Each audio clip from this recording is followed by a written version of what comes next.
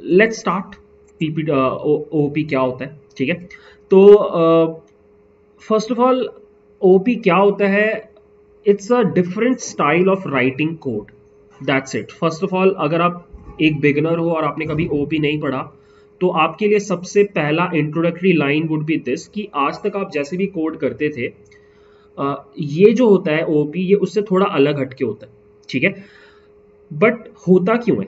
मतलब ओपी का रिक्वायरमेंट क्या है, ये समझना बहुत इंपॉर्टेंट है, क्योंकि मैंने जब भी पढ़ा personally OP during my college days और उसके बाद जब मैं स्टूडेंट्स को पढ़ाने लगा आई ऑलवेज रियलाइज़ कि स्टूडेंट्स इनफैक्ट मैं भी जब पढ़ता था आई वॉज़ अ स्टूडेंट तो हम बुक से जब भी ओपी पढ़ते हैं तो हमें लगता है कि हमें समझ में आ गया बट एक्चुअली समझ में नहीं आया होता है because OP is such a practical concept कि although there are so many concept there there are theoretical concept there but it's a thing which you will understand the best when you will do it practically so जब आप जब तक आप application नहीं बनाते हो तब तक आपको OP समझ में नहीं आता ठीक है तो will do is we will first understand we'll go through all those uh, concepts theoretical concepts and then uh, we'll do some applications कुछ बनाएँगे हम लोग जिससे हम uh, जो हमारे concepts हम सीखेंगे उसको solidify करेंगे ठीक है तो I'll start with this observation. Okay, I want to show you something.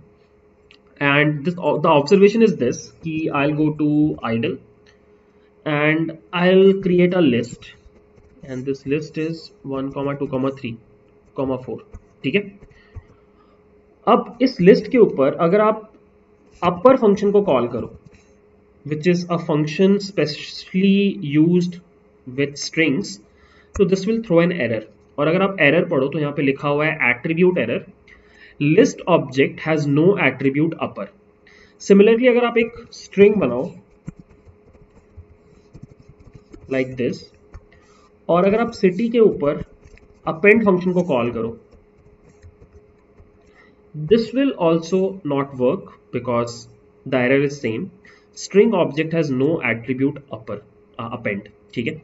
Now मैं आपको बस ये दिखाना चाहता हूँ कि जब भी आप इस तरह का कुछ भी गलती कर रहे हो तो एल के केस में the error is list object has no attribute upper और जब आप सिटी के केस में कर रहे हो तो it says string object has no attribute अगर आप इंटीजर के केस में करते a is equal to three a dot upper जो कि अगेन लॉजिकली भी काम नहीं करना चाहिए, यहाँ पे लिखा है इंट ऑब्जेक्ट सो मैं बस आपको ये दिखाना चाहता हूँ कि पाइथन में एवरीथिंग इज़ एन ऑब्जेक्ट ये डिस्कशन हमने फ़ंक्शन में भी किया था कि सब कुछ ऑब्जेक्ट है फ़ंक्शन भी ऑब्जेक्ट है। बट उस दिन हमने ये डिस्कस नहीं किया था कि ऑब्जेक्ट क्या होता है। आज हम ये डिस्कशन करेंगे कि ऑब्जेक्ट क्या होता है और ऑब्जेक्ट क्या होता है ये जानना ज़रूरी है, क्योंकि गेस वॉट हमें क्या पढ़ना है? ओओपी और ओपी का फुल फॉर्म क्या होता है? ऑब्जेक्ट ओरिएंटेड प्रोग्रामिंग सो अगर आपको ऑब्जेक्ट ओरिएंटेड प्रोग्रामिंग सीखना है for that you will have to understand कि ऑब्जेक्ट्स क्या होते हैं। ठीक है? और ऑब्जेक्ट्स क्या होते हैं और ओपी क्या होता है ये सीखने के लिए आपको पहले एक बार एक प्रॉब्लम समझना पड़ेगा। प्रॉब्लम क्या है? I give you a personal opinion जैसे ये एग्जांपल मैंने आपको दिया था फ़र्स्ट ईयर में। व्हेन आई टोल्ड यू कि 10 साल पहले 2010 के अराउंड जो भी चीज़ें हम करते थे हमारी लाइफ में डे टू डे लाइफ में, वो ऑफलाइन हुआ करता था। बैंक जाना ऑफलाइन था ट्रेन का टिकट कराना ऑफलाइन था मूवी टिकट कराना ऑफलाइन था, खाना ऑर्डर करना प्रोबेबली फ़ोन पे होता था। अगर हम किसी शहर जाते थे तो कौन से होटल में रुकना था हम? होटल में जा करके, देख करके डिसाइड करते थे। So things were offline back then मतलब सब कुछ हम लोग वहाँ पहुँच के फिजिकली करते थे।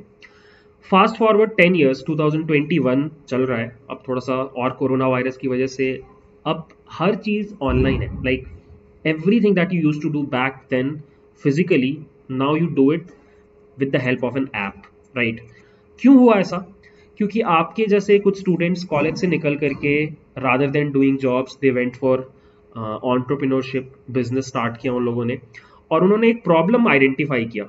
उन्होंने आसपास देखा, उनको लगा कि ये प्रॉब्लम है, क्या हम इसको सॉल्व कर सकते हैं यूजिंग सॉफ्टवेयर तो जैसे रितेश अग्रवाल सौ कि यार आपको होटल बुक करने के लिए उस सिटी में जाकर के होटल को देखना पड़ता है। वॉट इफ़ मैं एक ऐसा प्लेटफॉर्म बनाऊँ जहाँ पे होटल की फ़ोटोज़ पहले से हो तो आपको उस शहर में जाने की ज़रूरत नहीं होगी। ओला का फाउंडर सौ कि आपको कैब बुक करने के लिए नीचे धूप में खड़े होकर के वेट करना पड़ता है। वॉट इफ़ मैं जीपीएस से ट्रैक करवा करके आपके लोकेशन पे कैब ले आऊँ? ठीक है? वेकेशन पे जाते थे फ़ोटोज़ खींचते थे एल्बम्स दिखाते थे लोगों को। वॉट इफ़ हम एक ऐसा प्लेटफॉर्म बनाए जहाँ पे आप झट से फ़ोटोज़ डालो और लोग रिएक्ट कर पाए? सो यू कैन सी कि बार बार क्या हो रहा है कि आपके रियल लाइफ का एक एस्पेक्ट को उठाया जा रहा है और उसको सॉफ्टवेयर में कन्वर्ट कर दिया जा रहा है और चीज़ें ईजी होते जा रही हैं। ठीक है? अब अगर आप ये करने जाओ तो आपको एक प्रॉब्लम होगी, जैसे मुझे हुई थी। मैं कॉलेज से निकलने के बाद I was trying to build a platform which was quite similar to LinkedIn but for college students तो when I was building this platform since it was a big platform with so many features it had login it had registration it had building profile resume बना सकते हो messaging कर सकते हो, इतने सारे features थे इस प्लेटफॉर्म में कि मुझे उसको बनाने में ऑलमोस्ट छः से आठ महीने लग गए। और छः से आठ महीने के बाद आई रियलाइज़ कि मेरा कोड बेस इतना बड़ा हो गया है कि अब अगर मुझे कोई भी नया फीचर अगर ऐड करना है तो मुझसे हो ही नहीं पा रहा था बिकॉज़ वो बहुत ही कंफ्यूजिंग हो गया था मेरा पूरा कोड बेस क्योंकि मैंने नॉर्मल तरीके से कोडिंग किया। तो then I learn about O P object oriented programming मैंने पढ़ा उसके बारे में और फिर मैंने क्या किया, मैंने विद इन टू मंथ्स जितना काम मैंने आठ महीने में किया था विद इन टू मंथ्स मैंने उतना ही काम फिर से कर लिया। With the help of O P O P is such a powerful concept कि आप जब रियल वर्ल्ड एप्लीकेशन बनाने जाते हो तो वो आपको बहुत हेल्प करता है कोड को प्लान करने में। ठीक है? कैसे? आपके दिमाग में क्वेश्चन आ रहा होगा, कैसे? The solution is this word generality to specificity अब जेनरलिटी मतलब जनरल होना स्पेसिफिसिटी मतलब स्पेसिफिक होना। तो ओपी क्या होता है? आपको एक लाइन में अगर मैं बताऊँ तो ओपी का सबसे जो कोर फंडामेंटल फीचर है कि एज अ प्रोग्रामर आप अपने खुद के डेटा टाइप्स बना सकते हो। मतलब अगर आप लिंकडिन बनाने जा रहे हो तो आप लिंकडिन टाइप का एक डेटा टाइप बना सकते हो। अदरवाइज़ आप क्या करते आप इंटीजर स्ट्रिंग्स और लिस्ट और टपल्स टाइप के डेटा टाइप्स को यूज़ करके आप लिंकडिन बनाते बट गेस वॉट ज़्यादा अच्छा कौन सा अप्रोच है? कि आप मतलब ये डेटा टाइप्स यूज़ करो जो ऑलरेडी बिल्ट इन है और उसको यूज़ करके आप लिंकडिन बनाओ या फिर आप अपने लिए एक ऐसा डेटा टाइप बनाओ जो लिंकडिन बनाने के लिए ही बनाए।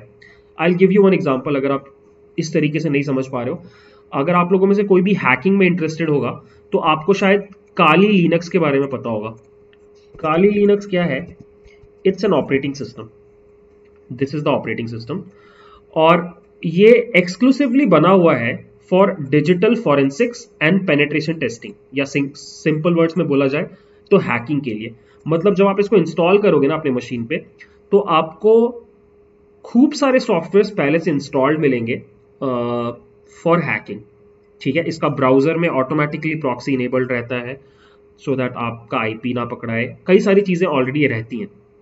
अब इसका ये मतलब नहीं है कि आप विंडोज़ से हैकिंग नहीं कर सकते। आप विंडोज़ से भी हैकिंग कर सकते हो। बट अगर आप काली लिनक्स यूज़ करोगे तो आप बेटर हैकिंग कर सकते हो। ठीक है? वही मैं आपको बोलना चाह रहा हूँ कि आपको अगर एक लिंकडिन जैसा प्लेटफॉर्म बनाना है तो आप चाहो तो उसको ये नॉर्मल वेरिएबल्स डेटा टाइप्स को यूज़ करके भी आप बना सकते हो। बट वॉट इफ़ आप एक स्पेसिफिक डेटा टाइप बनाओ जो सिर्फ़ लिंकडिन को बनाने के लिए ही बनाओ।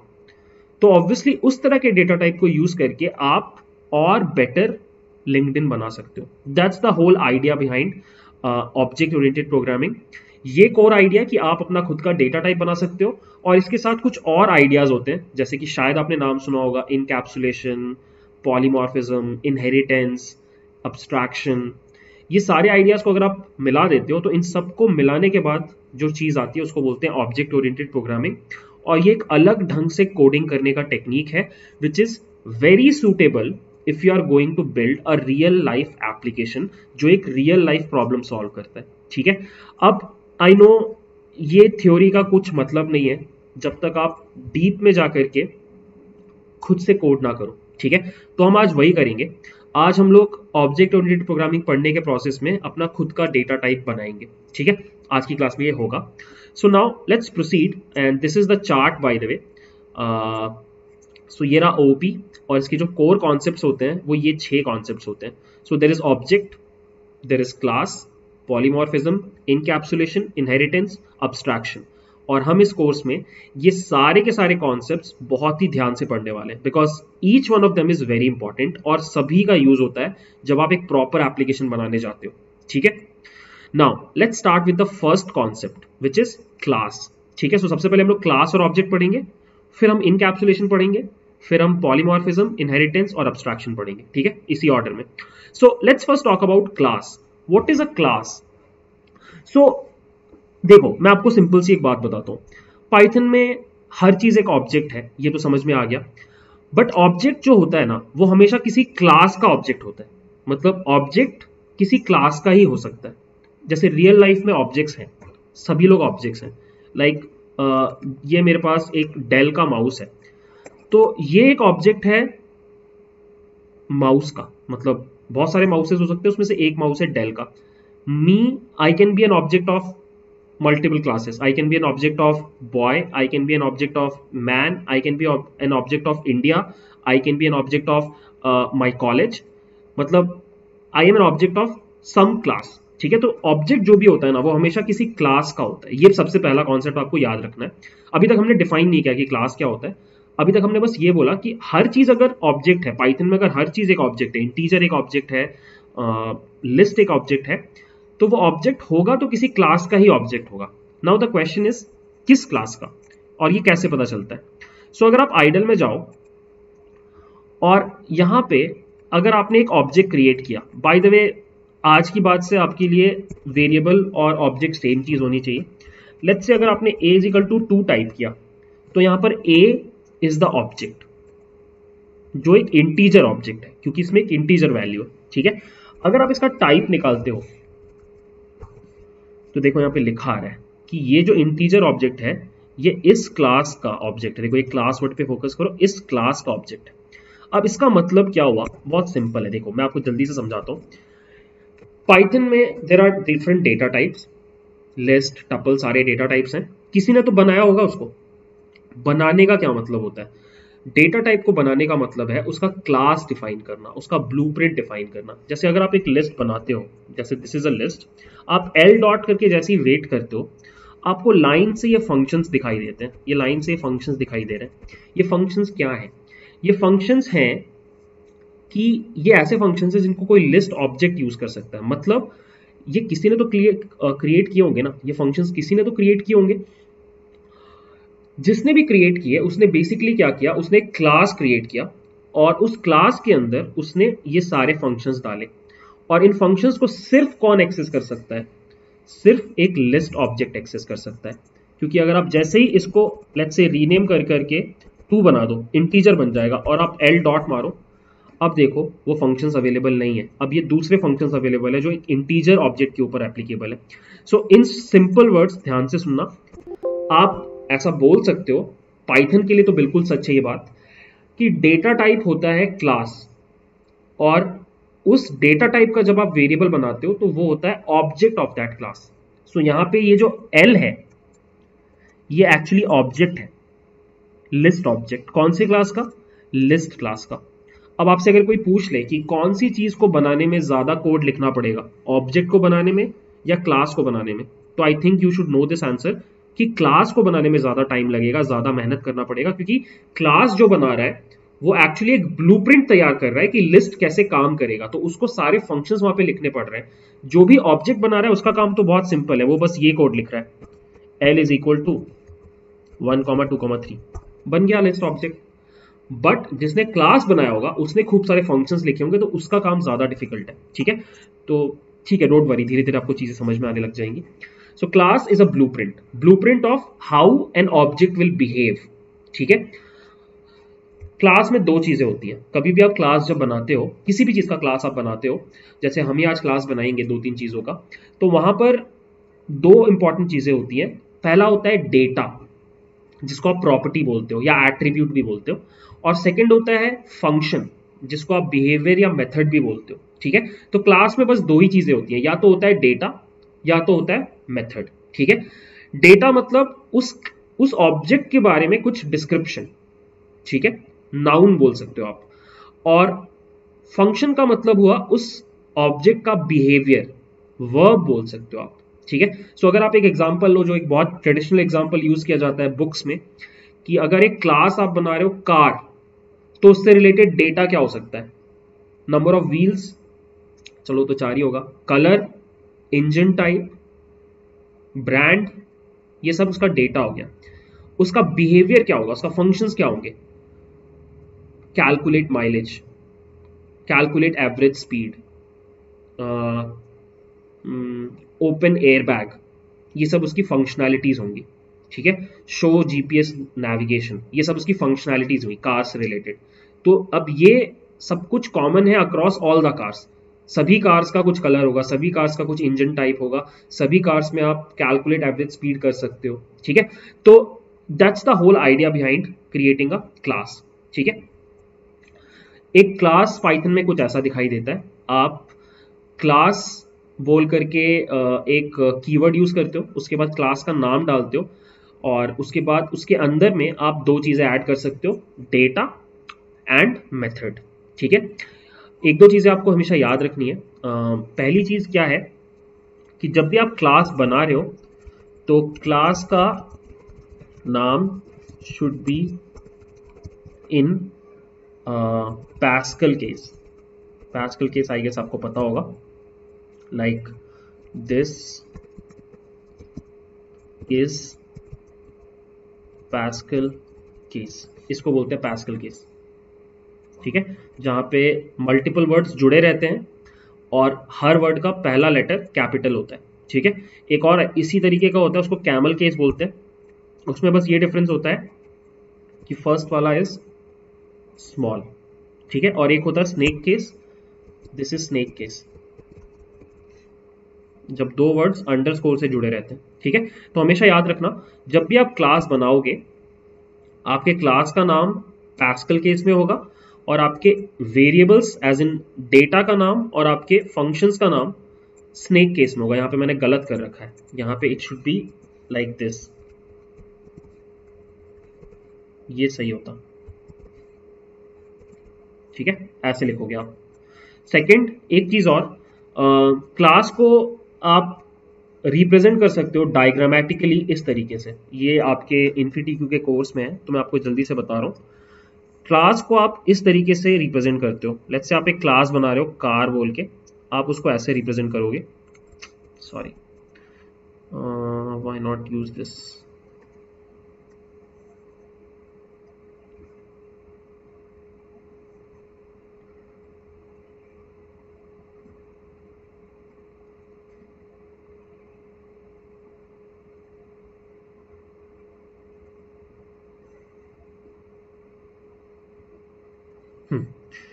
let say आप कार बोल के क्लास बना रहे हो तो यहाँ पे कार का नाम होगा मतलब क्लास का नाम होगा। यहाँ पे आप एट्रीब्यूट्स का नाम लिखते हो लेट्स से एट्रीब्यूट हो जाएगा कलर माइलेज ठीक है? और इंजन ये सब आपका एट्रीब्यूट्स हो गए। यहाँ पे नीचे में आप मेथड्स जो भी आपके क्लास के, वो आप लिखते हो। Calculate average speed. ठीक है? ओपन अंडरस्कोर एयर बैग ठीक है? Show underscore GPS. ठीक है? और उसके बाद आप ये प्लस और माइनस का नोटेशन यूज़ करते हो। ठीक है? ये प्लस शो करता है कि ये जो मेथड है ये आउटर वर्ल्ड मतलब बाहर के प्रोग्राम के लिए अवेलेबल है या पब्लिक है। अब इसका क्या मतलब होता है हम ये डिस्कस करेंगे डिटेल में। बट हमेशा याद रखना कि कोई मेथड अगर पब्लिक है तो प्लस से डिनोट होता है और डेटा जो जनरली होता है वो प्राइवेट होता है। मतलब क्लास के बाहर आप इस डेटा को यूज़ नहीं कर सकते तो वो माइनस से रिप्रेजेंट होता है। तो इसको बोलते हैं क्लास का डायग्रामेटिक रिप्रेजेंटेशन ये कभी कभी आपसे पूछा जा सकता है। आ, इसके बारे में हम और बात करेंगे बट मैंने आपको रफली एक चीज़ बता दिया कि इस तरीके से एक रिप्रेजेंटेशन होता है क्लास का, ठीक है? ना काफ़ी पढ़ लिया क्लास के बारे में थ्योरी ऑब्जेक्ट मैंने आपको बता दिया डेटा टाइप क्लास है, जैसे आप उसका एक वेरिएबल बना रहे हो, वो उसका object so object is an instance of the class ठीक है? और ऑब्जेक्ट आप ऐसे क्रिएट करते हो कार अगर एक क्लास है तो उसका ऑब्जेक्ट हो सकता है वैगनार तो WagonR is equal to car bracket this is the syntax object name is equal to class name bracket ठीक है? स्पोर्ट्स अगर एक क्लास है, gilli danda could be a object तो gilli danda object name is equal to sports class name bracket animal langur langur is equal to animal bracket that is how you create objects in Python अब आप ये question पूछ सकते हो but अगर list अगर list एक object है लिस्ट एक क्लास है तो लिस्ट का ऑब्जेक्ट हम ऐसे क्यों बनाते हैं? मतलब ऐसे क्यों बना रहे हैं? क्योंकि यहाँ पर जब भी कोई बिल्ट इन क्लास होता है पाइथन में उसके लिए आप ऑब्जेक्ट लिटरल लिटरल यूज़ करते हो। ऑब्जेक्ट लिटरल क्या होता है? आसानी से ऑब्जेक्ट बनाने का तरीका। बट आप चाहो तो ऐसे भी ऑब्जेक्ट बना सकते हो लिस्ट क्लास का। This will also work this is also an object similarly अगर आप एक, एक स्ट्रिंग बनाना है तो आप एक स्ट्रिंग को ऐसे भी बना सकते हो। ये मैंने आपको पढ़ाया था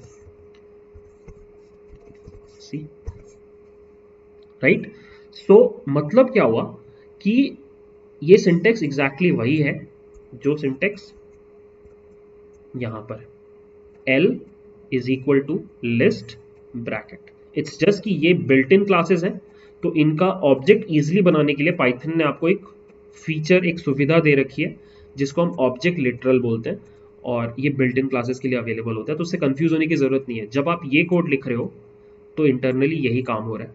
क्योंकि that is how Python will understand कि इस क्लास का ऑब्जेक्ट बन रहा है। ठीक है? आई होप आपको ये चीज़ समझ में आ गया।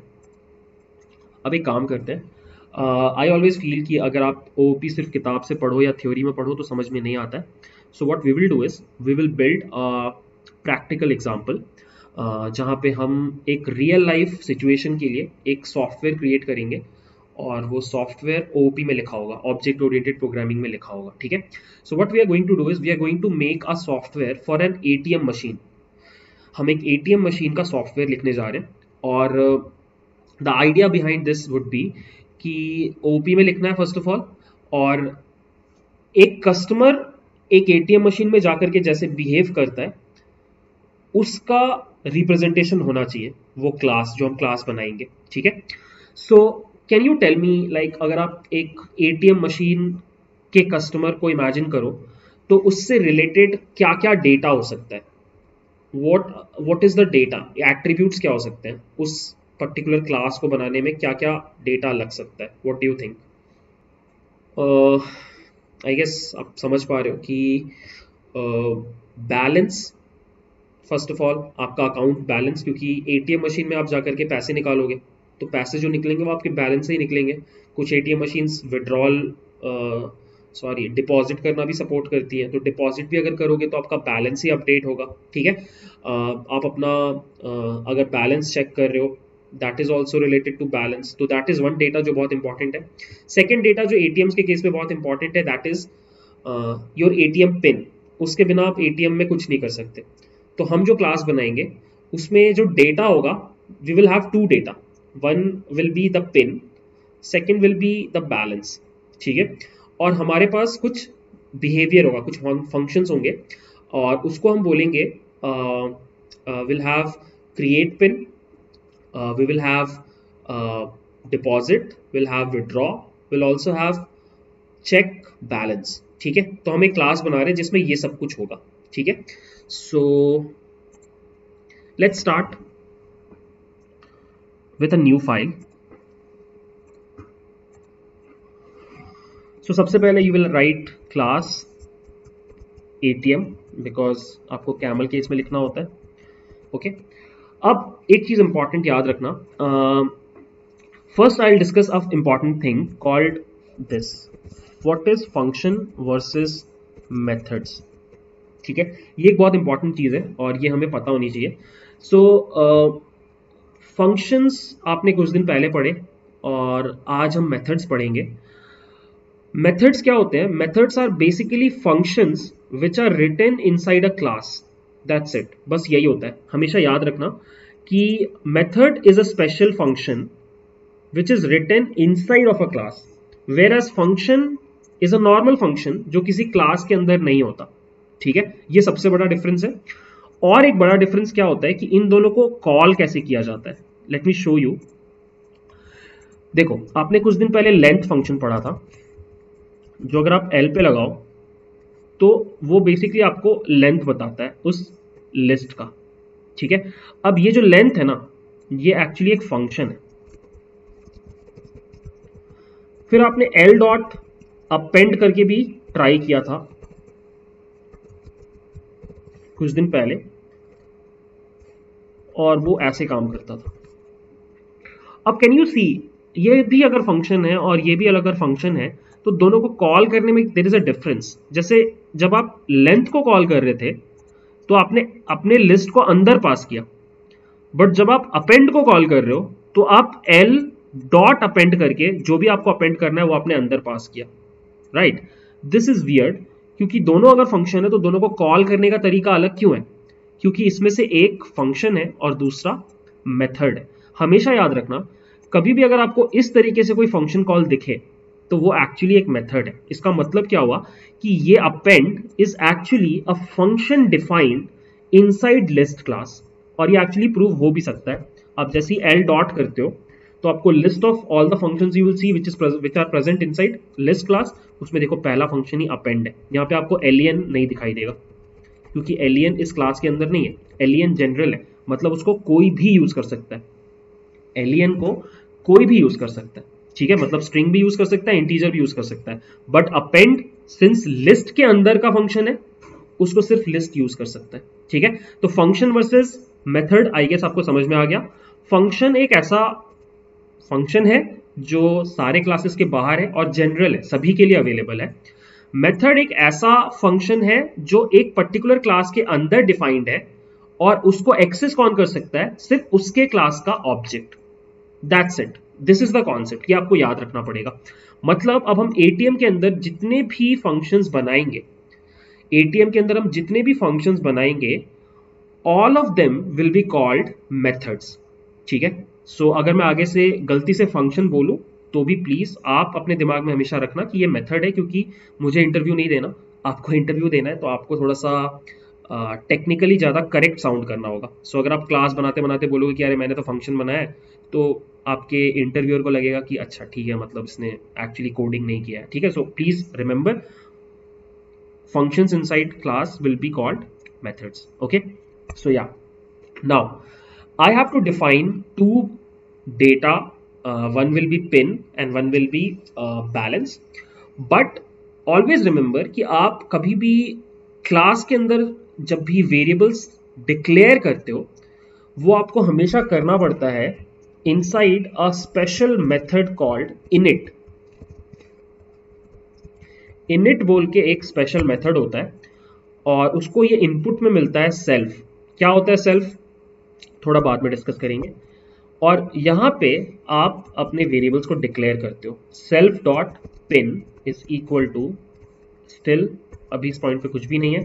Self dot balance is equal to zero so आप जनरली अगर जावा वगैरह में कोड करना जानते होगे ओपी में तो आपको पता होगा कि वहाँ पे आप वेरिएबल्स को यहाँ पे इसके नीचे इस जगह पे डिक्लेयर करते हो but not in Python Python में आप वेरिएबल्स uh, जब क्रिएट करोगे तो आप इस मेथड के अंदर ही क्रिएट करोगे। इसका क्या रीज़न है? हम थोड़ी देर के बाद डिस्कस करेंगे। ये सेल्फ क्या है?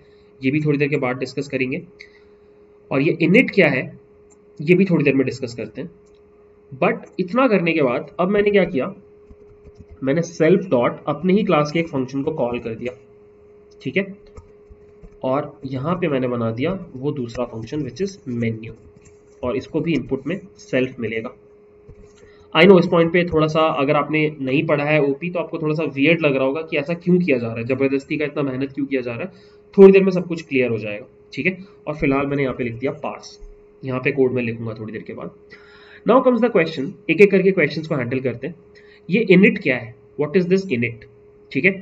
सो अगर आपने कभी भी पास्ट में किसी भी और लैंग्वेज में ऑब्जेक्ट ओरिएंटेड प्रोग्रामिंग किया है तो आपको शायद इस वर्ड का मतलब पता होगा कंस्ट्रक्टर यहाँ पे जो इनिट है, वो एक कंस्ट्रक्टर है।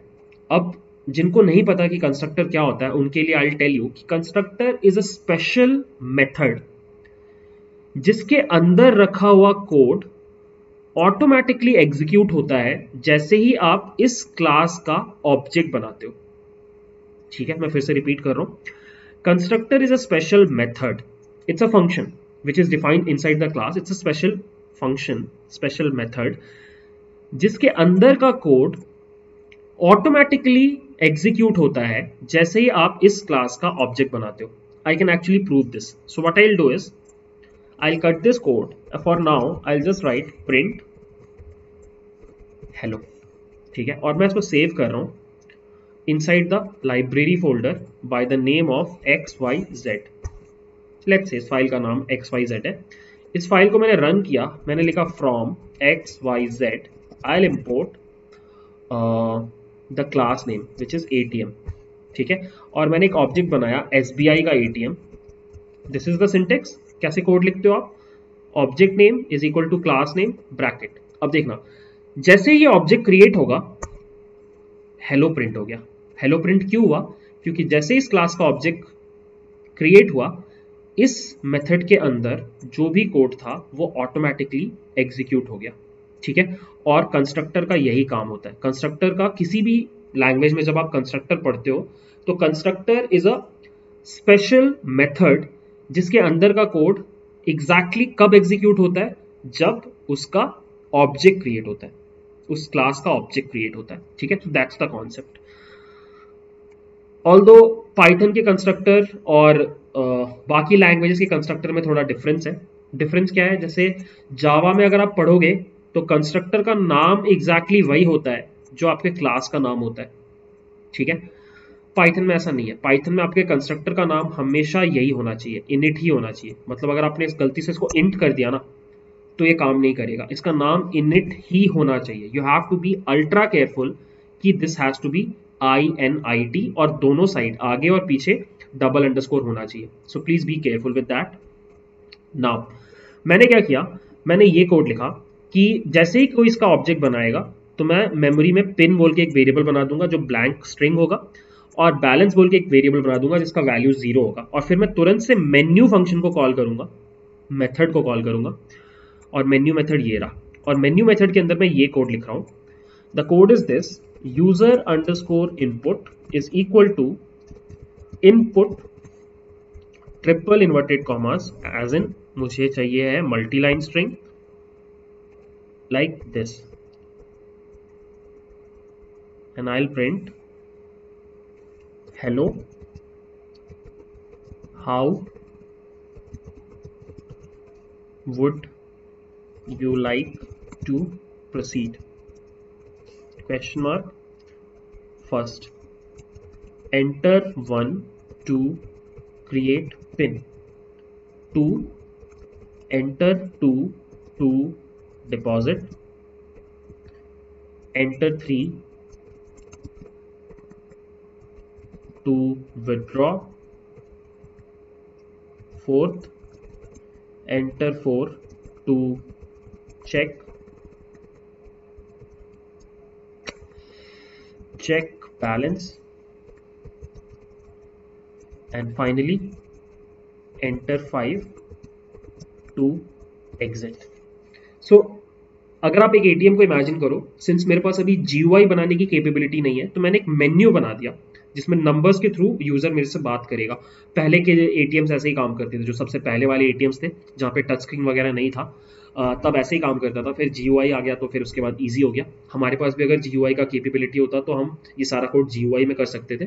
But for now we are just using simple Python और अब मेरे पास जैसे ही यूज़र इनपुट आ जाएगा, मैं ये चेक करूँगा if user underscore input is equal to equal to string of one because input से आएगा तो स्ट्रिंग होगा तो आई प्रिंट आउट कि यूज़र क्या करना चाहता है? Create pin elif user underscore input is equal to equal to two तो यूज़र क्या करना चाहता है? Withdraw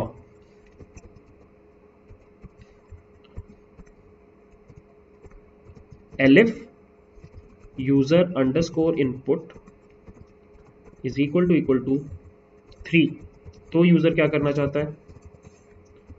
यूज़र करना चाहता है डिपॉजिट ओके okay, मैंने उल्टा कर दिया बट कोई फ़र्क नहीं पड़ता इट्स ओके okay. एक और elif elif user underscore input is equal to equal to 4 then user wants to check his balance. And lastly else may I just print out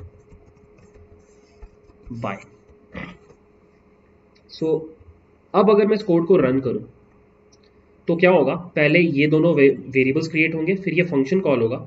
ये फ़ंक्शन के अंदर का कोड एग्जीक्यूट होगा और output कुछ ऐसा आएगा। From X Y Z import ATM ठीक है?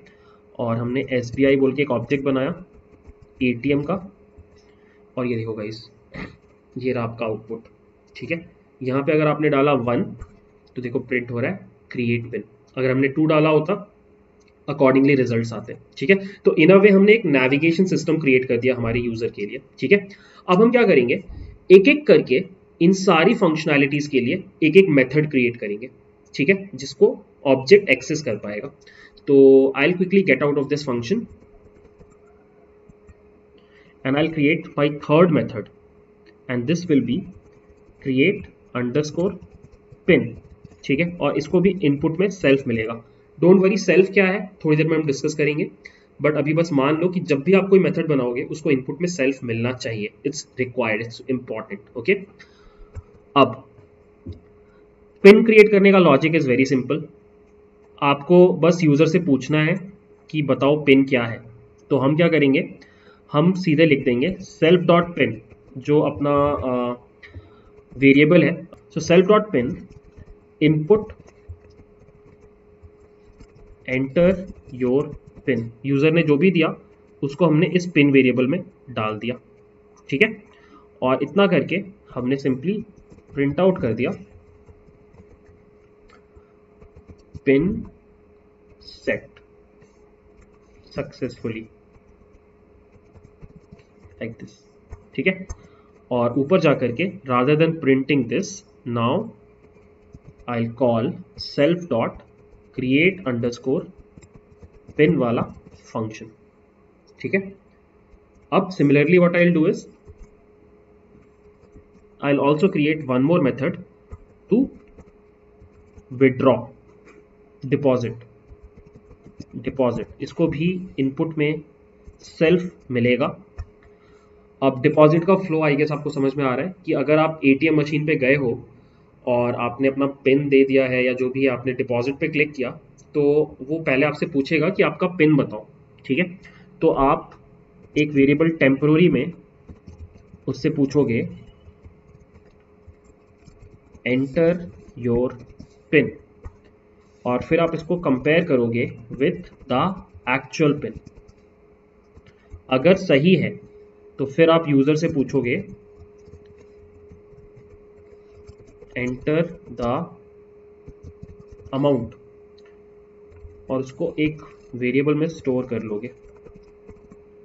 बेटर होगा अगर आप उसको इंटीजर में कन्वर्ट कर लो बिकॉज़ आपको स्ट्रिंग मिलने वाला है. और फिर आपको डिपॉजिट करना है। डिपॉजिट हमेशा आपके बैलेंस में होगा तो उसका कोड होगा self dot balance is equal to self dot balance plus amount whatever is inside amount और इतना करके आप सिंपली प्रिंट कर दोगे। डिपॉजिट सक्सेसफुल ठीक है? एल्स अगर उसने पिन ही गलत बताया तो आप उसको बोलोगे invalid pin and that's it this is your deposit function अब आप ऊपर जाओगे और rather than printing this you will call self dot deposit जैसे ही वो टू प्रेस करेगा ठीक है and going by the same logic you will have to write your third function which is withdraw इसको भी इनपुट में सेल्फ मिलेगा और यहाँ पे भी अगर आप पैसा निकालने को दे रहे हो तो आप पहले चेक करोगे उसने पिन सही बताया कि नहीं। तो आप ये सेम कोड यहाँ पे पेस्ट कर दोगे। अगर उसने पिन सही बताया तो आप फिर से उससे पूछोगे कि कितना अमाउंट उसको चाहिए। कितना निकालना है, ठीक है?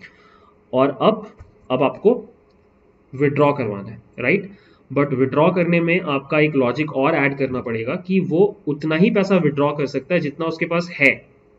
मतलब if amount is less than self dot balance only then you will do the withdrawal process which is equal to self dot balance is equal to self dot balance minus amount ठीक है? और इतना करके आप print कर सकते हो. Operation successful ठीक है? एल्स अगर उसने उसने ज़्यादा पैसे बोले जितने उसके अकाउंट में नहीं थे तो आप प्रिंट कर इट्स ओके एक रुपया बचाना चाहता हूँ मैं। ठीक है यार मतलब कोई इंपॉर्टेंट नहीं है वो।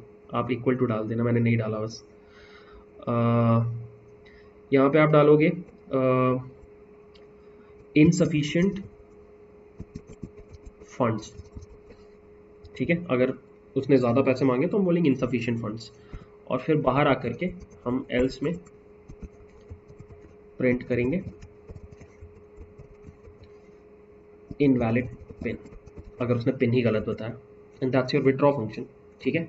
और फिर मैं ऊपर जाऊँगा और जहाँ पे मैंने ये कर कॉल कर रखा था, उसके बदले I write self dot withdraw right बस एक लास्ट फ़ंक्शन बचा. बैलेंस चेक करने का. And that is the simplest function आप लिखोगे डेफ चेक बैलेंस इसको भी इनपुट में self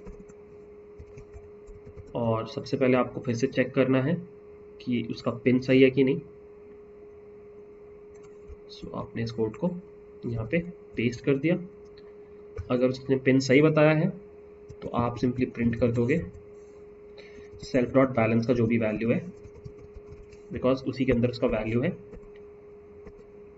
else you would print out again invalid pin ठीक है? इनफैक्ट आप क्या कर सकते थे कि बार बार आपको सेम कोड लिखना पड़ा है, ये इफ़ एल्स वाला कंडीशन चेक करने का। आप एक्चुअली एक अलग फ़ंक्शन बना सकते थे चेक पिन बोल करके। और हर बार आप उसको कॉल करते थे तो आपको ये इफ़ एल्स हर जगह नहीं लिखना पड़ता, आपका कोड ईजी हो जाता। एक्चुअली इफ़ एल्स आपको तब भी लिखना पड़ता। डिपेंडिंग ऑन कि वो चेक पिन वहाँ से वन भेजा या ज़ीरो भेजा। ठीक है, कोई नहीं। बहुत ज़्यादा कोड नहीं लिखना पड़ा इट्स ओके और फिर आपको ऊपर जाना है और इस जगह पे जा करके you have to call self dot check balance and that's the code guys ये एक बहुत बेसिक एटीएम मशीन का सॉफ्टवेयर हो सकता है। ऑब्वियसली ये जी बेस नहीं है। जी में आपको थोड़ा और मेहनत करना पड़ेगा। बट एक बार इसको चला के देखते हैं कैसे बिहेव कर रही है। So from X Y Z file import the class A T M sorry पता नहीं कैसे होता है। आ, ये कहाँ से आ गया? क्या हो रहा है? कॉपी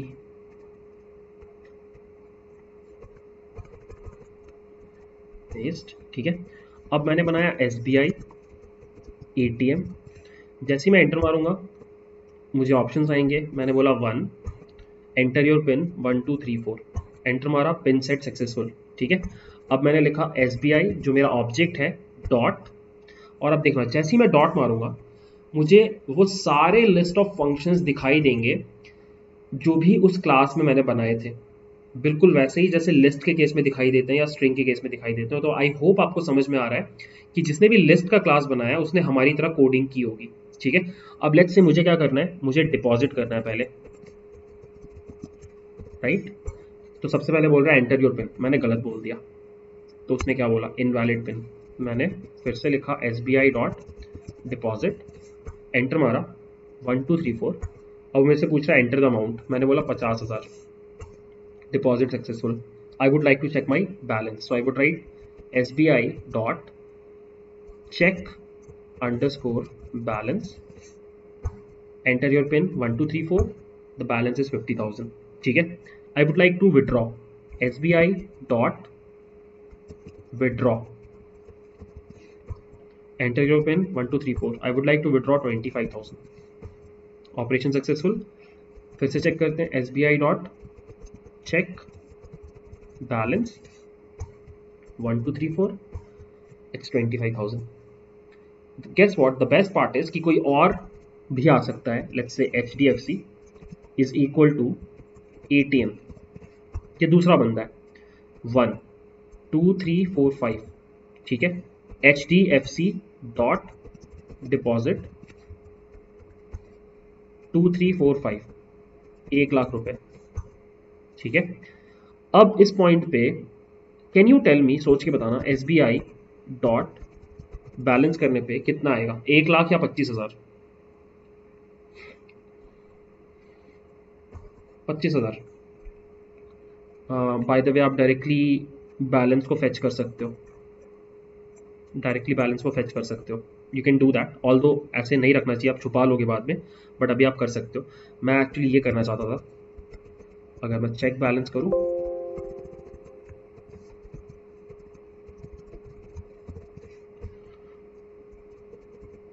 इट्स 25,000 और अगर मैं H D F C dot check balance करूँ तो it's one lakh so that is how O O P work and this is a very special thing if you think about this at the end आपके पास एक ही variable है balance नाम से। आपके पास एक ही वेरिएबल है मेमोरी में बैलेंस नाम से। बट इसी वेरिएबल के दो अलग वैल्यूज़ हैं अभी मेमोरी में। अगर मैंने एक और ऑब्जेक्ट बनाया होता तो तीन वैल्यूज़ होते अलग अलग मतलब दिस इज़ सो स्पेशल सोच के देखो, आप जब भी आपका वेरिएबल होता है कोई मेमोरी में तो उसका एक ही वैल्यू होता है। लेकिन यहाँ पे क्या हो रहा है, इसी वेरिएबल के मल्टीपल इंस्टेंसेस रन कर रहे हैं। तो HDFC के लिए बैलेंस का वैल्यू वन लाख है और SBI के लिए बैलेंस का वैल्यू ट्वेंटी फाइव थाउज़ेंड है। अगर आप सौ ऑब्जेक्ट्स और बना दो तो हर किसी का अलग बैलेंस चल रहा होगा, हर किसी का अलग पिन चल रहा होगा और हर किसी का सब कुछ डेटा अलग होगा। दैट्स द होल आइडिया इसीलिए बोला जाता है कि object is an instance of the class क्योंकि आपके लिए, आपके एक ऑब्जेक्ट के लिए, आपके क्लास का हर प्रॉपर्टी का वैल्यू अलग अलग है। अलग अलग इंस्टेंसेस रन कर रहे हैं। ठीक है? और सोच के देखो बिकॉज़ ऑफ़ दिस आपका कोडिंग जो है लाइक like, वो बहुत वेल मैनेज्ड हो गया। सो so, अब आपको बस ऑब्जेक्ट्स क्रिएट करने और उनसे काम करवाना है और बैकएंड का सारा लॉजिक आपने क्लास में लिख करके डाल दिया ठीक है? सो आई होप आपको uh, ये चीज़ थोड़ा समझ में आ गया। ओके सो आई गेस नहीं है। So what is a constructor constructor को बाय द वे पाइथन में देर इज़ अ कॉन्सेप्ट कि कुछ मेथड्स जो होते हैं उनको स्पेशल मेथड बोला जाता है। स्पेशल मेथड्स इनको मैजिक मेथड्स भी बोला जाता है और इनको डंडर मेथड्स भी बोला जाता है। ठीक है? सो कंस्ट्रक्टर जो है इनिट ये एक मैजिक मेथड है। ठीक है? uh, बहुत सारे होते हैं। अगर आप एक बार गूगल करो मैजिक मेथड्स इन पाइथन तो आपको भर के इस तरह के मेथड्स मिलेंगे। ये रहे वो सारे मेथड्स ये वो सारे मेथड्स हैं। कैसे पहचाना जाएगा कि वो मैजिक मेथड है? अगर किसी भी मेथड के आगे डबल अंडरस्कोर पीछे भी डबल अंडरस्कोर लगा हुआ है तो पाइथन के लिए वो मैजिक मेथड है।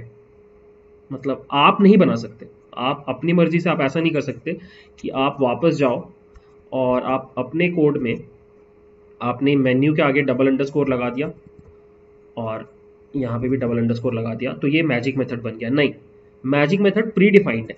उतने ही है जितने हैं। बस पाइथन आपको बता रहा है कि अगर आपको पहचानना है कि कोई मेथड मैजिक मेथड है कि नहीं तो उसका तरीका यह है कि आगे डबल होगा अंडरस्कोर और पीछे भी होगा double underscore that is how you identify a magic method magic method का कॉन्सेप्ट क्या होता है?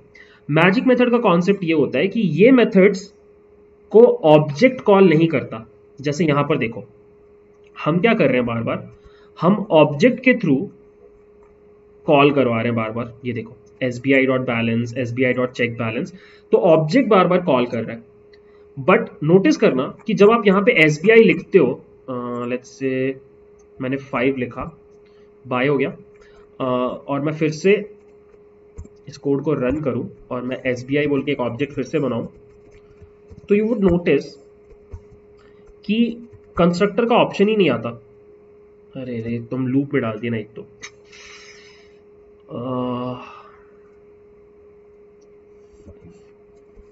एस बी आई डॉट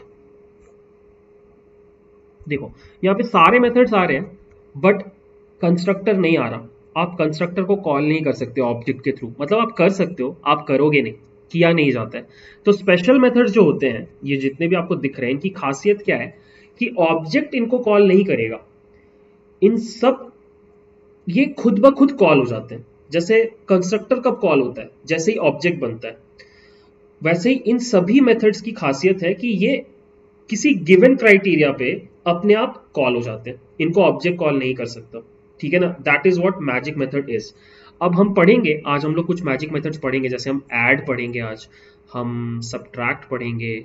हम मल्टीप्लीकेशन पढ़ेंगे। सब मैजिक मेथड्स हम आज पढ़ेंगे।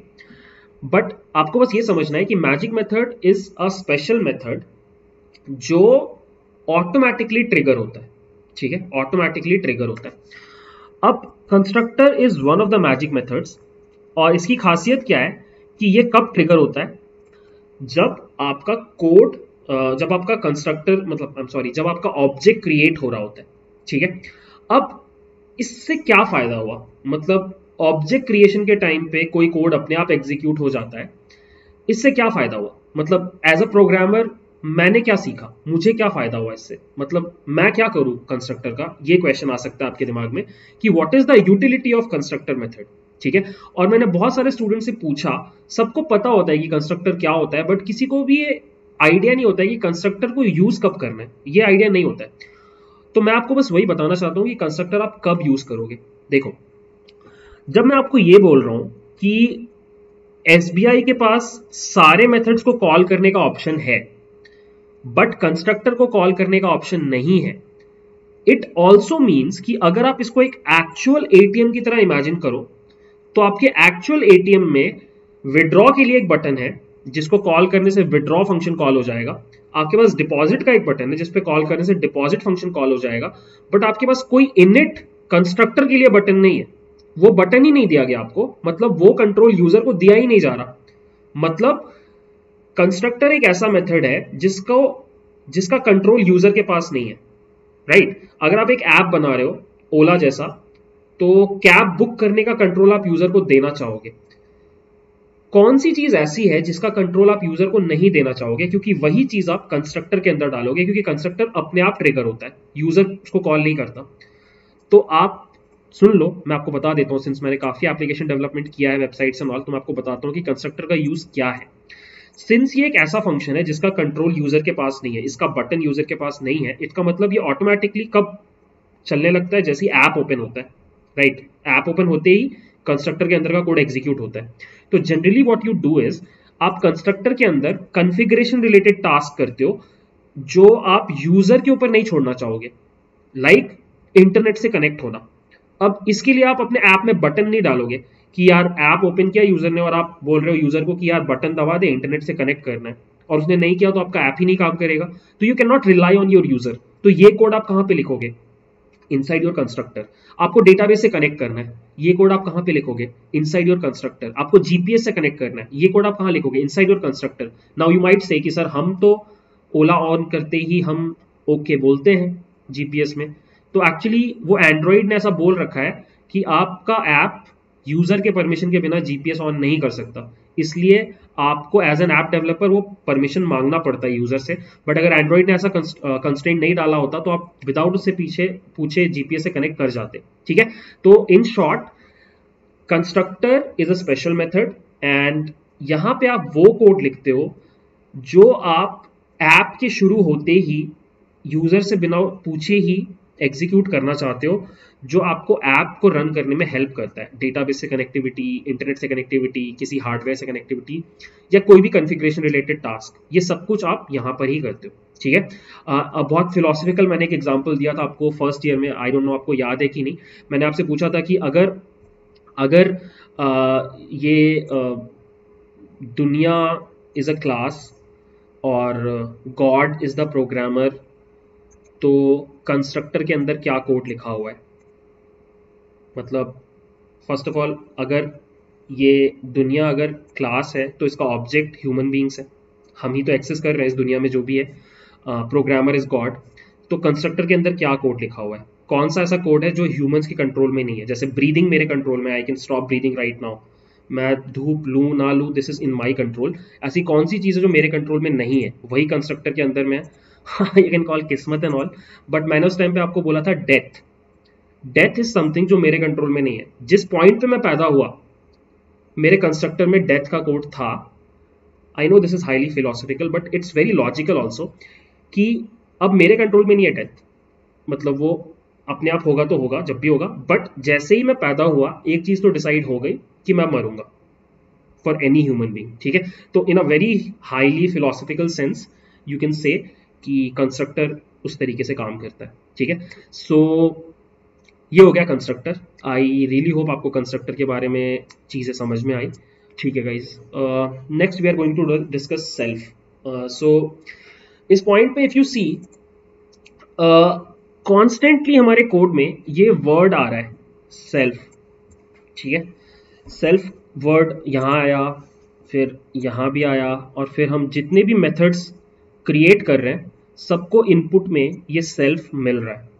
तो यू माइट वंडर कि ये सेल्फ क्या है ठीक है? और एक्चुअली ये थोड़ा कंफ्यूजिंग रहता है। Yes Rajdeep init is constructor it's not acting like a constructor it is the constructor Python में इनिट को ही कंस्ट्रक्टर बोला जाता है। सो या आई वॉज़ कि सेल्फ थोड़ा कंफ्यूजिंग होता है बिगनर्स uh, के लिए। But trust me it's not that difficult मैं आपको एक छोटा सा कोड रन करके दिखाता हूँ। एंड uh, आपको उसके बाद समझ में आ जाएगा कि सेल्फ क्या है। ठीक है? सो so, देखो जैसे ऑब्जेक्ट बनेगा इसके अंदर का कोड एग्जीक्यूट होगा। सेल्फ कुछ तो है। पाइथन में अगर सेल्फ कुछ भी है तो ऑब्जेक्ट ही होगा। क्योंकि पाइथन में सब कुछ ऑब्जेक्ट होता है। और अगर ऑब्जेक्ट है तो कहीं पे स्टोर्ड होगा। तो मतलब उसका आईडी होगा, उसका एक एड्रेस होगा राइट तो मैं बस एक काम कर रहा हूँ, मैं उसका एड्रेस को प्रिंट कर रहा हूँ, जहाँ भी सेल्फ स्टोर्ड है। This is what I am doing ठीक है? I am writing print ID of self ठीक है? अब देखो, इस कोड को मैं फिर से रन कर रहा हूँ। From X Y Z import ATM ठीक है? S B I is equal to ATM ठीक है? जैसे ही मैं इस कोड को एग्जीक्यूट करूँगा कंस्ट्रक्टर के अंदर का कोड एग्जीक्यूट होगा और उसके अंदर एक लाइन का कोड क्या है कि मुझे सेल्फ का एड्रेस प्रिंट करना है। सो मैंने जैसे ही एंटर मारा, ये देखो। ये जो एड्रेस है, ये वो एड्रेस है जहाँ पे सेल्फ स्टोर्ड है, ठीक है? अब ध्यान से देखो, मैंने यहाँ पे लिखा फाइव मैं बाहर आ गया, और अब मैंने लिखा आईडी ऑफ़ SBI जो मेरा ऑब्जेक्ट है। ये एड्रेस किसका है? ये सेल्फ का एड्रेस है। और फिर मैंने लिखा आईडी ऑफ़ एसबीआई और एंटर मारा और ये एड्रेस है एसबीआई का। दे आर द सेम इसका क्या मतलब हुआ? इसका मतलब हुआ एसबीआई ही सेल्फ है। इसका यही मतलब हुआ। I give you one more example मैं एक और ऑब्जेक्ट बना रहा हूँ। H D F C is equal to ATM फिर से कंस्ट्रक्टर का कोड एग्जीक्यूट होगा, फिर से सेल्फ का एड्रेस प्रिंट होगा। और इस बार सेल्फ का एड्रेस ये है, बदल गया सेल्फ का एड्रेस पहले ये था, अब सेल्फ का एड्रेस ये है। मैंने यहाँ पे फाइव डाला और फिर मैंने लिखा ID of H D F C और अब ये आईडी और ये आईडी सेम है। मतलब आई कैन फिर से conclude H D F C ही सेल्फ है। राइट बट इस पॉइंट पे अगर मैं फिर से लिखूं सेल्फ फिर से लिखूं एस तो अभी भी वही है। तो क्या चक्कर चल रही है सेल्फ कौन है फिर? बहुत सिंपल सा फंडा है। जो भी ऑब्जेक्ट के साथ अभी आप काम कर रहे हो, जिस भी ऑब्जेक्ट के साथ आप करेंटली काम कर रहे हो, वही सेल्फ होता है। बस यही फंडा है। जिस ऑब्जेक्ट के साथ आप अभी काम कर रहे हो, वही सेल्फ होता है। That's it this is the concept ठीक है? अब दिस इज़ वियर्ड मतलब दिस इज़ वियर्ड क्योंकि अगर आप वापस कोड पे जाओ तो कुछ चीज़ें समझ में नहीं आती कि क्यों मुझे हर मेथड को इनपुट में आ, ये मिल रहा है? मतलब क्या रीज़न है? क्यों मिल रहा है ये? और अगर मिल रहा है तो इसका फ़ायदा क्या है? एक्चुअली बहुत यूज़फुल है। अगर आप इसको हटा दो जैसे कि मैंने क्रिएट पिन से सेल्फ को हटा दिया तो कोड काम नहीं करेगा। लेट मी शो यू अगर मैं इसको फिर से रन करूँ, और मैं लिखूं from X Y Z import ATM ठीक है? और अगर मैं एक ऑब्जेक्ट बनाऊँ S B I is equal to ATM मैंने लिखा वन और जैसे ही मैंने एंटर मारा कोड क्रैश कर गया, क्योंकि मैंने क्रिएट पिन से सेल्फ हटा दिया। अगर आप एरर को पढ़ो तो यहाँ लिखा हुआ है कि create pin method takes zero positional arguments but one was given मतलब क्या हुआ? कि आपका ये जो फ़ंक्शन है मेथड है, इसको कोई इनपुट नहीं चाहिए बट आपने एक इनपुट दिया बट मैंने तो नहीं दिया। मैंने तो बस ये लिखा इंटरनली मैंने तो बस ये फ़ंक्शन कॉल किया S B I dot create underscore pin मैंने बस इसको कॉल किया। Defined why S B I is not defined H D F C अच्छा हट गया सब कुछ। uh, एक काम करते हैं थोड़ी देर के लिए ये चीज़ हटा देते हैं। इसकी वजह से गड़बड़ हो रहा है। लूप में नहीं रहेगा सब कुछ हट जाएगा।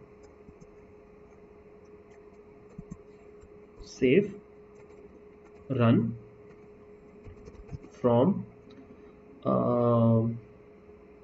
X Y Z import ATM ठीक है? और यहाँ पे हमने लिखा S B I is equal to ATM one code crash कर गया और हम एक्चुअली बस ये कोड लिख रहे हैं S B I dot create underscore pin हम बस ये कॉल कर रहे हैं। हमने तो कुछ इनपुट नहीं दिया। यहाँ पे तो हम कुछ इनपुट नहीं दे रहे फिर एरर ये क्यों आ रहा है कि create pin takes zero positional argument but one was given so apparently जब आप पाइथन में ऑब्जेक्ट नेम डॉट करके मेथड को कॉल करते हो ना तो आप उस मेथड को डिफ़ॉल्ट में एक इनपुट देते हो और वो है ये ऑब्जेक्ट सो so, जब इस ऑब्जेक्ट ने इस मेथड को कॉल किया तो इस मेथड को by default S B I as input मिला और उसी को आपने यहाँ पे रिसीव किया। उसी को आपने यहाँ पे रिसीव किया है सेल्फ में। So self is nothing but जो भी बंदा उस मेथड को कॉल कर रहा है, जो भी ऑब्जेक्ट उस मेथड को कॉल कर रहा है। बट अभी भी मेरा डाउट सॉल्व नहीं हुआ। क्यों भेजना ज़रूरी है? क्या ज़रूरत है इस सेल्फ का? उस ऑब्जेक्ट का यहाँ पे आने का क्या ज़रूरत है?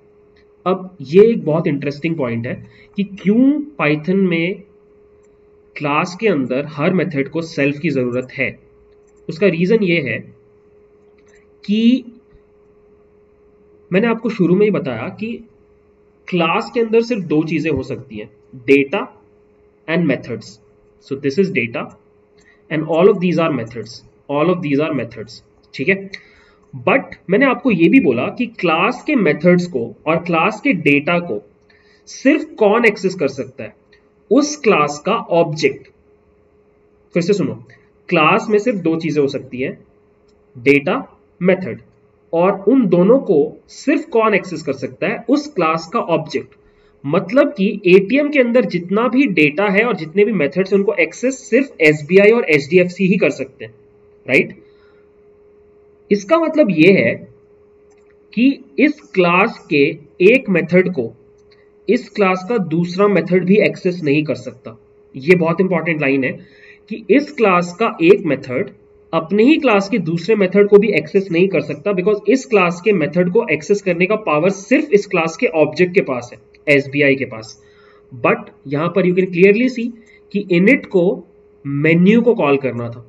बट इनिट डायरेक्टली मेन्यू से बात नहीं कर सकता, क्योंकि that's the rule object oriented programming में दैट्स द रूल कि एक क्लास का एक मेथड अपने क्लास के दूसरे मेथड से डायरेक्टली बात नहीं कर सकता. इट कैन नॉट एक्सेस सामने वाला मेथड को. इट कैन नॉट एक्सेस अपने ही क्लास के डेटा को. तो अब सॉल्यूशन क्या है? एक्सेस करने का एक ही तरीका है कि आप ऑब्जेक्ट के थ्रू एक्सेस कर सकते हैं। तो हमें कोई ऑब्जेक्ट चाहिए, और वही ऑब्जेक्ट कौन है? एसबीआई तो उसने क्या किया, जैसे आप एसबीआई को कॉल कर रहे हो, हर बार एसबीआई खुद आ जा रहा है सेल्फ बन करके। और फिर आपके क्लास का हर मेथड जब भी किसी दूसरे मेथड को एक्सेस कर रहा है, बस सेल्फ के थ्रू कर रहा है। Object name dot method name similarly जब भी आप डेटा को एक्सेस कर रहे हो, तब भी आप यही काम कर रहे हो। ठीक है? मैं एक बार कॉन्सेप्ट रिवाइज कर रहा हूँ। सेल्फ की ज़रूरत क्यों है? ऑब्जेक्ट ओरिएंटेड प्रोग्रामिंग का सबसे फंडामेंटल कॉन्सेप्ट कि क्लास में डेटा और फ़ंक्शंस होते हैं। और इन दोनों को एक्सेस सिर्फ़ क्लास का ऑब्जेक्ट कर सकता है। This is concept one concept two इसका मतलब ये हुआ कि क्लास में खुद एक मेथड अपने क्लास के दूसरे मेथड या फिर डेटा को एक्सेस नहीं कर सकता। बट ऐसे बहुत सारे सिनेरियोज आएँगे जहाँ पर एक मेथड को दूसरे मेथड को एक्सेस करना होगा, जैसे यहाँ पर आया। बट कैसे करोगे? आपको तो ऑब्जेक्ट चाहिए इस क्लास का। तो ऑब्जेक्ट कहाँ से आएगा? सेल्फ के थ्रू तो self is basically the current object जिसने भी उस मेथड को कॉल किया that's it that's the concept but trust me ये कॉन्सेप्ट बहुत डिफ़िकल्ट ना होते हुए भी समहाउ स्टूडेंट्स इसको नहीं पकड़ते I don't know why but it's not very difficult आपको अगर वाई समझ में आ गया कि सेल्फ क्यों एग्जिस्ट करता है तो शायद आप गलती नहीं करोगे सेल्फ में. ठीक है? So guys next we are going to learn how can we create our own data type ठीक है? The data type that we are going to create is fraction so I guess बचपन में आपने fractions देखे होंगे, ऐसे दिखाई देते हैं।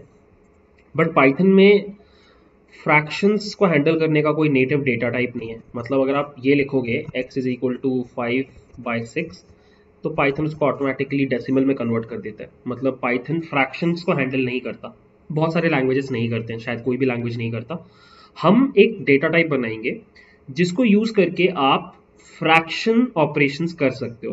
Fraction addition fraction subtraction fraction multiplication division simplification जो भी चीज़ें आप फ्रैक्शंस में कर सकते थे मैथ्स में वो सब कुछ आप यहाँ पे कर पाओगे। हम एक ऐसा मेथड बनाएँगे हम एक ऐसा क्लास बनाएँगे ठीक है?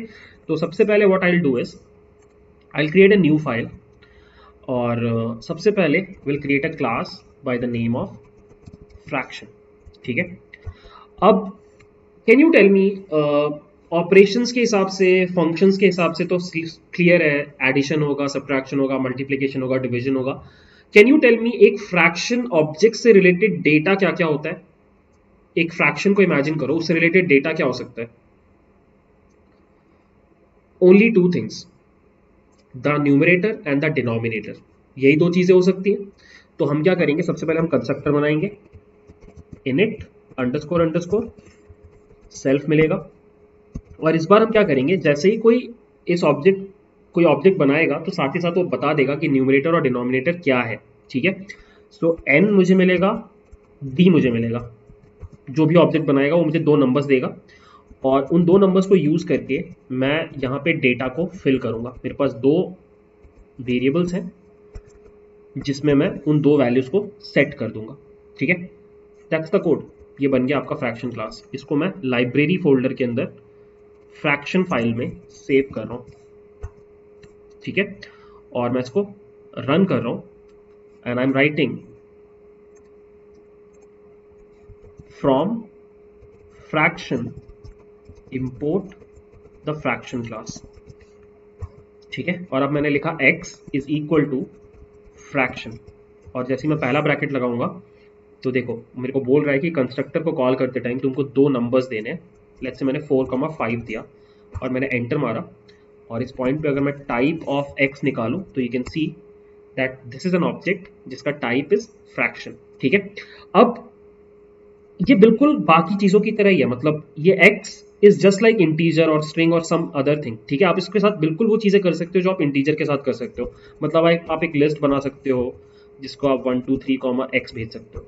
चलेगा। अगर आप एल को प्रिंट करोगे तो बस वो दिखेगा नहीं, क्योंकि आपने बताया नहीं कि ये फ्रैक्शन ऑब्जेक्ट दिखता कैसा है। कैसा दिखना है, ये कौन बताता है, जो क्लास क्रिएट कर रहा है, ठीक है? तो इस पॉइंट पे ऑल दो ऑब्जेक्ट क्रिएटेड है बट अगर आप उसको प्रिंट कर रहे हो तो you are not able to see it Python को नहीं पता कि उसको दिखाना कैसे है तो उसने बस आपके सामने ऐसे गरीबी में बोल दिया कि I don't know how this object looks because जिसने भी ये क्लास क्रिएट किया उसने मुझे नहीं बताया। But I know one thing that this is a fraction object stored at this memory location उसने बस इतना आपको बता दिया, ठीक है? नाउ वॉट इफ़ मुझे बिल्कुल ऐसे दिखाना है एक फ्रैक्शन को? तो मैं क्या कर सकता हूँ? और यहीं पर आता है फिर magic methods so magic methods मैंने आपको बताया था आर स्पेशल मेथड्स जिनको ऑब्जेक्ट कॉल नहीं करता। वो ऑटोमेटिकली गिवन कंडीशन पे कॉल हो जाते हैं। तो उसमें से एक था कंस्ट्रक्टर जो कब कॉल होता है? जब ऑब्जेक्ट क्रिएट होता है। सिमिलरली एक और मैजिक मेथड होता है underscore underscore S T R underscore underscore इस मैजिक मेथड का खासियत क्या है? कि ये ऑटोमेटिकली कॉल होता है, जब भी आप अपने क्लास के ऑब्जेक्ट को प्रिंट फ़ंक्शन के अंदर डालते हो। मतलब अगर आप ये कोड एग्जीक्यूट करोगे तो पाइथन आपकी क्लास की फ़ाइल में जाकर के इस फ़ंक्शन को खोजेगा। और इसके अंदर जो भी कोड होगा, उसको एग्जीक्यूट कर देगा। ठीक है? Let me show you so मैं क्या कर रहा हूँ? मैं यहाँ पे आया और मैंने लिखा def underscore underscore S T R underscore underscore इसको भी सेल्फ मिलेगा। और आपने यहाँ पे बस रिटर्न कर दिया। एस टी आर हमेशा कुछ स्ट्रिंग रिटर्न करता है। मैंने रिटर्न कर दिया हेलो दैट्स इट और अब मैंने फिर से इसको रन किया।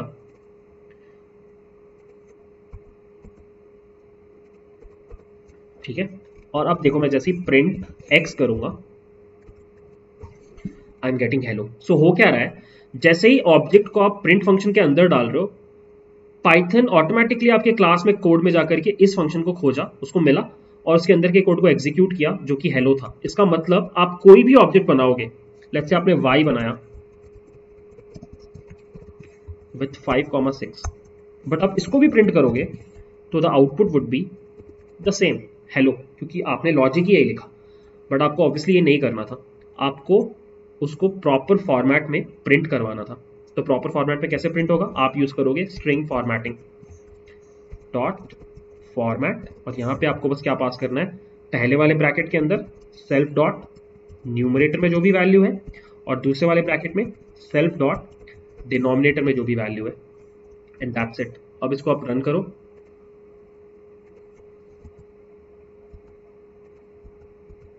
और अब अगर आप प्रिंट एक्स करो सी दिखाई दे रहा है। सेकंड बनाया।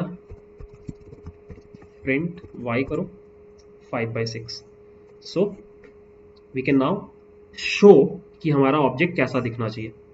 ठीक है? Can someone think what will happen अगर हम ये करें? X plus y so so, मैं क्या कर रहा हूँ? मैं अपने दो फ्रैक्शन ऑब्जेक्ट्स को ऐड करने का ट्राई कर रहा हूँ। होगा या नहीं होगा? नहीं होगा। क्यों नहीं होगा? क्योंकि आपने बताया ही नहीं कि आपके दो ऑब्जेक्ट्स कैसे ऐड होंगे। Right right? इसलिए यहाँ पे लिखा आ रहा है unsupported operand types plus for these two objects and guess what ये एरर आप पहले भी देख चुके हो। ये देखो आपने एक सेट बनाया। One comma two comma three, आपने एक और सेट बनाया, four comma five comma six, ठीक है? और आपने ये कर दिया, S one plus S two. और ये एरर पढ़ो, unsupported operand types for plus set and set. मतलब जिसने भी सेट वाला क्लास बनाया, उसने भी अपने कोड में ये लॉजिक नहीं लिखा कि सेट के दो ऑब्जेक्ट्स को ऐड कैसे करना है। राइट? आई गेस आपको समझ में आ रहा है। तो अब व्हाट इफ़ मुझे अपने दो फ्रैक्शन ऑब्जेक्ट्स को ऐड करना है? तो यहाँ पे आपकी लाइफ में आएगा third magic method which is the underscore underscore add underscore underscore. And I guess आपको बताने की ज़रूरत नहीं है कि ये ऑटोमेटिकली कब ट्रिगर होता है। इसके अंदर का कोड ऑटोमेटिकली कब ट्रिगर होता है? जब भी कोई ये करता है। जैसे ही आप अपने दो ऑब्जेक्ट्स के बीच में प्लस डालते हो तो पाइथन ऑटोमेटिकली आपके कोड में जा करके इस फ़ंक्शन को खोजता है और इसके अंदर जो भी कोड लिखा होता है उसको एग्जीक्यूट कर देता है। ठीक है? तो what I do is I quickly go down and I write uh, add self. और यहाँ पे बाय द वे आपको दो ऑब्जेक्ट्स मिलेंगे फ्रैक्शन टाइप के। क्योंकि सोच के देखो ये बाइनरी ऑपरेटर है। मतलब इसको दो ऑब्जेक्ट चाहिए ऑपरेट करने के लिए। तो आपका जो पहला ऑब्जेक्ट है एक्स वो सेल्फ को मिलेगा। और आपका जो दूसरा ऑब्जेक्ट है वाई वो अदर को मिलेगा। और सेल्फ में भी न्यूमिनेटर होगा और अदर में भी न्यूमिनेटर होगा। सेल्फ में भी डिनोमिनेटर होगा अदर में भी डिनोमिनेटर होगा। आई गेस ये चीज़ आपको समझ में आ रहा है। ठीक है? अब कम्स द क्वेश्चन कि मेरे पास दो फ्रैक्शंस हैं।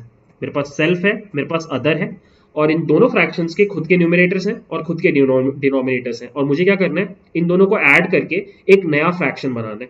राइट मुझे यही करना है। सो बहुत सिंपल है. आई गेस आपको पता होगा फ्रैक्शन uh, एडिशन कैसे काम करता है. फ्रैक्शन एडिशन काम बहुत सिंपल तरीके से करता है. I quickly do a refresher on fractions let's say आपके पास टू बाय सेवन है और आपको फाइव बाई थ्री के साथ करना है. तो आपको पता है न्यूमिनेटर वुड बी इन दोनों का मल्टीप्लीकेशन ट्वेंटी वन और sorry denominator will be twenty one और आपका जो न्यूमिनेटर होगा it will be the sum of these two cross multiplication so six plus thirty five so this would be forty one divided by twenty one अब इसमें कुछ गलती होगा तो इग्नोर मारो but this is the logic ठीक है? तो हम क्या करेंगे? हम यही करेंगे। हम यहाँ पर टेम्पोरी न्यूमरेटर बनाएँगे which will be calculated using this formula self वाला जो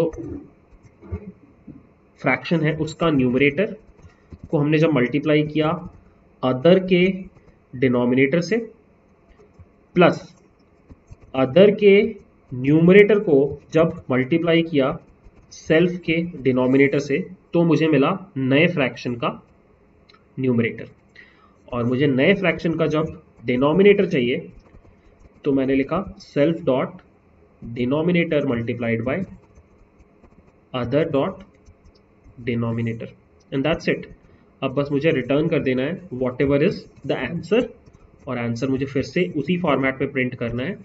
बस इस बार मैं क्या करूँगा? यहाँ पे पास करूँगा temp underscore numerator temp underscore denominator and that's it guys this is the code अगर मैं इसको रन करूँ, और मैं लिखूँ फ्रॉम फ्रैक्शन इम्पोर्ट फ्रैक्शन और यहाँ पे मैं लिखूँ x is equal to fraction three comma four y is equal to fraction five comma six this is x, this is y, and this is x plus y. Simplify नहीं होगा खुद से, क्योंकि सिंप्लीफाई करना भी आपका काम है, क्योंकि आप इस क्लास के क्रिएटर हो तो इसके ऑब्जेक्ट के साथ जो भी होगा, वो आप करोगे। तो हो सकता है आपको बस लास्ट में यहाँ पर एक और फ़ंक्शन बनाना चाहिए था सिंप्लीफाई बोल के, और यहाँ पे आप सिंप्लीफाई को कॉल कर देते और टेम्प्रोरी न्यूमिनेटर और टेम्प्रोरी डिनोमिनेटर को भेज देते।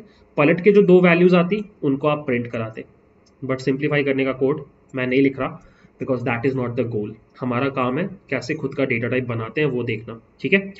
बट अभी भी I think you can understand कि अगर आप इस पॉइंट पे प्रिंट एक्स माइनस वाई करोगे तो ये काम नहीं करेगा बिकॉज़ आपने डिफाइन नहीं किया और यहाँ पे आपकी लाइफ में आएगा चौथा magic method which is underscore underscore sub underscore underscore जो ऑटोमेटिकली ट्रिगर करता है जब आप ये कोड लिखते हो। So what I do is I simply copy and I replace this add with sub or logic wise this plus with minus sub subtraction का काम हो गया। मल्टीप्लीकेशन के लिए भी एक मैजिक मेथड होता है M U L M U L और उसका लॉजिक क्या होता है? दोनों न्यूमिनेटर आपस में मल्टीप्लाई हो जाएँगे, दोनों डिनोमिनेटर आपस में मल्टीप्लाई हो जाएँगे। So I would write self dot numerator multiplied by other dot numerator right self dot numerator multiplied by other dot numerator और डिनोमिनेटर कैसे आएगा? Self dot denominator multiplied by other dot denominator ठीक है? हो गया? और लास्टली एक operation जो बच गया वो होता है डिविजन और उसके लिए जो मैजिक मेथड है उसका नाम है ट्रू डिव ठीक है? डिव नहीं ट्रू डिव और इस केस में क्या होता है? सेकेंड वाले फ्रैक्शन को रिवर्स करके मल्टीप्लाई कर दो. सो so, आप क्या करोगे? सेल्फ डॉट न्यूमिनेटर को आप मल्टीप्लाई करोगे. अदर डॉट डिनोमिनेटर से और सेल्फ डॉट डिनोमिनेटर को आप मल्टीप्लाई करोगे अदर डॉट न्यूमिनेटर से। एंड दैट्स इट गाइस अब आपके पास चारों ऑपरेशन हो गए। मैं अगर आप उसको रन करूँ और मैं लिखूं from from fraction import fraction मैंने लिखा x is equal to fraction three comma four y is equal to fraction five comma six और अब मैं एक एक करके सारी चीज़ें प्रिंट करवा सकता हूँ। X plus y x minus y x times y x divided by y सारे ऑपरेशन काम कर रहे हैं ठीक है? आप और भी ऑपरेशन इसमें ऐड कर सकते हो fraction to decimal decimal to fraction ठीक है? आप इसको एक full fledged proper data type बना सकते हो। आपको बस कुछ करना नहीं है आपको बस ये लिस्ट पकड़ना है मैजिक मेथड्स का और आप इसको अप्लाई कर सकते हो। जैसे अब अगर आपको लेट्स से आप इंटीजर वाला बना रहे होते तो इंटीजर वाले में आपके पास आ, बहुत सारे अरिथमेटिक ऑपरेटर्स होते हैं, जैसे कि मॉड होता है तो आप उस केस में मॉड यूज़ करते पावर होता है, उस केस में आप पावर यूज़ करते, फिर आपका greater than operator greater than less than equal to equal to not equal to greater than equal to इन सब के लिए मैजिक मेथड्स अवेलेबल हैं, ठीक है? इसके अलावा भी बहुत सारे मैजिक मेथड्स अवेलेबल हैं, जैसे ये ये है आपका हेक्सा डेसिमल में कन्वर्ट करने के लिए यह है आपका ऑक्टा डेसिमल में कन्वर्ट करने के लिए ये है आपका कॉम्प्लेक्स में कन्वर्ट करने के लिए ये आपके टाइप कन्वर्जन वाले मैजिक मेथड्स हैं ठीक है? सो so, आपको बस यही करना है जैसे मैं आपको बता रहा हूँ किसी बैच में मेरे एक स्टूडेंट ने कोऑर्डिनेट ज्योमेट्री का एक फुल फ्लेजेड डेटा टाइप बनाया था टू डी कोऑर्डिनेट ज्योमेट्री का जहाँ पे आप एक कोऑर्डिनेट ऑब्जेक्ट बना सकते थे आप लाइंस क्रिएट कर सकते थे और फिर आप सारे कोऑर्डिनेट ज्योमेट्री में जितने भी ऑपरेशंस होते थे आप परफॉर्म कर सकते थे जैसे लाइन और पॉइंट के बीच का डिस्टेंस दो पैरल लाइंस के बीच का डिस्टेंस एक पॉइंट एक लाइन के ऊपर लाई करता है कि नहीं दो पॉइंट्स के बीच का डिस्टेंस तीन तीन पॉइंट्स इक्विलेटरल ट्राइंगल फॉर्म कर रहे हैं कि नहीं। सो so, उसने इस तरह का एक फुल फ्लेजेड कोड लिखा था एक पूरा क्लास बनाया था कोऑर्डिनेट ज्योमेट्री का पूरा का पूरा ठीक है? फिर एक और स्टूडेंट था उसने पूरा का पूरा मेट्रिसेस के ऊपर और वेक्टर्स के ऊपर एक क्लास बनाया था। और उस तरह के चीज़ों को बनाने से उनका प्लेसमेंट हो गया। क्योंकि जब उन्होंने डिस्क्राइब किया कि हमने एक फुल फ्लेजेड इस तरीके का डेटा टाइप क्रिएट किया है जो कोई भी यूज़ कर सकता है। अगर ये फ़ाइल आप किसी के लाइब्रेरी में ऐड कर दो तो वो इसको ऐड वो उसको ऐसे ही ऑब्जेक्ट्स बना के यूज़ कर सकता है जैसे हम यूज़ कर रहे हैं। तो दैट्स द होल आइडिया आज का क्लास इसलिए इंपॉर्टेंट है क्योंकि आपने एक बहुत पावरफुल चीज़ सीखी कि आप खुद के डेटा टाइप्स कैसे बना सकते हो। Right and that is so important क्योंकि जिन लोगों ने डेटा टाइप बनाया, वो लोग भी प्रोग्रामर्स ही हैं यार, वो लोग भी इंसान ही हैं। अब आज आपने भी सीख लिया कि मैं कैसे बना सकता हूँ, और बस आपको कुछ नहीं करना you have to use this magic methods मैं ये लिंक आपके साथ शेयर कर रहा हूँ। अगर आप कभी ट्राई करो अपना बनाने का तो जस्ट लॉजिकली थिंक कि मुझे किन किन मैजिक मेथड्स का ज़रूरत है, और accordingly you can build any data type you can build your own list your own set और ये सबको बस आपको गिटहब पे डाल देना है। एंड ट्रस्ट में ये चीज़ अगर आप दिखाते हो तो these are like quite impressive things जो देख करके प्लेसमेंट हो सकता है इंटरव्यू में। ठीक है? We have to do this topic called encapsulation okay so what I need is first of all I open up IDLE first और आइडल में I open the notebook notebook as in the file that I created yesterday it was xyz hmm, this one ठीक है? So so, ये हमने कल बनाया था if you remember एक एटीएम का सॉफ्टवेयर बनाया था और uh, इसको हमने चला के भी देखा था। ठीक है? अब हम लोग एग्जैक्टली उसी पॉइंट से डिस्कशन स्टार्ट करेंगे जहाँ पे हमने कल खत्म किया था। सो या so the first discussion that I do is कि what is an instance variable ठीक है? इंस्टेंस वेरिएबल क्या होता है? ऑल uh, हमें ऑलरेडी पता है इंस्टेंस वेरिएबल क्या होता है बस हम आज ये जानेंगे कि इसको इंस्टेंस वेरिएबल बोला जाता है। सो so, जो भी वेरिएबल्स आप कंस्ट्रक्टर के अंदर बनाते हो लाइक पिन लाइक बैलेंस इन वेरिएबल्स को आप इंस्टेंस वेरिएबल बोलते हो। क्यों बोलते हो ऐसा? क्योंकि इन वेरिएबल्स का वैल्यू हर ऑब्जेक्ट के लिए अलग होता है। ये आपको याद रखना है, ठीक है? इंस्टेंस वेरिएबल वो वेरिएबल्स है क्लास के, जिनका वैल्यू हर ऑब्जेक्ट के लिए अलग होता है। And this is quite logical if you think obviously मेरे हर कस्टमर का पिन अलग होगा, उसका बैलेंस अलग होगा और होना भी चाहिए, ठीक है? तो हमेशा याद रखना, आपसे कोई भी पूछे what is instance variable so you have to just say it is a kind of variable for which the value of the variable is different for different objects that's it यही डेफिनेशन है। I hope समझ में आ गया। ये हमने कल ही पढ़ लिया था।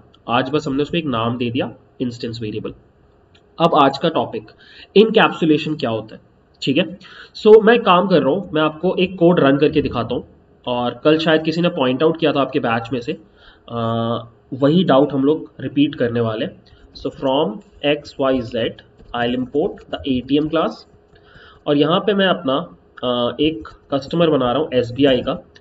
और जैसे ही मैंने यहाँ पे ए टी एम लिखा आ, इसको इग्नोर मारना ये जो इंडेक्स ये जो आईडी आ रहा है ये हमने कल प्रिंट करवाया था।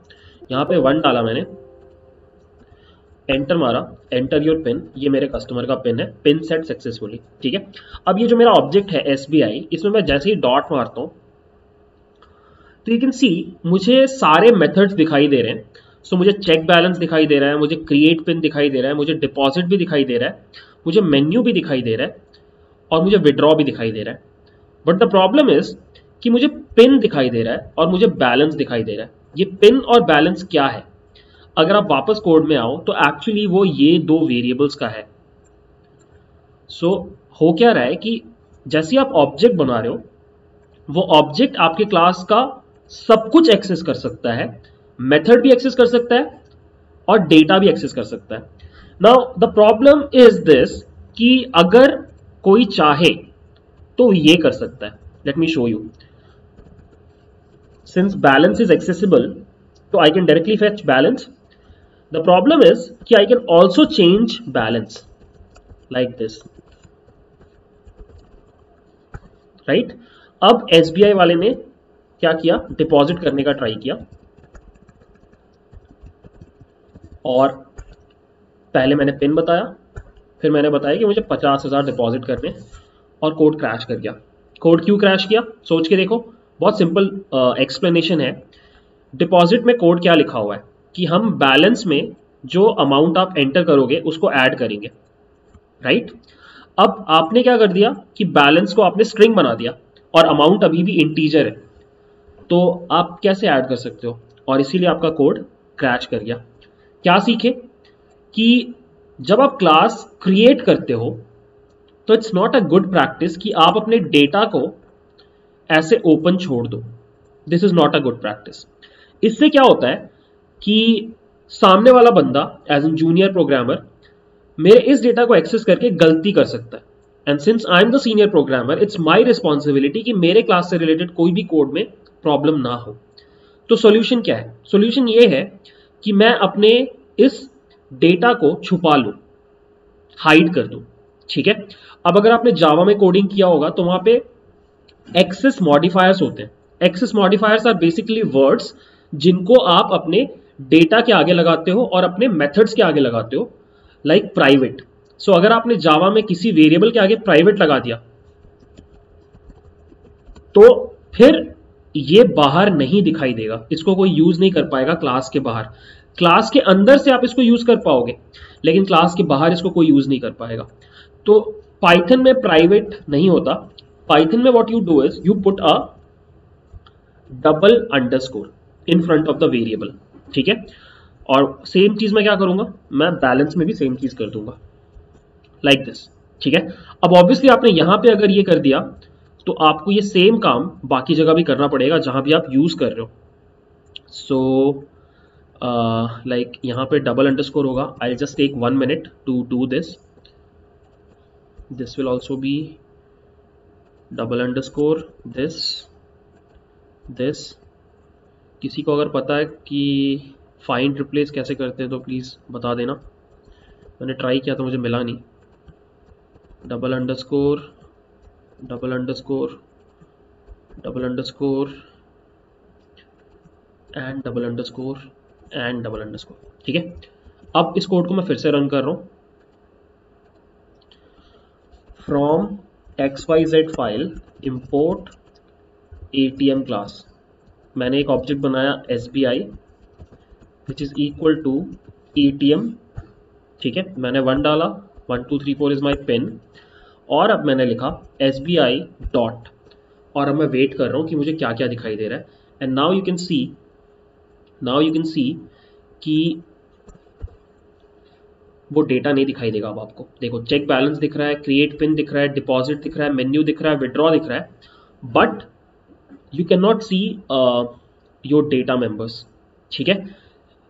द बेस्ट पार्ट इज़ कि आप डबल अंडरस्कोर लगा करके किसी मेथड को भी हाइड कर सकते हो, जैसे कि ये मेन्यू है। अब मेन्यू का अगर आप नहीं चाहते हो कि सामने वाला उसको देख पाए तो आप क्या कर सकते हो?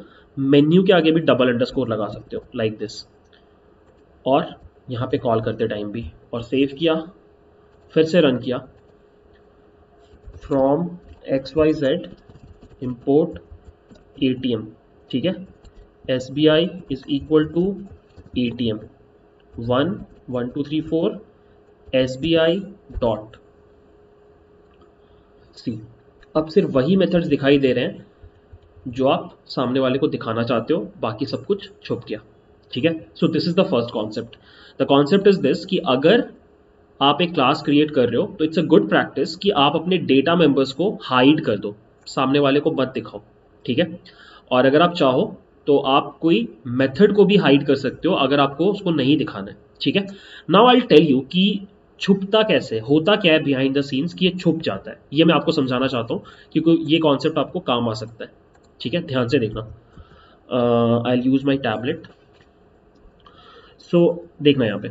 Uh, जैसे ही आपके पास लेट से पिन बोल के एक डेटा था आपने जैसे ही इसके आगे डबल अंडरस्कोर लगा दिया तो इंटरनली पाइथन का इंटरप्रेटर क्या करता है? इसको लेट से आपके क्लास का नाम एटीएम है जो कि है और ये आपका डेटा मेंबर है। जैसे ही आपने इसके आगे डबल अंडरस्कोर लगाया पाइथन इसको किस चीज़ में कन्वर्ट कर देगा? एग्जीक्यूशन के टाइम पे इस नाम में।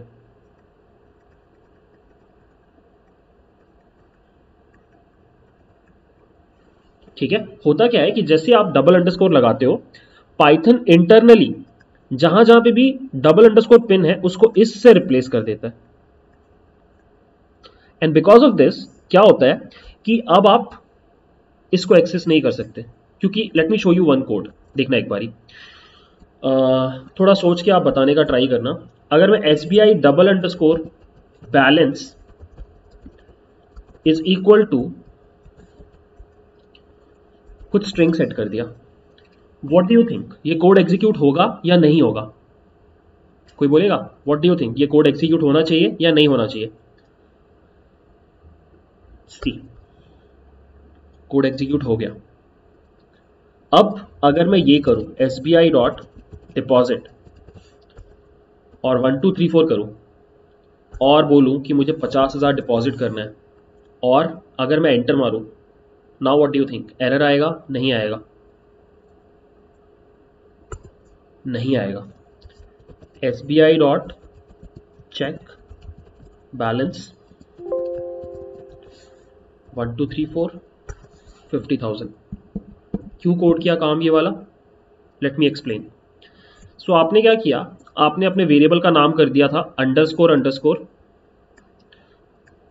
underscore underscore balance मतलब इंटरनली हर जगह पे, जहाँ पे भी अंडरस्कोर अंडरस्कोर बैलेंस है पाइथन को क्या दिख रहा है? Underscore ATM underscore underscore balance जहाँ भी है, जिस भी जगह पर है, सभी जगह पे यही है, ठीक है? नाउ अब आपने क्या किया? आपने ये कोड लिखा S B I dot underscore underscore balance equal to some string तो हुआ क्या कि इसी क्लास के अंदर एक नया वेरिएबल बन गया by the name of underscore underscore balance but इस नए वेरिएबल के बनने से कोई प्रॉब्लम नहीं है, क्योंकि इस नए वेरिएबल को कोई भी फ़ंक्शन यूज़ नहीं कर रहा। न्यू जो फ़ंक्शन है, वो हमेशा इस इस वेरिएबल को यूज़ कर रहे हैं सारे फ़ंक्शन इसको कोई यूज़ नहीं कर रहा। है तो ऑल आपने इसको क्रिएट कर दिया, ये आपके कोड में कोई नुकसान नहीं कर सकता बिकॉज़ आपके कोड के एग्जिस्टिंग लॉजिक के हिसाब से इस वेरिएबल का यूज़ ही नहीं हो रहा। यूज़ किस वेरिएबल का हो रहा है? इस वेरिएबल का। सो प्लीज़ कंफ्यूज मत होना। अगर आप डॉलर अंडरस्कोर अंडरस्कोर बैलेंस करके कुछ भी क्रिएट करोगे तो it will actually create a new variable and it will not affect your existing logic तो इन अ वे आपने अभी भी प्रोटेक्ट करके रखा हुआ है अपनी क्लास को। But guess what the surprising thing is कि अगर आप ये लिख दो तो गड़बड़ हो जाता है। लेट मी शो यू अगर मैं ये लिख दू S B I dot underscore class का नाम double underscore balance is equal to some string और अब मैंने लिखा S B I dot deposit one two three four पचास हज़ार। कोड क्रैश कर गया। क्योंकि इस बार क्या हुआ? आपने उस वेरिएबल को एडिट किया जो ऑलरेडी बैलेंस था, इस नाम से पकड़ करके। तो क्या सीखे आप? आप ये सीखे कि nothing in Python is truly private private में आप पाइथन में आप कुछ भी कर लो, आप किसी भी चीज़ को पूरी तरीके से नहीं छुपा सकते हो। अगर किसी को पता चल जाए कि आपके डेटा में, आपके कोड में ये वेरिएबल है और आपने उसको हाइड कर रखा है तो वो इस सिंटेक्स से उसको एक्सेस कर सकता है। अंडरस्कोर एटीएम मतलब underscore class name double underscore attribute name इससे आप एक्सेस कर सकते हो और आप गड़बड़ करवा सकते हो। और मुझे जब पहली बार ये देखने को मिला एंड uh, मैं जावा पढ़ के आया था पाइथन में तो आई फेल्ट कि यार ये क्या किया पाइथन ऐसा क्यों है यार? तुमको पाइथन में मतलब प्राइवेट करने का फीचर देना चाहिए ना? मतलब दैट इज़ सो नेसेसरी तो मुझे लगा कि यार पाइथन यहाँ पर वीक पड़ गया जावा के सामने। फिर मैंने गूगल किया कि पाइथन ने ऐसा क्यों डिसीज़न लिया कि कुछ भी प्राइवेट नहीं रख सकते आप। और फिर मुझे एक स्टैक ओवरफ्लो पे आंसर मिला जिसको पढ़ के आई स्माइल्ड अ बिट और मेरे को फिर अपने ऊपर भी थोड़ी हँसी आई। आ, उस आंसर में लिखा हुआ था कि पाइथन में आप कुछ भी कंप्लीटली इसलिए नहीं छुपा सकते क्योंकि Python is a language made for adults बड़े लोगों के लिए लैंग्वेज बनाया गया है। और फिर मेरे को सच में समझ में आया शिट सही बात है यार। मतलब अगर मैंने यहाँ पर डबल अंडरस्कोर लगा दिया है तो मैंने अपने जूनियर प्रोग्रामर को ये बोल दिया है कि, बॉस, ये प्राइवेट है, इसको यूज़ नहीं करना है। अब ऐसा थोड़ी ना है कि सीनियर प्रोग्रामर इंडिया का है जूनियर प्रोग्रामर पाकिस्तान का है और वो लोग लड़ाइयाँ कर रहे हैं। नहीं, वो दोनों लोग एक कंपनी में काम करते हैं, एक टीम में काम करते हैं और उनका ऑब्जेक्टिव क्या है? साथ में मिलकर सॉफ्टवेयर को बिल्ड करना। तो यहाँ पे ये कौन सा एटीट्यूड है? अरे नहीं नहीं, ये मेरा वेरिएबल मैं छुपा के रखूँगा। ये attitude is not going to help आपने जैसे ही डबल अंडर लगा दिया इट्स अ जेंटलमैन्स अग्रीमेंट कि हाँ बॉस ये मेरा प्राइवेट वेरिएबल है you don't have to use it जैसे आपको दिख गया कि डबल अंडर है तो आप नहीं करोगे राइट right? आप उसको यूज़ नहीं करोगे. आपको यूज़ करने पे तुला हुआ है तो ये प्रोग्रामिंग लैंग्वेज का प्रॉब्लम थोड़ी है. ये तो दो लोगों के बीच की दुश्मनी है कि वो ऐसे उसका कोड खराब करना चाहता है. इसमें पाइथन की क्या गलती? और पाइथन ने बोला है कि हमने इसलिए नहीं छुपाया कंप्लीटली क्योंकि हो सकता है कभी ज़रूरत पड़ जाए. तो आप ये सिंटेक्स यूज़ करके ईजिली एक्सेस भी कर सकते हो, अगर ज़रूरत पड़े। तो that's the philosophy behind taking this decision कि हम कंप्लीटली छुपाने का लॉजिक को सपोर्ट नहीं करते, जैसे जावा है। जावा में अगर आपने एक बार प्राइवेट लिख दिया, कुछ कर लो आप, उसको एक्सेस नहीं कर सकते। पाइथन बोलता है, ठीक है यार इट्स ओके छुपा दिया है। अगर वो फिर भी खोजना चाहता है तो मिल जाएगा, बाकी आपस में बात कर लो। ठीक है? तो आई गेस आपको ये चीज़ समझ में आया। When I learn this then I realise कि अच्छा हाँ यार, जिन लोगों ने भी पाइथन बनाया है, काफ़ी सोच के बनाया है, और ये अच्छा डिसीज़न है, ठीक है? आप चाहो तो डिसएग्री कर सकते हो but I felt good after understanding this complete point of view ठीक है? ओके सो अभी तक हमने क्या क्या डिस्कस किया? एक बार समराइज करते हैं। हम इनकैप्सुलेशन पढ़ने आए हैं। हमने ये पढ़ा कि आपको first of all class design करते टाइम क्लास क्रिएट करते टाइम अपने डेटा मेंबर्स को पब्लिक नहीं रखना है। मतलब आपको ऐसा नहीं छोड़ना है कि सामने दिखाई दे रहा है और आप एक्सेस कर पा रहे हो। तो आपने क्या कर दिया उसका सोल्यूशन निकाला कि मैं बॉस डबल अंडरस्कोर आगे लगा दूँगा। इससे डेटा छुप जाता है। ठीक है? फिर भी कंप्लीटली नहीं छुपता है ये हमने देखा। अब अब एक चीज़ क्या करना है कि आप क्या कर सकते हो? आप एक काम कर सकते हो। आप एक तरीके से सामने वाले को आ, इनको एक्सेस करने का चांस दे सकते हो। मतलब मैं ये बोल रहा हूँ कि आप अपने हर डेटा मेंबर के लिए दो फ़ंक्शंस बना सकते हो। एक का नाम होता है गेटर और एक का नाम होता है सेटर ठीक है? मतलब ऑल मैंने पिन को छुपा दिया है, पर अगर मैं चाहूँ तो मैं पिन दिखाने के लिए एक फ़ंक्शन बना सकता हूँ और पिन को चेंज करने के लिए भी एक फ़ंक्शन बना सकता हूँ सो दैट अगर सामने वाले प्रोग्रामर को पिन के साथ कुछ चेंजेस करने की ज़रूरत पड़ी या उसको पिन देखने की ज़रूरत पड़ी तो एटलीस्ट वो कर पाए। क्योंकि सिंस अब मैंने छुपा दिया और ये फ़ाइल कहीं और रखी हुई है सर्वर पे तो आप को पता भी नहीं चलेगा पिन है या नहीं है। सो so, मैं क्या कर रहा हूँ मैं दो मेथड्स बना रहा हूँ पिन के लिए। एक का नाम है गेट अंडरस्कोर पिन इसको सेल्फ मिलेगा और ये आपको रिटर्न करेगा self dot double underscore pin इसका बस इतना ही काम है। अगर आपने कभी भी गेट पिन को कॉल किया तो वो आपको पिन की वैल्यू दे देगा। ठीक है? और डेफ एक और मैंने बनाया सेट पिन इसको भी सेल्फ मिल रहा है और इसको एक न्यू पिन भी मिल रहा है। ठीक है?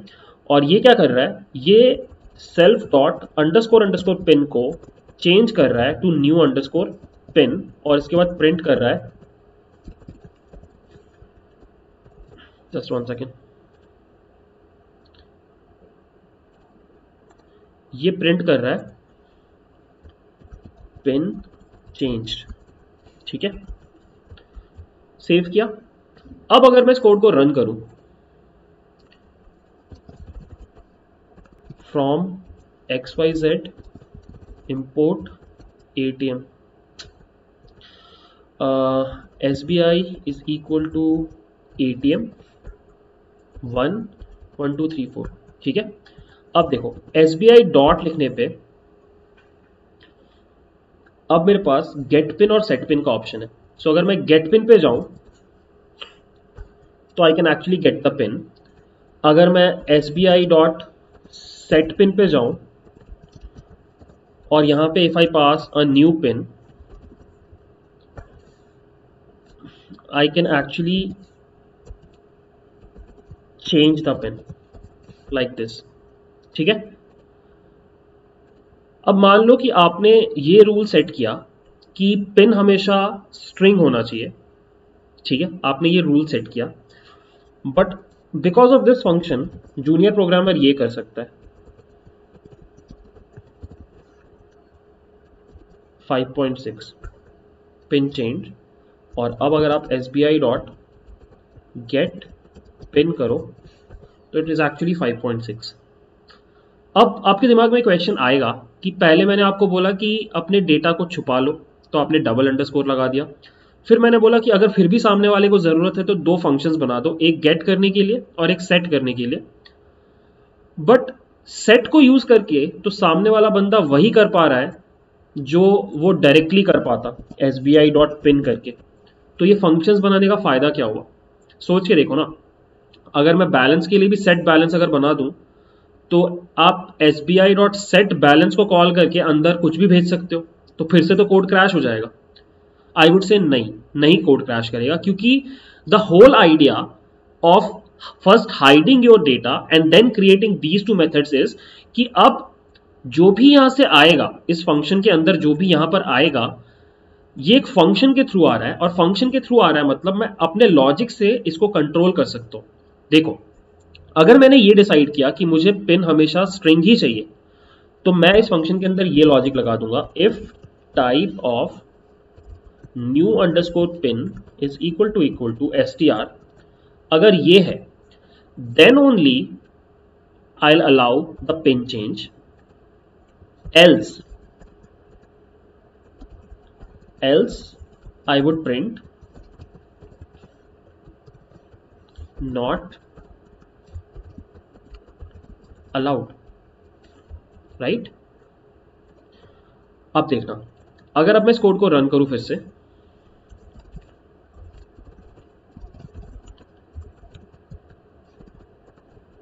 और अब अगर मैं S B I equals A T M बोल के एक ऑब्जेक्ट बनाऊँ, यहाँ पे वन लिखूं, यहाँ पे वन टू थ्री फोर लिखूं, और अब अगर मैं एस बी आई डॉट करूँ तो अभी भी मुझे वो गेटर और सेटर फ़ंक्शन दिखेगा।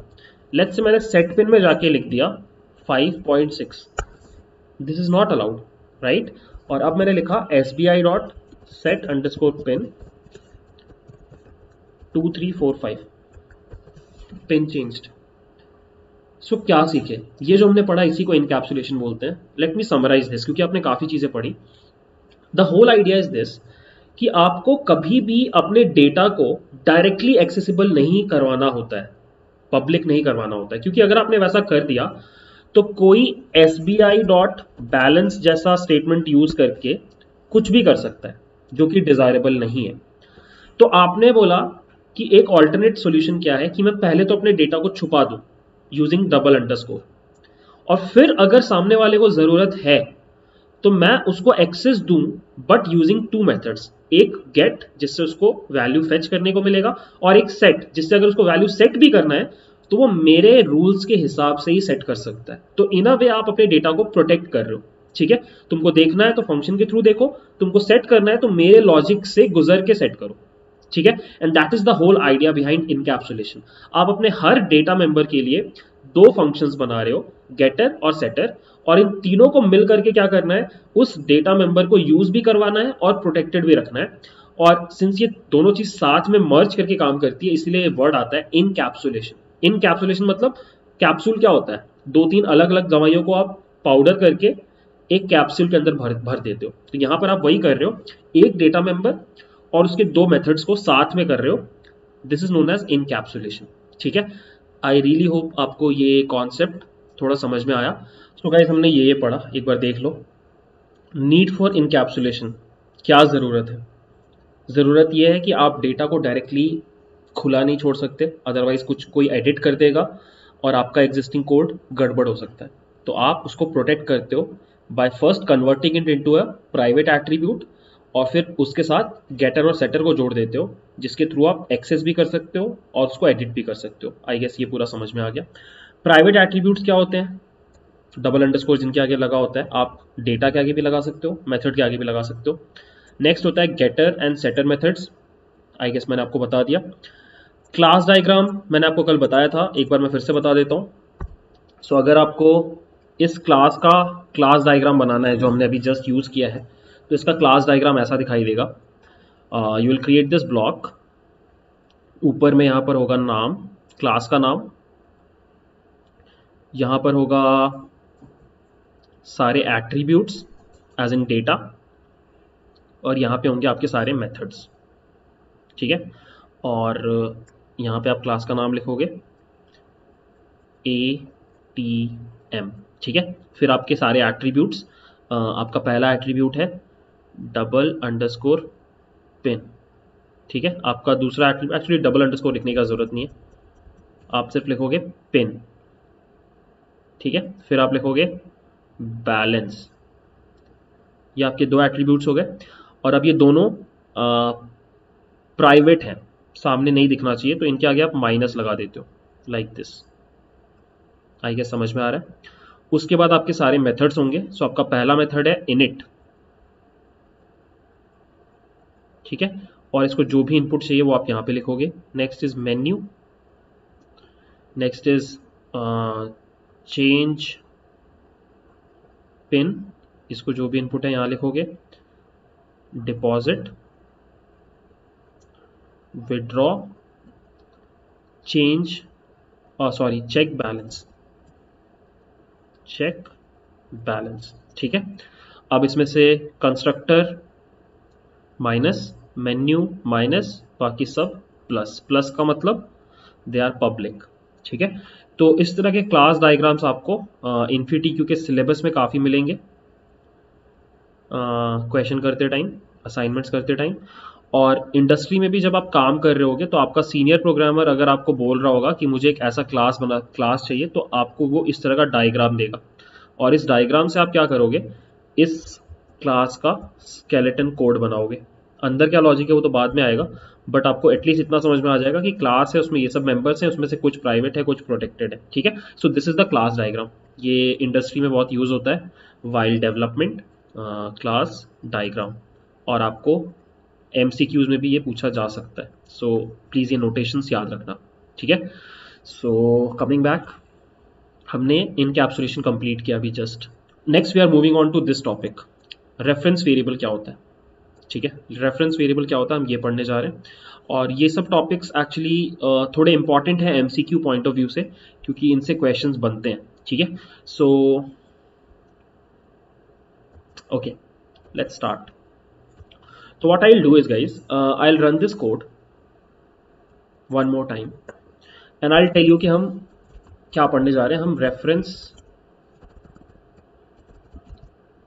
reference reference variable पढ़ने जा रहे हैं ठीक है बहुत ही सिंपल सा कॉन्सेप्ट है देखो क्या होता है जैसे आप इंपोर्ट करते हो from X Y Z if you import A T M और अब आपने क्या किया? आपने एक ऑब्जेक्ट बनाया। और आपने उसको किसी वेरिएबल में स्टोर नहीं किया। आपने एक ऑब्जेक्ट बनाया और एंटर मारा। तो ऑब्जेक्ट क्रिएट हुआ इस मेमोरी लोकेशन पे। ठीक है? यहाँ पे आपने वन डाला। आपने पिन भी सेट किया। और अब देखो, यहाँ पे क्या आया कि एक्स वाई जेड एटीएम का ऑब्जेक्ट बना है इस मेमोरी लोकेशन पे। ठीक है? बट क्या अब आप इस ऑब्जेक्ट को यूज़ कर सकते हो? आप इस ऑब्जेक्ट को अब यूज़ नहीं कर सकते। उसका रीजन क्या है कि जिस पॉइंट पे आपने ऑब्जेक्ट क्रिएट किया, आपने उसको कहीं पे स्टोर नहीं किया किसी वेरिएबल में, जैसा हम अभी तक करते आ रहे थे एसबीआई या एचडीएफसी वो हमने नहीं किया। And because of that now this object is lost you can not find it memory में, ठीक है? तो होता क्या है कि जब भी आप ऑब्जेक्ट बनाते हो, आप हमेशा ये कोड लिखते हो। तो ऑब्जेक्ट जो बनता है, वो ये होता है, इस स्टेप में। और उसका रेफरेंस आप यहाँ पे स्टोर करते हो, इस वेरिएबल में। तो हम जब, उस टाइम से जब ये बोल रहे थे कि S B I is the object technically speaking ये स्टेटमेंट इनकरेक्ट है, क्योंकि एस बी आई ऑब्जेक्ट नहीं है। एस बी आई एक वेरिएबल है, एक नेम है, जो उस एड्रेस पे पॉइंट कर रहा है जहाँ पर एक्चुअल एड्रेस है। आई गेस ये चीज़ आपको समझ में आ रही है। और इसी वेरिएबल को बोला जाता है रेफरेंस वेरिएबल ये आपको याद रहना चाहिए कि ऑब्जेक्ट क्रिएट करते टाइम आप ऑब्जेक्ट को जिस वेरिएबल में स्टोर करते हो उस वेरिएबल को बोला जाता है रेफरेंस वेरिएबल आई होप ये आपको समझ में आ गया। ठीक है? That's it this is the concept अब हमें कुछ चीज़ें पढ़नी है और उसमें से एक चीज़ है पास बाय रेफरेंस ठीक है? इंटरेस्टिंग कॉन्सेप्ट है। और आंसर uh, करने का ट्राई करना। What I will do is I create a new file and in this new file I'll create a new class. This new class is, let's say, customer. Customer related, इसमें information है। और इसके constructor में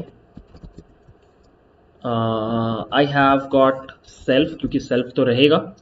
और एक name है। ठीक है? एक नेम है। और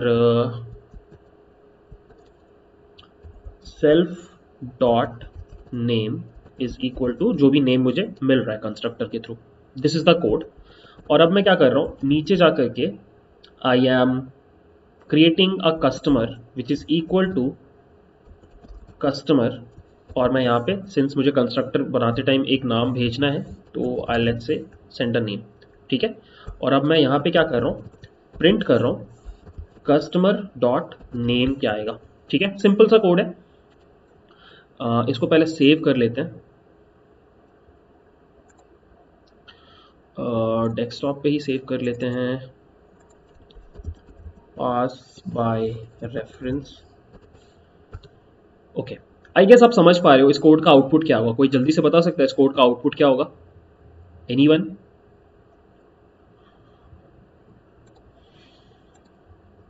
this is the output right आपने क्या किया?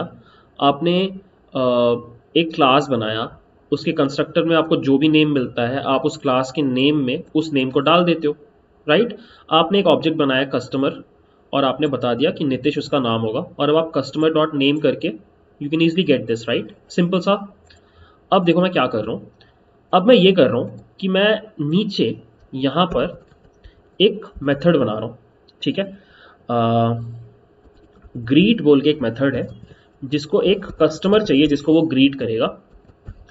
और यहाँ पे मैं प्रिंट कर रहा हूँ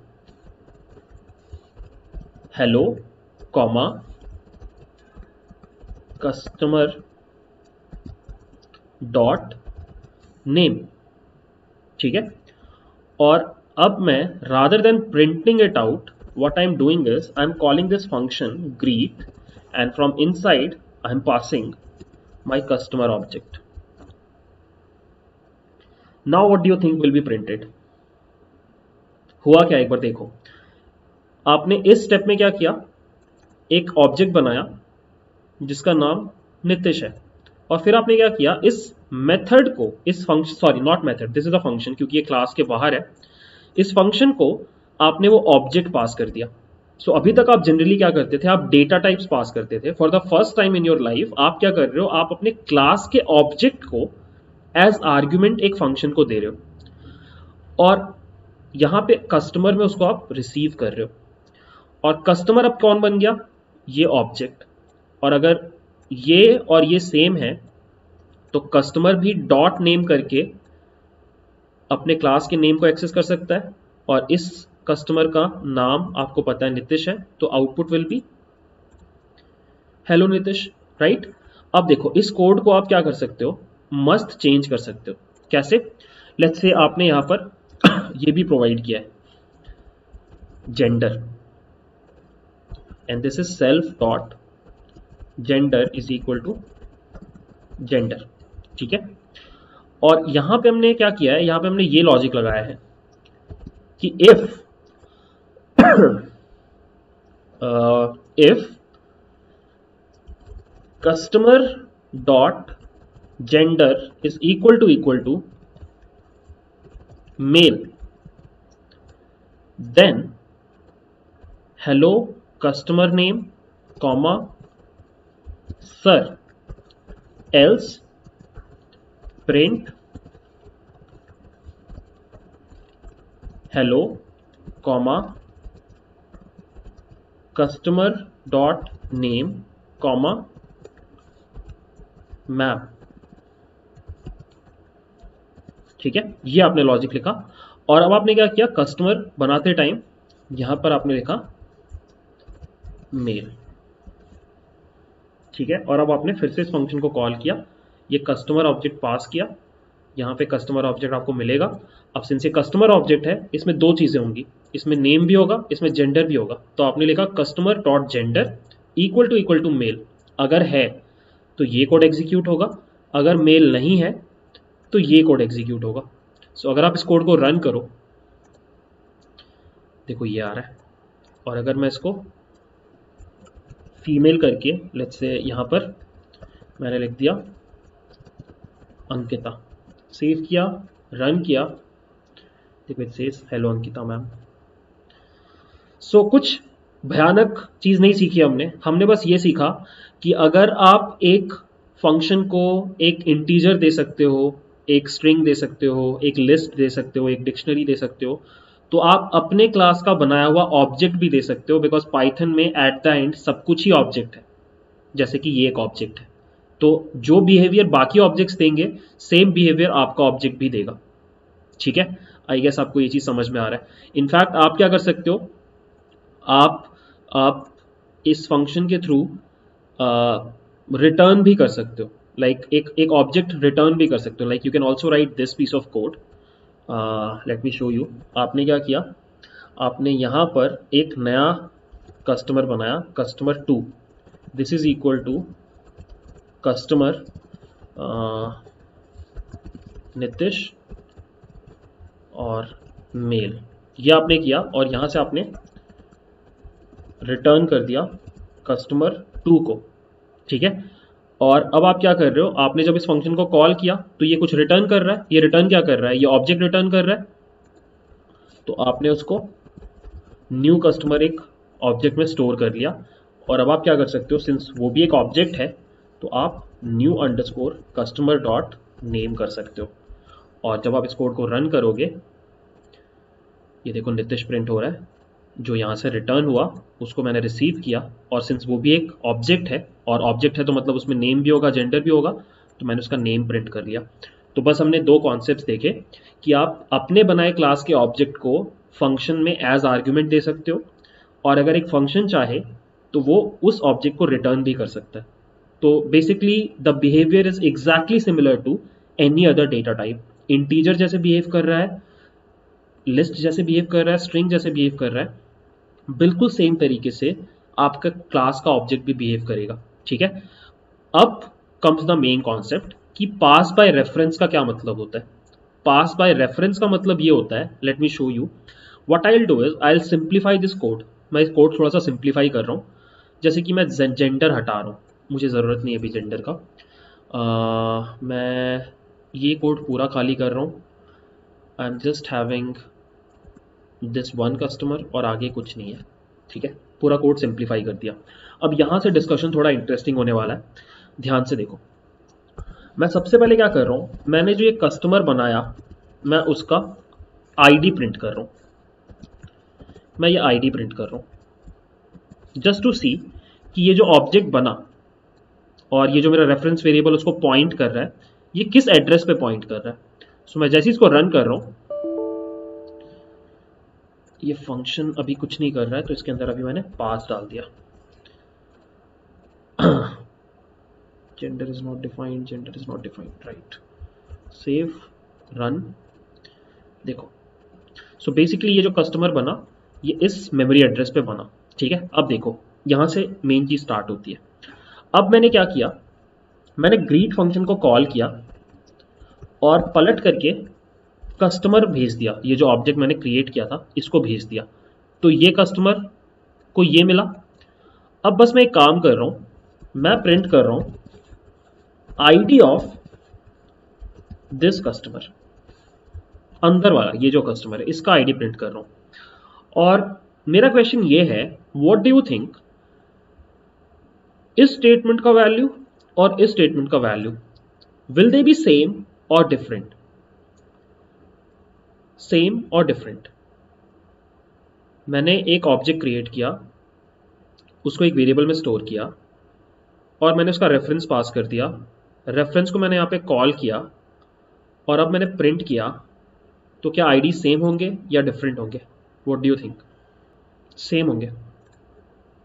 और डोंट यू थिंक ये बिल्कुल कैसे काम किया? ये बिल्कुल एलियासिंग की तरह काम किया। मतलब आपने बनाया A is equal to three और फिर आपने कर दिया b is equal to A तो I D of A and I D of B will be same so in a way जब आप रेफरेंस पास कर रहे हो पास बाय रेफरेंस कर रहे हो रेफरेंस को भेज रहे हो ना, क्योंकि देखो, ये क्या है? कस्टमर क्या है? ये आपका रेफरेंस वेरिएबल है। आपने फ़ंक्शन कॉल करके क्या भेजा? रेफरेंस को भेजा। तो जब आप रेफरेंस भेज रहे हो तो आप कस्टमर को इसके बराबर कर रहे हो तो ये कस्टमर इससे पूछ रहा है कि तुम कहाँ पॉइंट कर रहे हो। मैं भी वहीं पॉइंट करूँगा और वो इस ऑब्जेक्ट पे पॉइंट कर रहे हैं। तो इसलिए ये दोनों ही वेरिएबल्स एक ही जगह पे पॉइंट कर रहे हैं। मतलब अगर मैं इसको डायग्रामेटिकली आपको दिखाऊँ तो it would look like this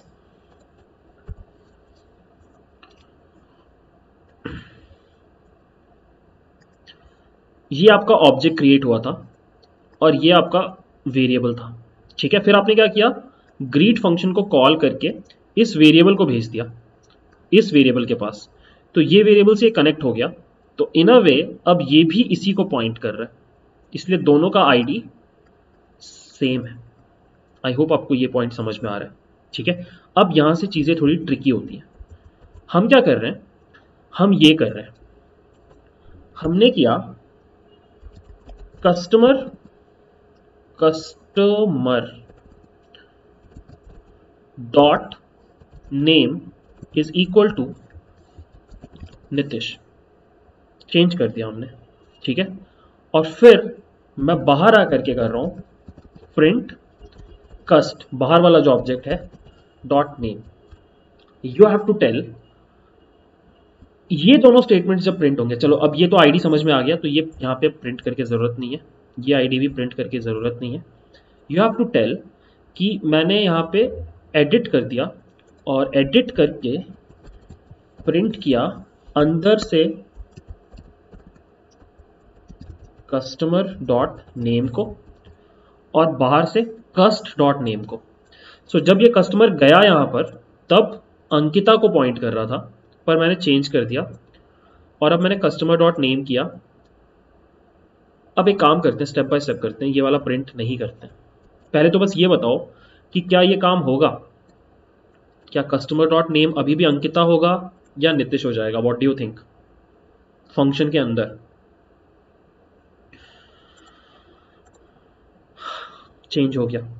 ठीक है? हो जाता है। मतलब ये ऑपरेशन काम कर रहा है। नाउ कम्स द क्वेश्चन कि अब अगर फ़ंक्शन के अंदर ये काम हो गया, इस ऑब्जेक्ट के ऊपर तो बाहर क्या हुआ? जो कस्टमर ऑब्जेक्ट बाहर बैठा हुआ है, यहाँ पे क्या होगा? व्हाट डू थिंक यहाँ पे इस स्टेटमेंट की वजह से क्या प्रिंट होगा? नितिश या Ankita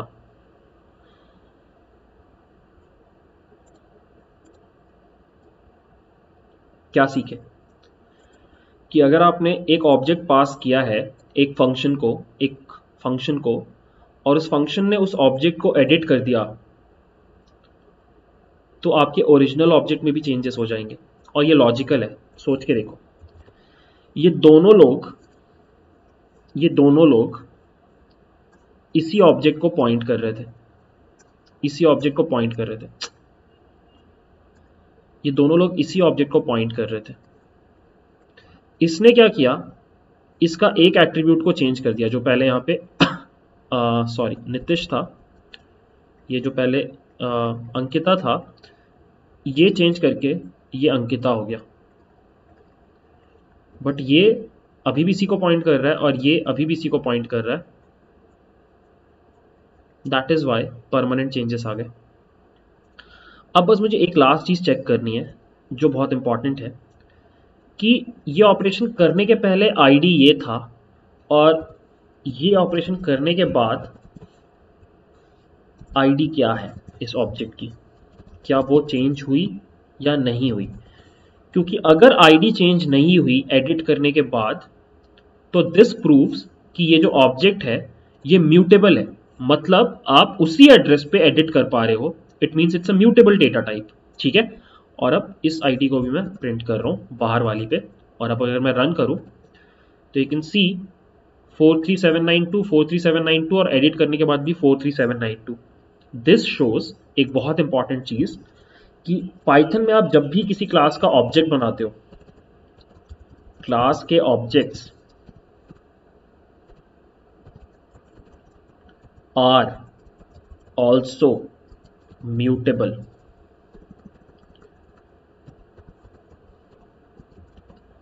like lists, dictionaries, and sets. याद रखना guys this is very important क्यों मैंने ऐसा कंक्लूड किया? क्योंकि मैंने क्या किया अभी? मैंने एक ऑब्जेक्ट को भेजा, उस ऑब्जेक्ट को एडिट किया। एडिट करने के बाद भी जो एड्रेस था वो वही है जो एडिट करने के पहले है। दिस प्रूव्स म्यूटेबिलिटी अगर आप जहाँ पर एड्रेस है वहीं पे रखे रखे अगर आप एडिट कर सकते हो इट शोज़ कि वो डेटा टाइप म्यूटेबल है। ठीक है? और गेस वॉट जो बिहेवियर ये शो कर रहा है आ, ये ऑब्जेक्ट शो कर रहा है एग्जैक्टली सेम बिहेवियर लिस्ट भी शो करेगा। कल किसी ने क्लास में पूछा था ये क्वेश्चन मेरे से कि लिस्ट को कैसे चेंज कर पा रहे हैं? क्योंकि वो म्यूटेबल है। देखो मैं आपको दिखाता हूँ। अब हमें कुछ क्लास व्लास की ज़रूरत नहीं है। मैं ये सेम एग्जांपल आपको लिस्ट के ऊपर दिखा रहा हूँ। सो so, मेरे पास डेफ चेंज बोल के एक फ़ंक्शन है जिसमें मुझे एक लिस्ट मिला। लिस्ट जैसे ही मिला मैंने उसका आईडी प्रिंट कराया। ठीक है? फिर मैंने एल डॉट अपेंड किया फाइव और फिर से मैंने प्रिंट किया आईडी ऑफ़ लिस्ट और बाहर आया मैंने एक लिस्ट L1 बनाया which is one, comma two, comma three, comma four, ठीक है? और ये मैंने लिस्ट प्रिंट किया L1 फिर मैंने क्या किया? चेंज को कॉल किया, अपना L1 पास किया, और फिर कॉल करने के बाद वापस L1 को फिर से प्रिंट कराया। देखो क्या हुआ यहाँ पे। और बाय द वे यहाँ पर I can also print out the ID of L1 बाहर में, ठीक है? अब देखो, इसको रन किया। ये देखो स्टेप बाय स्टेप देखो। ये एड्रेस है L1 का, ठीक है? इसको साइड बाय साइड रखते हैं सो दैट आपको समझ में आए। जस्ट वन सेकेंड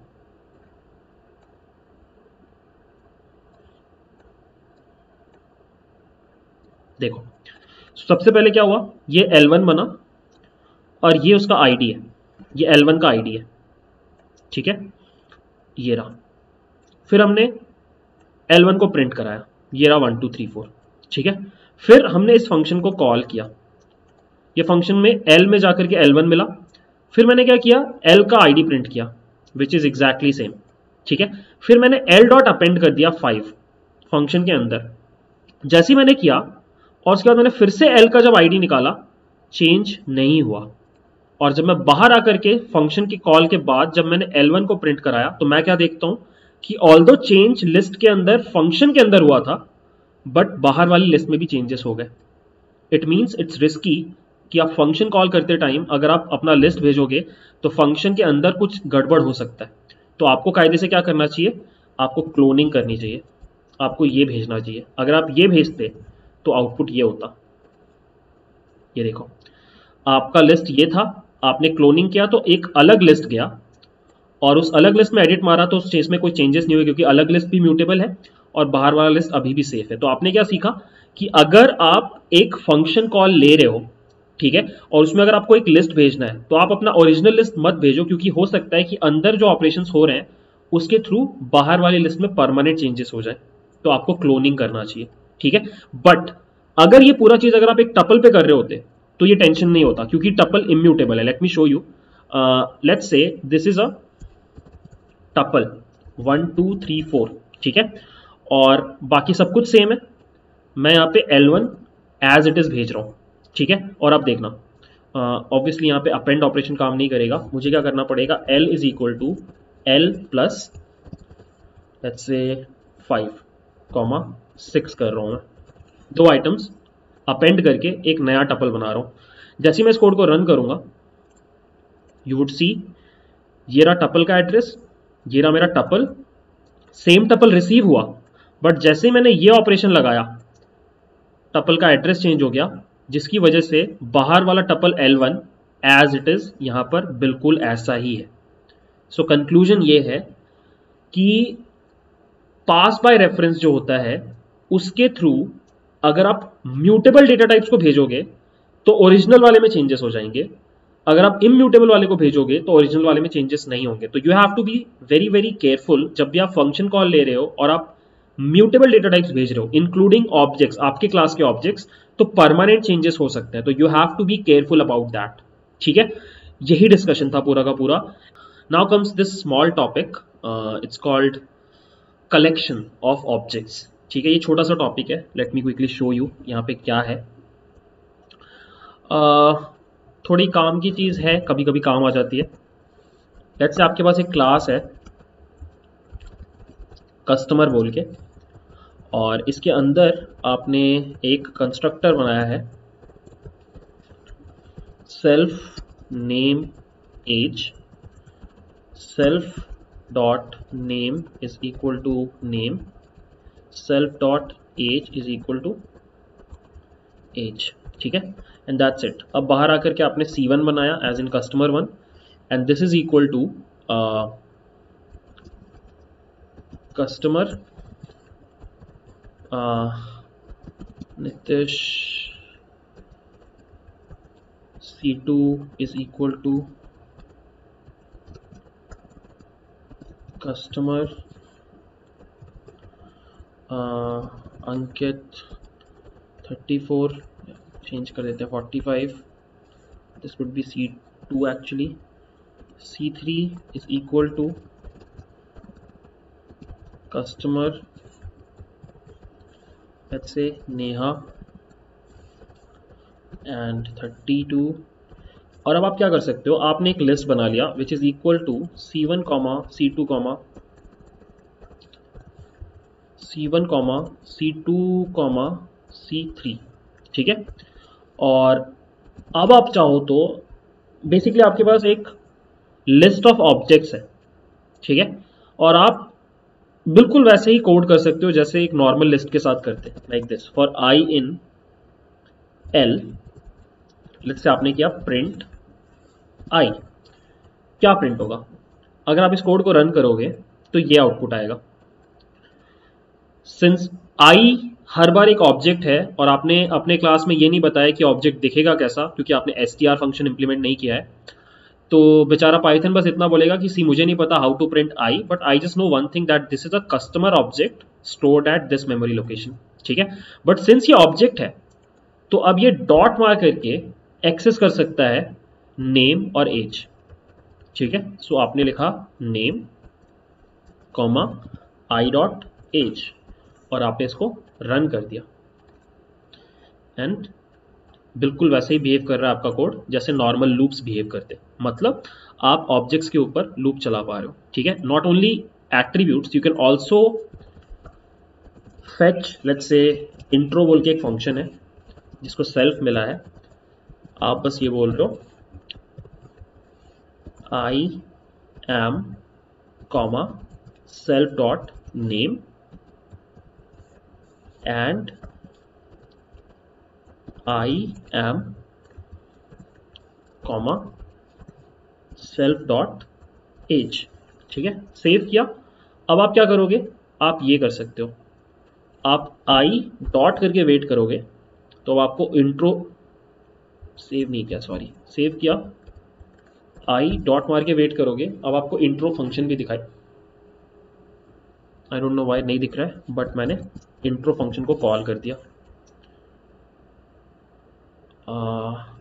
इंट्रो को कॉल करते टाइम प्रिंट करने की ज़रूरत नहीं है क्योंकि इंट्रो के अंदर हम खुद ही प्रिंट कर रहे हैं राइट सो so, हमने बस आई डॉट इंट्रो कर दिया और इसको रन किया। ये रहा। सो so, मतलब आप क्या सीखे? कि आप लूप चलाते टाइम अगर आपके पास ऑब्जेक्ट्स का लिस्ट है तो आप उसको बिल्कुल वैसे ही ट्रीट करो जैसे एक नॉर्मल ऑब्जेक्ट को करते हो। बेसिकली आपने लूप सीखा था, आपने अब ऑब्जेक्ट बनाना सीखा, दोनों लॉजिक को मर्ज करके भी आप कोड कर सकते हो। दोनों कंपैटिबल लॉजिक है, बस यही सीखा आपने, ठीक है? ये सेम चीज़ आप डिक्शनरी के ऊपर भी कर सकते हो टपल के ऊपर भी कर सकते हो सेट्स के ऊपर भी कर सकते हो। इट डज नॉट मैटर नहीं सेट्स के ऊपर नहीं होगा क्योंकि आपने सेट्स का रूल पढ़ा होगा। सेट्स के अंदर सिर्फ़ इम्यूटेबल डेटा टाइप्स जा सकते हैं बट ये ऑब्जेक्ट्स क्या है? These are mutable data types so you can not run this code ठीक है? सो so, या ये छोटा सा टॉपिक कवर करना था। ये हमने जल्दी से कर लिया।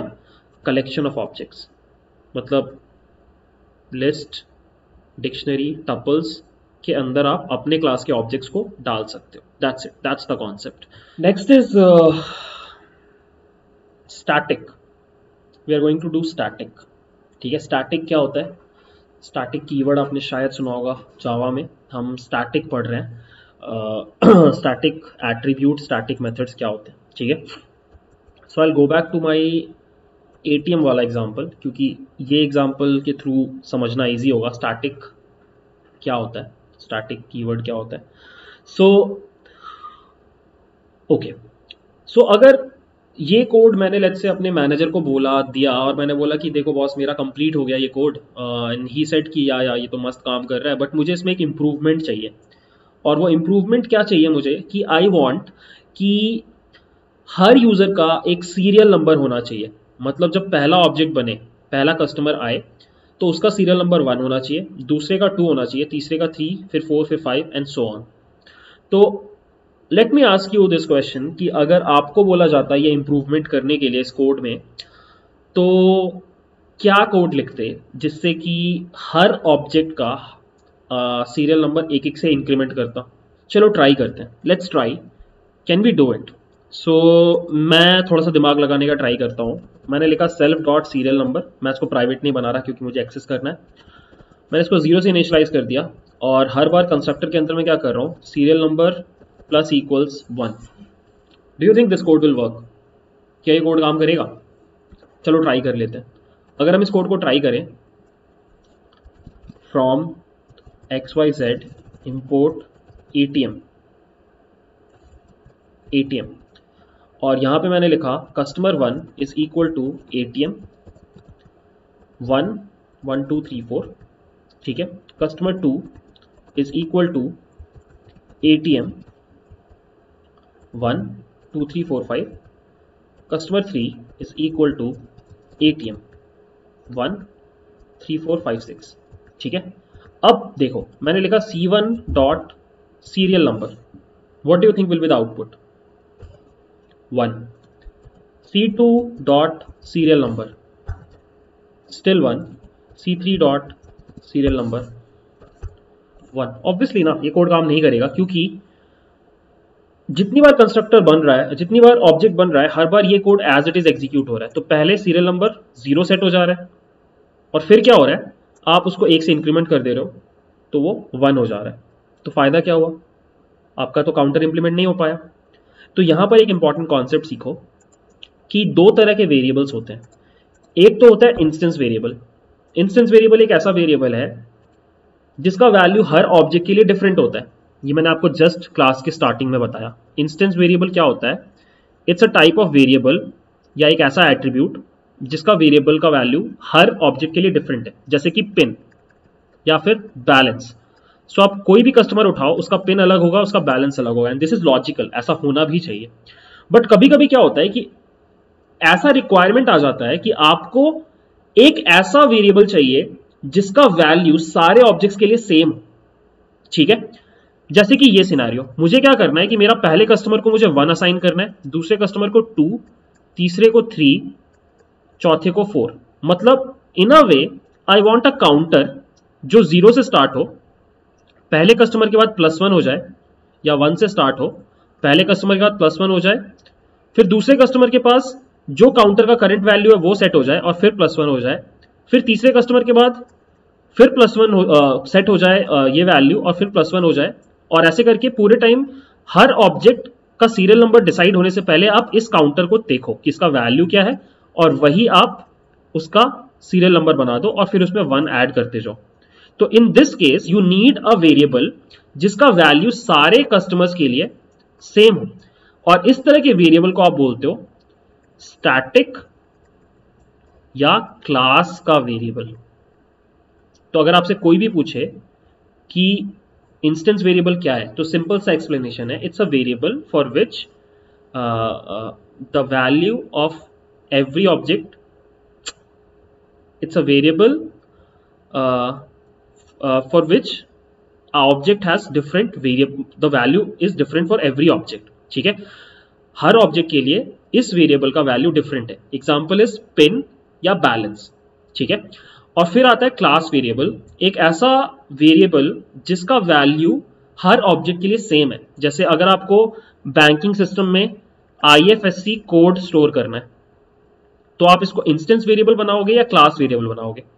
ऑब्वियसली आईएफएससी कोड एक ब्रांच के सारे कस्टमर्स के लिए सेम होगा। तो आप उसको क्लास या स्टैटिक वेरिएबल बनाओगे, ना कि इंस्टेंस वेरिएबल ठीक है? सिमिलरली आपके कॉलेज का अगर आप सिस्टम बना रहे हो तो आपके डिग्री का नाम स्टैटिक वेरिएबल है, क्योंकि सारे स्टूडेंट्स को सेम डिग्री मिल रही है।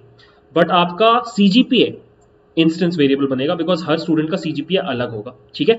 तो अब हम क्या करेंगे? इस कोड में we will create a static variable ठीक है? और जब भी आप स्टैटिक वेरिएबल क्रिएट करते हो, हमेशा याद रखना, वो आप कंस्ट्रक्टर के बाहर करते हो लाइक like दिस हमेशा याद रखना इंस्टेंस वेरिएबल्स जो होते हैं, वो हमेशा कंस्ट्रक्टर के अंदर होते हैं। मैं यहाँ पे लिख देता हूँ। ये सारे इंस्टेंस वेरिएबल्स हैं। और ये जो है, ये आपका स्टैटिक स्लैश क्लास वेरिएबल है। ठीक है? अब, इस लॉजिक को आप कैसे इंप्लीमेंट करोगे? ये सब नहीं लिखोगे आप। आप लिखोगे self dot serial number is equal to अब हमेशा याद रखना कि जब भी आपको इंस्टेंस वेरिएबल को एक्सेस करना है तो आप सेल्फ लिखते हो।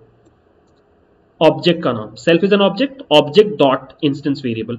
But जब भी आप क्लास वेरिएबल को एक्सेस करते हो या स्टैटिक वेरिएबल को एक्सेस करते हो तो आप उसके लिए क्लास नेम लिखते हो like this ATM dot counter so मैंने क्या बोला? Self dot serial number is equal to ATM dot counter और फिर मैंने ये कोड लिखा। ATM dot counter is equal to ATM dot counter plus one ठीक है? और अब देखो इस कोड को रन करते हैं। आ, एक काम कर रहा हूँ मैं। ये मेन्यू को कॉल नहीं कर रहा हूँ। बार बार फालतू में कोड चलाना पड़ता है। रन किया। From X Y Z I L import A मैंने कस्टमर वन बनाया। A T M customer two बनाया। A T M customer three बनाया। ए टी एम ठीक है? और अब देखो C one dot serial number one है C two dot serial number two है C three dot serial number three है। And can you guess A T M dot counter क्या होगा? या छोड़ो। Can you tell C three dot counter क्या होगा? Four counter का लास्ट वैल्यू इज़ फोर ठीक है? अब कोई बता सकता है सी टू डॉट काउंटर क्या होगा? अरे, इतने भोले क्यों आप लोग? फोर ही तो होगा काउंटर का वैल्यू मेमोरी में फोर ही है। What about this C one dot counter का वैल्यू फोर ही रहेगा। क्योंकि काउंटर का वैल्यू ही फोर है अभी। और अगर आप A T M dot counter करो, जो कि सही तरीका है काउंटर को फेच करने का क्लास नेम डॉट करके तो भी फोर ही आएगा। ठीक है? सो इसमें कंफ्यूज मत होना। जो भी उसका लास्ट वैल्यू है, वही रहेगा। For both self dot object dot और फॉर बोथ क्लास डॉट करके भी, ठीक है? बट एनीवेज आई गेस आपको ये समझ में आया कि स्टैटिक वेरिएबल्स का ज़रूरत क्यों है? स्टैटिक वेरिएबल्स का ज़रूरत तब आता है जब आपके सारे ऑब्जेक्ट्स को शेयर्ड कुछ चाहिए होता है। इट कुड बी बैंक का नाम इट कुड बी कॉलेज का नाम, या इट कुड बी आपको एक काउंटर चलाना है अपने ऑब्जेक्ट्स के बीच में। तो आपको कभी कभी स्टैटिक या क्लास वेरिएबल का ज़रूरत पड़ता है। And it's an important concept इसलिए आपको पता होना चाहिए, ठीक है? और इसको आप जब भी एक्सेस करने का जो भी तरीका, सही तरीका है, वो ये है कि आप एटीएम डॉट करके करो। और मतलब ये है कि आप आप बस इतना लिखो from X Y Z import A T M अब आपको क्या करना है? आपको ऑब्जेक्ट बनाने का भी ज़रूरत नहीं है। आप डायरेक्टली ये लिख सकते हो A T M dot counter and it would work right it would work अब व्हाट इफ़ फिर से हमारा जूनियर प्रोग्रामर महानता दिखाए और ये करते वो? ये कोड भी काम करेगा। सो so, अब अगर मैंने एक ऑब्जेक्ट बनाया C one is equal to ATM और एंटर मारा कोड फट गया। कोड इसलिए फटा क्योंकि ये देखो सीरियल नंबर तो असाइन हो गया स्ट्रिंग ये काउंटर अब काम नहीं करेगा क्योंकि प्लस वन काम नहीं कर सकता बिकॉज़ आपने उसको स्ट्रिंग बना दिया। क्या सोल्यूशन है? द सोल्यूशन इज़ कि आप इसके आगे क्या लगा दो? Double under double underscore लगाया, यहाँ भी डबल अंडर स्कोर लगाया, और यहाँ भी डबल अंडर स्कोर लगाया, और सेव कर दिया। अब नहीं कर पाएगा चेंजेस बट वॉट इफ़ मुझे अपने जूनियर प्रोग्रामर को काउंटर को चेंज करने का केपेबिलिटी भी देना था? मैंने तो छुपा दिया, अब उसको नहीं मिलेगा। बट वॉट इफ़ मुझे उसको वो फीचर देना है? गेट काउंटर सेट काउंटर मैं गेटर और सेटर बना दूँगा। देखो, मैं क्या करूँगा? मैं एक फ़ंक्शन बना रहा हूँ डेफ गेट काउंटर यहाँ पे मैंने पास किया सेल्फ और I will just return whatever is inside A T M dot underscore underscore counter that's the code और similarly I will also have def set underscore counter और यहाँ पे मैंने सेल्फ में लिखा। यहाँ पे मैंने सेल्फ में लिखा। इफ़ सेट काउंटर में पाए देवे आपको एक नया वैल्यू मिलेगा न्यू करके तो मैं यहाँ पे बस लिख दूँगा। If type of new is equal to equal to integer then only A T M dot counter is equal to new else I'll print. Not allowed. Right? And that's it. अब अगर मैं वापस जाऊँ और रन करूँ और मैं लिखूं Y Z import A T M और यहाँ पे अब मैं डायरेक्टली लिखूँ ए टी एम डॉट तो सब कुछ आ रहा है। मैंने लिखा गेट काउंटर आप कोई बताएगा ये एरर क्यों आया? द एरर इज़ दिस ध्यान से सुनना। आपका गेट काउंटर सेल्फ एक्सपेक्ट कर रहा है।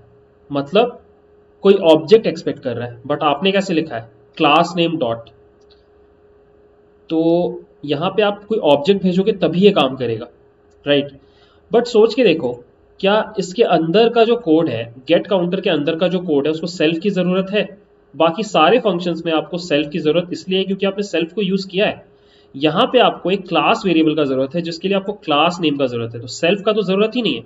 तो आप क्या करते हो, आप अगर कोई ऐसा मेथड बना रहे हो, जो आपके स्टैटिक वेरिएबल्स के साथ डील कर रहा है तो आप वहाँ पे सेल्फ पास नहीं करते। यू डोंट पास सेल्फ और इस तरह के मेथड्स को बोला जाता है स्टैटिक मेथड और इनको अलग से दिखाने के लिए ये कीवर्ड यूज़ किया जाता है।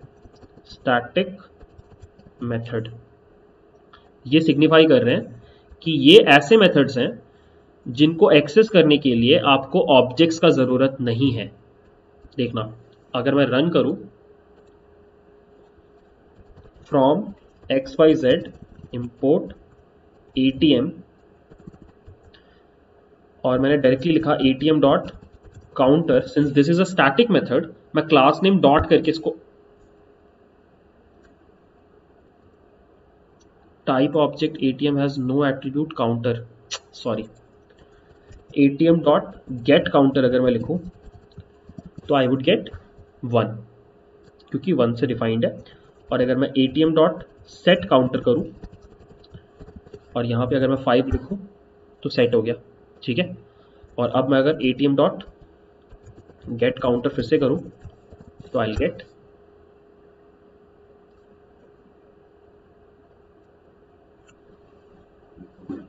ये क्या वन ही क्यों है ये? सेट काउंटर हमने किया। न्यू वैल्यू पास किया। A T M dot counter is equal to new sorry because हमने ये डबल अंडरस्कोर नहीं लगाया तो एक नया वेरिएबल क्रिएट हो गया। सॉरी अबाउट दिस एरर ठीक है? सिंपल था। सो या दैट्स इट यही आपको पढ़ना था। स्टैटिक मेथड क्या होता है? इट्स अ स्पेशल मेथड जिसको आप विदाउट ऑब्जेक्ट एक्सेस कर सकते हो फ़र्स्ट ऑफ़ ऑल और जनरली उसका यूज़ होता है जब आप डील कर रहे हो स्टैटिक वेरिएबल के साथ. ठीक है? सो so, अभी तक हमने जितने भी क्लासेस बनाए हैं उसमें आपने हमेशा एक ही क्लास बनाया और वो क्लास अकेले उस प्रोग्राम में काम कर रहा था. एटीएम वाले में एटीएम क्लास था फ्रैक्शन वाले में फ्रैक्शन क्लास था. बट जनरली जब आप कोई बड़ा एप्लीकेशन बनाने जाओगे तो वहाँ पर कोई एक सिंगल क्लास नहीं होता है मल्टीपल क्लासेस होते हैं, ठीक है? जैसे अगर आप एक ई कॉमर्स वेबसाइट बनाने जा रहे हो तो वहाँ पे प्रोडक्ट एक क्लास है कस्टमर एक क्लास है एड्रेस एक क्लास है रिव्यू एक क्लास है आई डोंट नो कितनी भी क्लासेस हो सकती हैं, और डिफरेंट क्लासेस के बीच में रिलेशनशिप होता है, ठीक है? तो अगर आप रिलेशनशिप का बात करो क्लासेस के बीच में तो दो एक्चुअली तीन तरह का होता है बट दो मेजर टाइप का रिलेशनशिप दिखाते हैं क्लासेस एक होता है एग्रीगेशन एक रिलेशनशिप का नाम होता है एग्रीगेशन और एक रिलेशनशिप का नाम होता है इनहेरिटेंस जो हम कल पढ़ेंगे, ठीक है? अब इनहेरिटेंस को बोला एग्रीगेशन को बोला जाता है हैज़ अ रिलेशनशिप और इनहेरिटेंस को बोला जाता है इज़ अ रिलेशनशिप ये हमेशा याद रखना, ठीक है? अब इसका मतलब क्या हुआ? इसका मतलब ये हुआ कि आप इसका मतलब ये हुआ कि, पहले मैं आपको एग्जांपल दिखाता हूँ इनहेरिटेंस का। लेट्स से आपके पास दो क्लासेस है। One classes one classes smartphone smartphone बोल के एक क्लास है। ठीक है? और एक और क्लास है प्रोडक्ट ठीक है? नाउ इन दोनों के बीच में कैसा रिलेशनशिप है? That smartphone is a product मतलब प्रोडक्ट की जो भी चीज़ें हैं, वो स्मार्टफ़ोन के ऊपर एप्लीकेबल है. मतलब प्राइस होगा इसका इसका कुछ नाम होगा, इसका कुछ डिस्क्रिप्शन होगा, वो सब कुछ स्मार्टफ़ोन प्रोडक्ट से इनहेरिट कर सकता है। One more example could be जो बहुत ही फ़ेमस एग्ज़ाम्पल है बुक्स वगैरह में रहता है। व्हीकल और कार ठीक है? So car is a vehicle so vehicle की प्रॉपर्टीज़ कार को ऑटोमेटिकली मिल जाती हैं। तो दिस इज़ अ रिलेशनशिप ठीक है? तो इनहेरिटेंस हम लोग बहुत डिटेल में कल पढ़ेंगे। आज का हमारा फोकस है एग्रीगेशन सो एग्रीगेशन कैसे काम करता है? बहुत सिंपल है। लेट्स से हमारे पास एक क्लास है कस्टमर जिसमें हमारे पास कस्टमर के डिटेल्स हैं। और हमारे पास एक और क्लास है एड्रेस तो इन दोनों के बीच में कैसा रिलेशनशिप है? इन दोनों के बीच का relationship is that customer has a address ठीक है? सो so, अगर इस क्लास को ये क्लास चाहिए होता है तो that is aggregation that is aggregation ठीक है? और क्लास डायग्राम के हिसाब से ये रिलेशनशिप ऐसे दिखाया जाता है। मान लो ये आपका कस्टमर क्लास है हम एग्रीगेशन देख रहे हैं ये आपका कस्टमर क्लास है और ये आपका एड्रेस क्लास है। ठीक है? इसमें एड्रेस का एट्रीब्यूट्स uh, है लाइक like सिटी क्या है पिन कोड क्या है हाउस uh, नंबर क्या है और फिर यहाँ पे कुछ मेथड्स हैं चेंज एड्रेस एड एड्रेस इस तरह के कुछ कुछ मेथड्स हैं एड्रेस क्लास में। और यहाँ पे आपका कस्टमर है कस्टमर में नेम है उसका जेंडर है, उसका एज है और उसका एड्रेस है, ठीक है? तो ये जो रिलेशनशिप है, इसको आप ऐसे दिखाते हो। दिस इज़ कॉल्ड एग्रीगेशन अगर आपको कभी भी ऐसा डायग्राम दिख रहा है तो आपको समझ जाना है कि ये आपका बाय द वे कस्टमर है। तो इन दोनों क्लास के बीच में एग्रीगेशन का रिलेशनशिप है। ये आपको हमेशा याद रखना है, ठीक है? और जो एग्रीगेट कर रहा है मतलब एड्रेस हैज़ अ रिलेशनशिप किसकी तरफ़ है? कस्टमर हैज़ अ एड्रेस तो आपके उसके उल्टे डायरेक्शन में आपको ये डायमंड लगाना होता है। ये डायमंड शेप है। रोम्बस बोल सकते हो डायमंड बोल सकते हो जो भी है। ये इस तरीके से शो होता है डायग्राम में। ठीक है? सो so, आपको इस तरह के कुछ क्वेश्चंस मिलेंगे। अब मैं काम करता हूँ आपको एक सच में एक एग्जांपल से सब चीज़ समझाता हूँ लाइक कोड लिख करके सो so दैट आपको क्लियर हो जाए। Let's create a new file and let's write a code ठीक है? सो हमारे पास एक क्लास है कस्टमर यहाँ पर डेफ इनिट और सेल्फ नेम जेंडर एड्रेस ठीक है? और यहाँ पे लिखा हुआ है self dot name is equal to name self dot gender is equal to gender self dot address is equal to address ठीक है? और uh, फिर हमारे पास एक और क्लास है एड्रेस बोल के और इसके अंदर है डेफ इसका कंस्ट्रक्टर और इसको बस तीन चीज़ें चाहिए। सिटी पिन कोड स्टेट और यहाँ पे लिखा हुआ है self dot city is equal to city self dot pin code is equal to pin code self dot state equals state ठीक है? और अब देखो गाइज़ मैंने क्या किया? मैंने एक कस्टमर बनाया। So customer is equal to customer class और यहाँ पे मैंने पास किया। तीन चीज़ें चाहिए।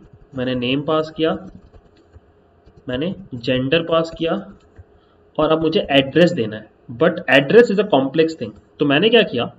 जस्ट इसके ऊपर एक एड्रेस ऑब्जेक्ट बनाया।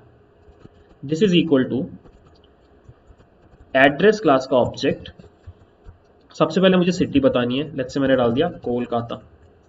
फिर मुझे पिन कोड बताना है। मैंने डाल दिया लेट्स से ये। और फिर मुझे लास्ट में स्टेट बताना है। मैंने बोल दिया वेस्ट बंगाल ठीक है? और अब मैं क्या करूँगा? कस्टमर बनाते टाइम जब मुझे एड्रेस भेजना होगा तो मैं ये पूरा एड्रेस ही पास कर दूँगा। ठीक है? और अब मैं क्या कर सकता हूँ? यहाँ पर आकर के I can print out customer dot address dot first of all मैं आपको दिखाता हूँ कि कस्टमर डॉट एड्रेस करने से क्या होगा। तो यहाँ पे मैंने लिख दिया एग्रीगेशन डेमो देखना, अगर मैं कस्टमर डॉट एड्रेस करूँगा तो क्या होगा? आपके स्क्रीन पे ये आएगा। पूरा का पूरा ऑब्जेक्ट प्रिंट हो गया। ठीक है? बट मुझे ये नहीं चाहिए। लेट्स से मुझे सिटी चाहिए तो मैं लिखूँगा एड्रेस डॉट सिटी और अब मैं सेव करूँगा। Now I can actually fetch Kolkata अगर मैं यहाँ पे सिटी के बदले पिन कोड लिखूं और अब इसको रन करूँ तो I can get the pin code so the whole idea is कि आपने एक ऑब्जेक्ट बनाते टाइम एक दूसरा ऑब्जेक्ट पास कर दिया और अब वो ऑब्जेक्ट बिल्कुल वैसे ही बिहेव कर रहा है जैसे नॉर्मली बिहेव करता। अब यहाँ पर आप क्या कर सकते हो? आप यहाँ पर एक और मेथड डिफाइन कर सकते हो। डेफ चेंज एड्रेस बोल के। ठीक है? और यहाँ पर आप क्या कर सकते हो? आप सेल्फ मिलेगा। यहाँ पे आपको न्यू सिटी मिलेगा। यहाँ पे आपको न्यू पिन मिलेगा। और यहाँ पे आपको न्यू स्टेट मिलेगा। और आपका काम क्या है? Self dot city is equal to new underscore city self dot pin code is equal to new underscore pin और self dot state is equal to new underscore state कर दिया, ठीक है? और सेव कर दिया। अब आपने यहाँ पे एक क्या किया? यहाँ पे आपने एक मेथड बनाया एडिट प्रोफ़ाइल का। एडिट प्रोफ़ाइल का। ठीक है? और एडिट प्रोफ़ाइल करते टाइम आपको क्या करना है? आपको चाहिए new name new gender and आपको चाहिए तीन और चीज़ें which is new city comma new pin comma new state और जेंडर हटा देते हैं। जेंडर चेंज करने का कोई लॉजिक नहीं है। एज्यूम ईजी हो जाएगा थोड़ा सा और यहाँ पे अब आप क्या करोगे? आप ये कोड लिखोगे। Self dot name is equal to new underscore name self dot हाँ यहाँ पे आप देखो, आपने नेम एडिट कर दिया। अब आप क्या करोगे? आप लिखोगे सेल्फ डॉट एड्रेस और यहाँ पे अब आप एड्रेस के अंदर से डॉट करके चेंज एड्रेस को कॉल करोगे। इस फ़ंक्शन को कॉल करोगे और इसको तीन चीज़ें चाहिए। वो आपके पास हैं। New city new underscore pin और new underscore state and that's it इतने से आपका काम हो जाएगा। आपको बस इसको कॉल कर देना ठीक है? सो so, मैं यहाँ पे क्या कर रहा हूँ? मैं यहाँ पे लिख रहा हूँ कस्टमर डॉट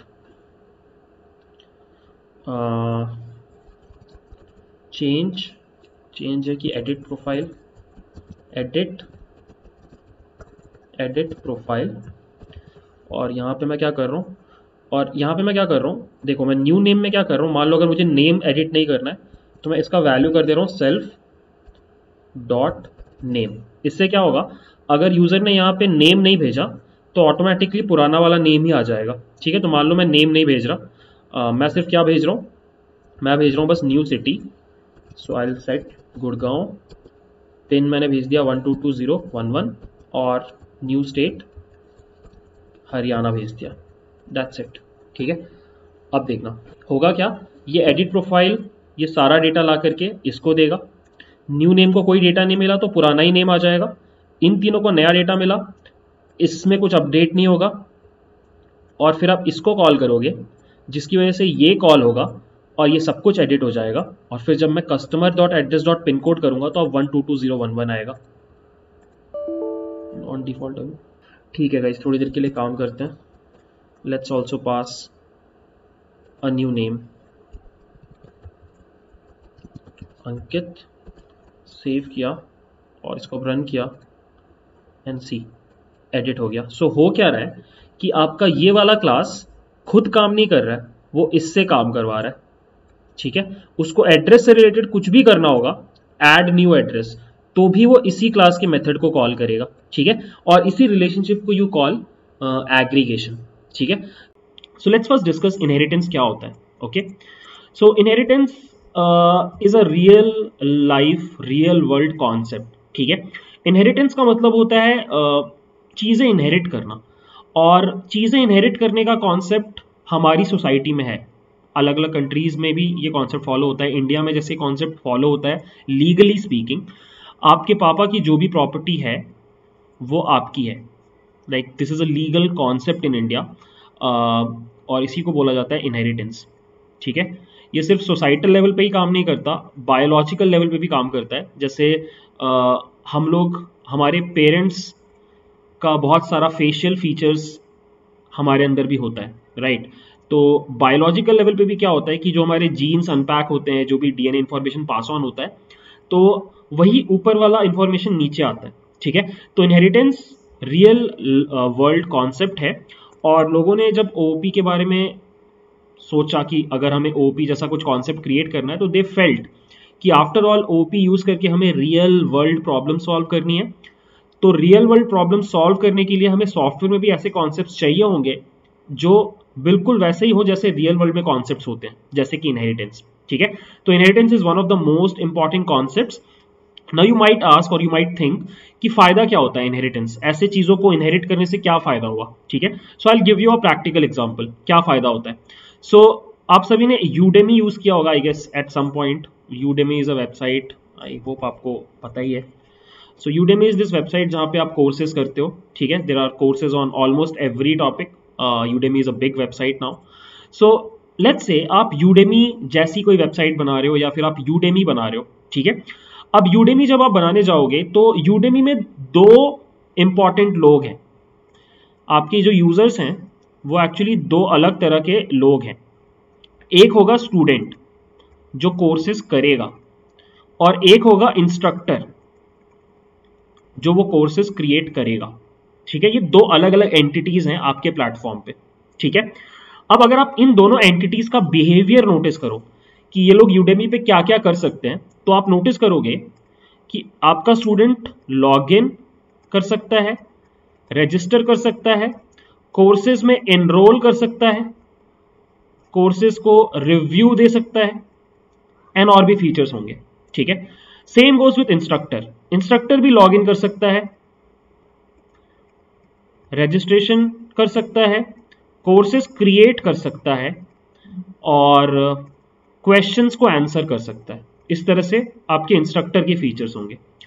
अब लेट्स से आपने इस तरीके से प्लान किया अपने एप्लीकेशन को कि आपने बोला कि मैं एक क्लास बनाऊँगा स्टूडेंट बोल के, जिसमें मैं स्टूडेंट रिलेटेड सारा कोड लिखूँगा। स्टूडेंट से रिलेटेड जितना भी डेटा है और जितने भी मेंबर्स हैं। और सेम विथ इंस्ट्रक्टर मैं इंस्ट्रक्टर के लिए भी एक क्लास बनाऊँगा जहाँ पे इंस्ट्रक्टर से रिलेटेड जितना भी इंफॉर्मेशन uh, है एज इन डेटा है और जितने भी मेथड्स हैं बिहेवियर है वो सब मैं उस क्लास में लिखूँगा राइट बट अगर आप नोटिस करो तो ये लॉगिन और रजिस्ट्रेशन ये दोनों ही फीचर्स रिपीट हो रहे हैं। मतलब आपका स्टूडेंट भी उसी ढंग से लॉगिन करेगा आपके डेटाबेस में और आपका इंस्ट्रक्टर भी उसी ढंग से लॉगिन करेगा सेम डेटाबेस में। इसका मतलब अगर आप ये सेटअप फॉलो कर रहे हो तो आप एक्चुअली इतना कोड रिपीट करोगे।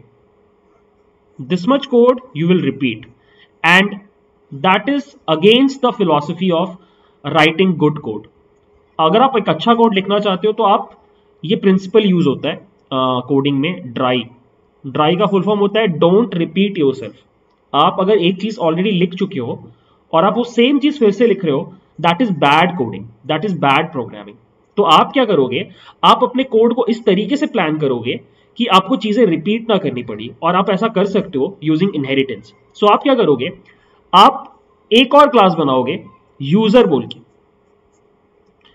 और यूज़र में आप सिर्फ़ दो चीज़ें रखोगे लॉग इन एंड रजिस्ट्रेशन का फ़ंक्शंस और फिर इससे आप दो क्लासेस को इनहेरिट करवाओगे यूज़र सॉरी स्टूडेंट को और इंस्ट्रक्टर को, ठीक है? अब स्टूडेंट में क्या क्या फ़ंक्शंस होंगे? एनरोल होगा रिव्यू होगा और और जो भी चाहिए होगा स्टूडेंट को वो होगा। और इंस्ट्रक्टर को भी क्रिएट मिलेगा आंसर मिलेगा और जो भी इंस्ट्रक्टर का स्पेसिफिक मेथड्स होंगे वो मिलेंगे। बट अगर स्टूडेंट को लॉग इन करना है या रजिस्ट्रेशन करना है तो सिंस आपने यूज़र क्लास में इनहेरिट कर रखा है तो आप यूज़र क्लास का लॉग यूज़ कर लोगे। And same goes with instructor as well so अगर आपसे कोई पूछे कि what is the biggest benefit that inheritance gives you तो the answer would be code reusability code reusability अब आई नो इस पॉइंट पे आपको शायद ऐसा फीलिंग आ सकता है कि ठीक है, ये इतनी बड़ी बात क्या है? ट्रस्ट मी जब आप कोई बड़ा एप्लीकेशन बनाओगे, जैसे अगर आप ये रेलवे वाला ही एप्लीकेशन बड़ा बनाओगे प्रॉपर बनाओगे तो यू वुड रियलाइज़ कि ये कोड रियूजिबिलिटी आपका बहुत टाइम बचा रहा है, आपका कोड बहुत ही कंसाइज और ऑप्टिमाइज रहेगा और अच्छा काम भी करेगा, ठीक है? तो trust me inheritance is one of those features जिसको देख करके नहीं लगता कि वो आपको उतना फ़ायदा कर सकता है बट जब आप एप्लीकेशन बनाते हो इनहेरिटेंस यूज़ करके तो आप बार बार खुद को थैंक यू बोलते हो कि थैंक गॉड मैंने इनहेरिटेंस यूज़ किया। ठीक है?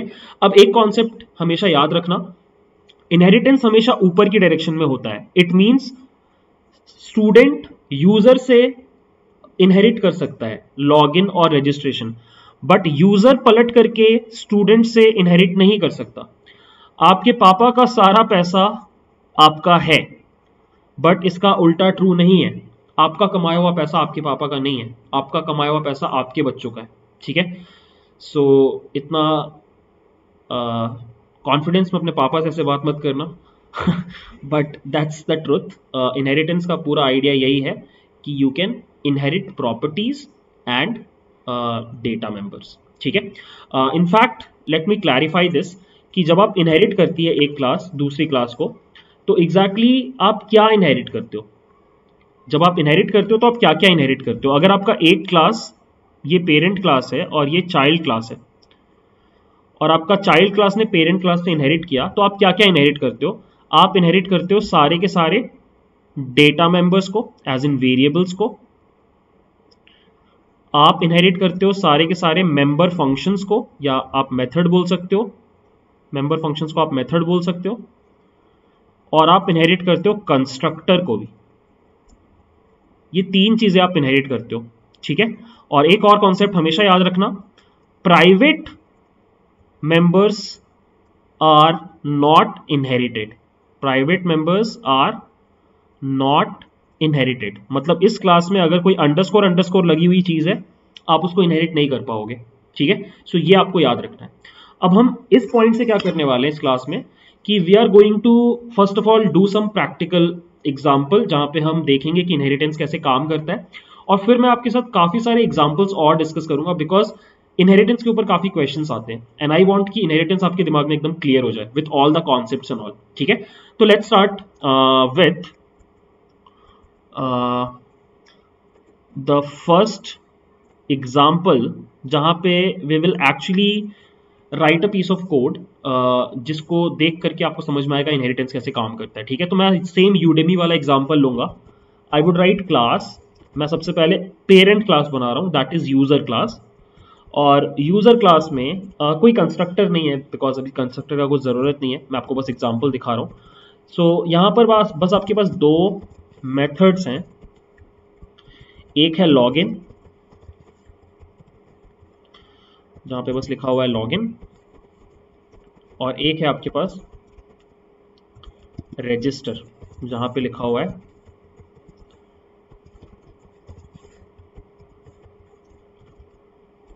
रजिस्टर ठीक है?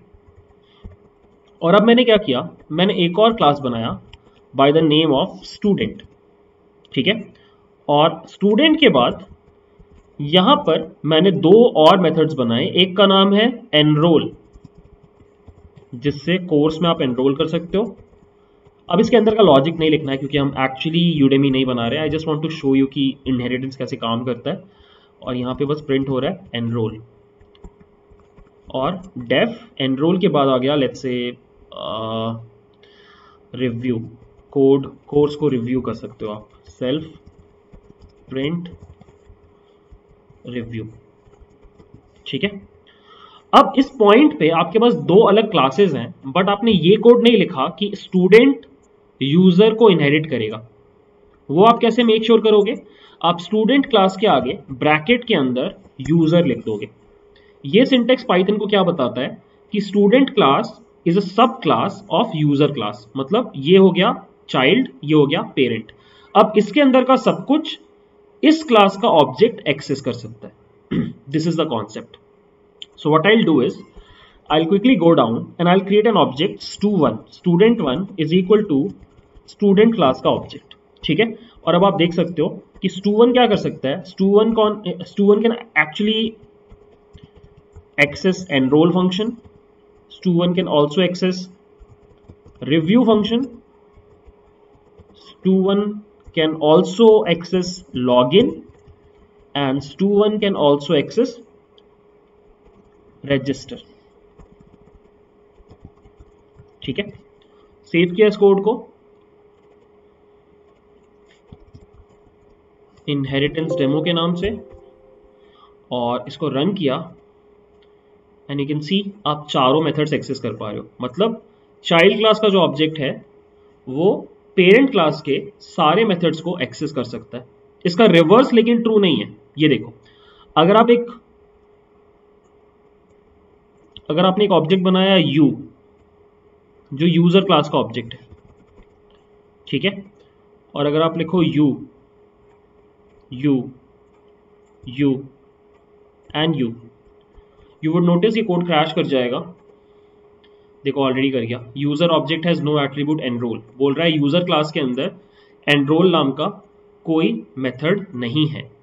And hence you can not access it और कोड क्रैश कर गया। तो हमने दो चीज़ें देखी। पहले इनहेरिटेंस कैसे कराया जाता है और second reverse inheritance is not possible मतलब पेरेंट चाइल्ड की चीज़ों को एक्सेस कर पाए दैट इज़ नॉट अलाउड ठीक है? तो ये छोटा सा डेमो था। अब क्या करते हैं? कुछ एग्जाम्पल्स कंसिडर करते हैं ठीक है? और एक चीज़ और जल्दी से ये भी डिस्कस कर लेते हैं कि क्लास डायग्राम का क्या सीन रहता है। सो so, हम अभी तक क्लास डायग्राम लेके चल रहे हैं पूरे टाइम हमने क्लास का डायग्राम देखा हमने देखा कि एक्सेस स्पेसिफायर्स को कैसे प्लस माइनस से सिग्निफाई करते हैं। कल हमने एग्रीगेशन का भी क्लास डायग्राम देखा। अब जल्दी से देख लो इनहेरिटेंस का क्लास डायग्राम कैसा होता है। सो so, अगर आपके पास यूज़र एक क्लास है और अगर आपके पास स्टूडेंट एक क्लास है, ठीक है? So this is user this is student यहाँ पे यूज़र के सारे एट्रीब्यूट्स यहाँ पे यूज़र के सारे मेथड्स ओके यहाँ पे यूज़र के सारे स्टूडेंट के सारे एट्रीब्यूट्स और यहाँ पे स्टूडेंट के सारे मेथड्स ठीक है? I quickly write it this is user and this is student ठीक है? तो अगर स्टूडेंट इनहेरिट कर रहा है यूज़र को तो यहाँ पे सारे के सारे आपके एट्रीब्यूट्स आएँगे, यहाँ पे प्लस माइनस आएगा जो भी आता है, यहाँ पे सारे के सारे मेथड्स आएँगे बट आप ऐसे सिग्निफाई करते हो। दिस ट्राइंगल एग्रीगेशन का ये था। दिस ट्राइंगल सिग्निफाइज कि student class is inheriting from user class ठीक है? ये क्लास डायग्राम अगर आपको कभी भी दिखे तो आपको इस सिंबल को देखते ही समझ जाना है कि यहाँ पे इनहेरिटेंस हो रहा है। आई होप आपको ये चीज़ समझ में आ गई। ठीक है? Okay now let's go to this file और इसको हम लोग इसके सारे एग्जांपल्स हम लोग रन करेंगे। ठीक है इसके सारे एग्जांपल्स हम रन करेंगे क्योंकि काफ़ी फ़ायदा होने वाला है। ठीक है? सो अब हम लोग सबसे पहले देख रहे हैं कि आप कंस्ट्रक्टर को कैसे इनहेरिट करते हो। सो so, मैंने आपको बोला था कि अगर आप इनहेरिटेंस कर रहे हो तो आप एक्चुअली तीन चीज़ें इनहेरिट करते हो। आप सारे के सारे data members as in variables को एक्सेस कर सकते हो, सारे के सारे मेथड्स को एक्सेस कर सकते हो, आप कंस्ट्रक्टर को भी इनहेरिट कर सकते हो, ठीक है? तो उसका एग्ज़ाम्पल देखो। मैं इस कोड को कॉपी कर रहा हूँ। आपको बस कोड को देख के समझना है कि यहाँ पे क्या हो रहा है। So I'll remove this code I paste it over here और what I'll do is ये फीचर फ़ोन वाला क्लास में हटा रहा हूँ और और और ये दोनों भी हटा रहा हूँ। ठीक है? देखो सिंपल सा कोड है।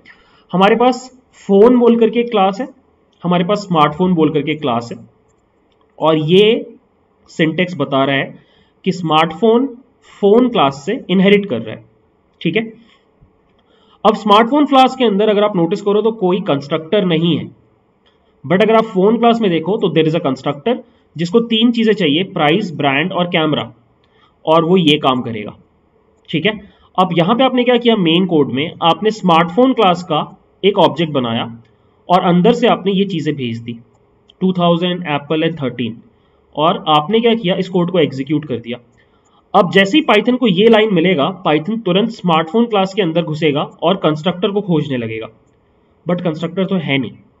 तो फिर वो नोटिस करेगा कि अच्छा ये क्लास तो इस क्लास को इनहेरिट कर रही है। तो फिर वो जाएगा यहाँ पर और इस कंस्ट्रक्टर को जाकर के ये वैल्यूज़ प्रोवाइड कर देगा and that is how this thing will work so अगर आप इस कोड को रन करो the output will be this inside phone constructor so हुआ क्या? ये प्रिंट हो गया, और ये वैल्यूज़ सेट हो गई। ठीक है? आप चेक कर सकते थे। अगर आप यहाँ पे प्रिंट करके ये लिखते एस डॉट ब्रांड तो आपको दिखाई देता एप्पल या दिखाई देगा एप्पल लाइक दिस ठीक है? तो छोटा सा एक कॉन्सेप्ट सीखा यहाँ पे हमने रिवाइज कर लेते हैं। The concept is very simple अगर क्लास बी क्लास ए से इनहेरिट कर रहा है, और क्लास बी के अंदर कोई कंस्ट्रक्टर नहीं है तो जब आप क्लास बी का ऑब्जेक्ट बनाओगे तो क्लास ए का कंस्ट्रक्टर कॉल हो जाएगा। That's the concept child class में कंस्ट्रक्टर नहीं है पेरेंट का कंस्ट्रक्टर कॉल होगा। This is the concept I hope clear now let's move to the second concept what if private members हैं पेरेंट क्लास के अंदर? तो क्या चाइल्ड क्लास का ऑब्जेक्ट एक्सेस कर पाएगा? सेम ही कोड है, बस एक डिफरेंस है। इनफैक्ट इसी कोड में चेंज कर लेते हैं। हम क्या करते हैं? ब्रांड को डबल अंडरस्कोर बना देते हैं। ठीक है? इससे क्या हो गया? ये brand is now a private data member ठीक है? हमने जो डिस्कशन किया, उसके अकॉर्डिंग एक्सेस नहीं कर पाना चाहिए क्योंकि इनहेरिटेंस अगर आप कर रहे हो तो चाइल्ड क्लास का ऑब्जेक्ट पेरेंट क्लास के सिर्फ़ पब्लिक एट्रीब्यूट्स को एक्सेस कर सकता है। सो so, अगर आप इसको रन करो the code will crash and it will say smartphone object has no attribute brand error आ गया। ठीक है? एक्चुअली uh, हमने ये गलत लिखा। हमें यहाँ पे डबल अंडरस्कोर लिखना चाहिए। सो so, सेव करके अगर आप रन करो तब भी वो क्रैश कर जाएगा और बोलेगा ये एट्रीब्यूट एग्जिस्ट नहीं करता। ठीक है? So the concept is child class का ऑब्जेक्ट पेरेंट क्लास के हिडन मेंबर्स को एक्सेस नहीं कर सकता। दिस इज़ द कॉन्सेप्ट ठीक है? अभी तक दो कॉन्सेप्ट हमने सीखे। और देखते हैं। नेक्स्ट uh, इज़ uh, एक अच्छा कॉन्सेप्ट uh, और ये कॉन्सेप्ट ये है ध्यान से देखना। कॉपी कर रहा हूँ मैं। गोइंग बैक पेस्टिंग इट और जो भी कोड रिक्वायर्ड नहीं है वो मैं हटा रहा हूँ। जैसे फीचर फ़ोन क्लास अभी रिक्वायर्ड नहीं है हटा रहा हूँ। And this is the code guys this is the code ठीक है?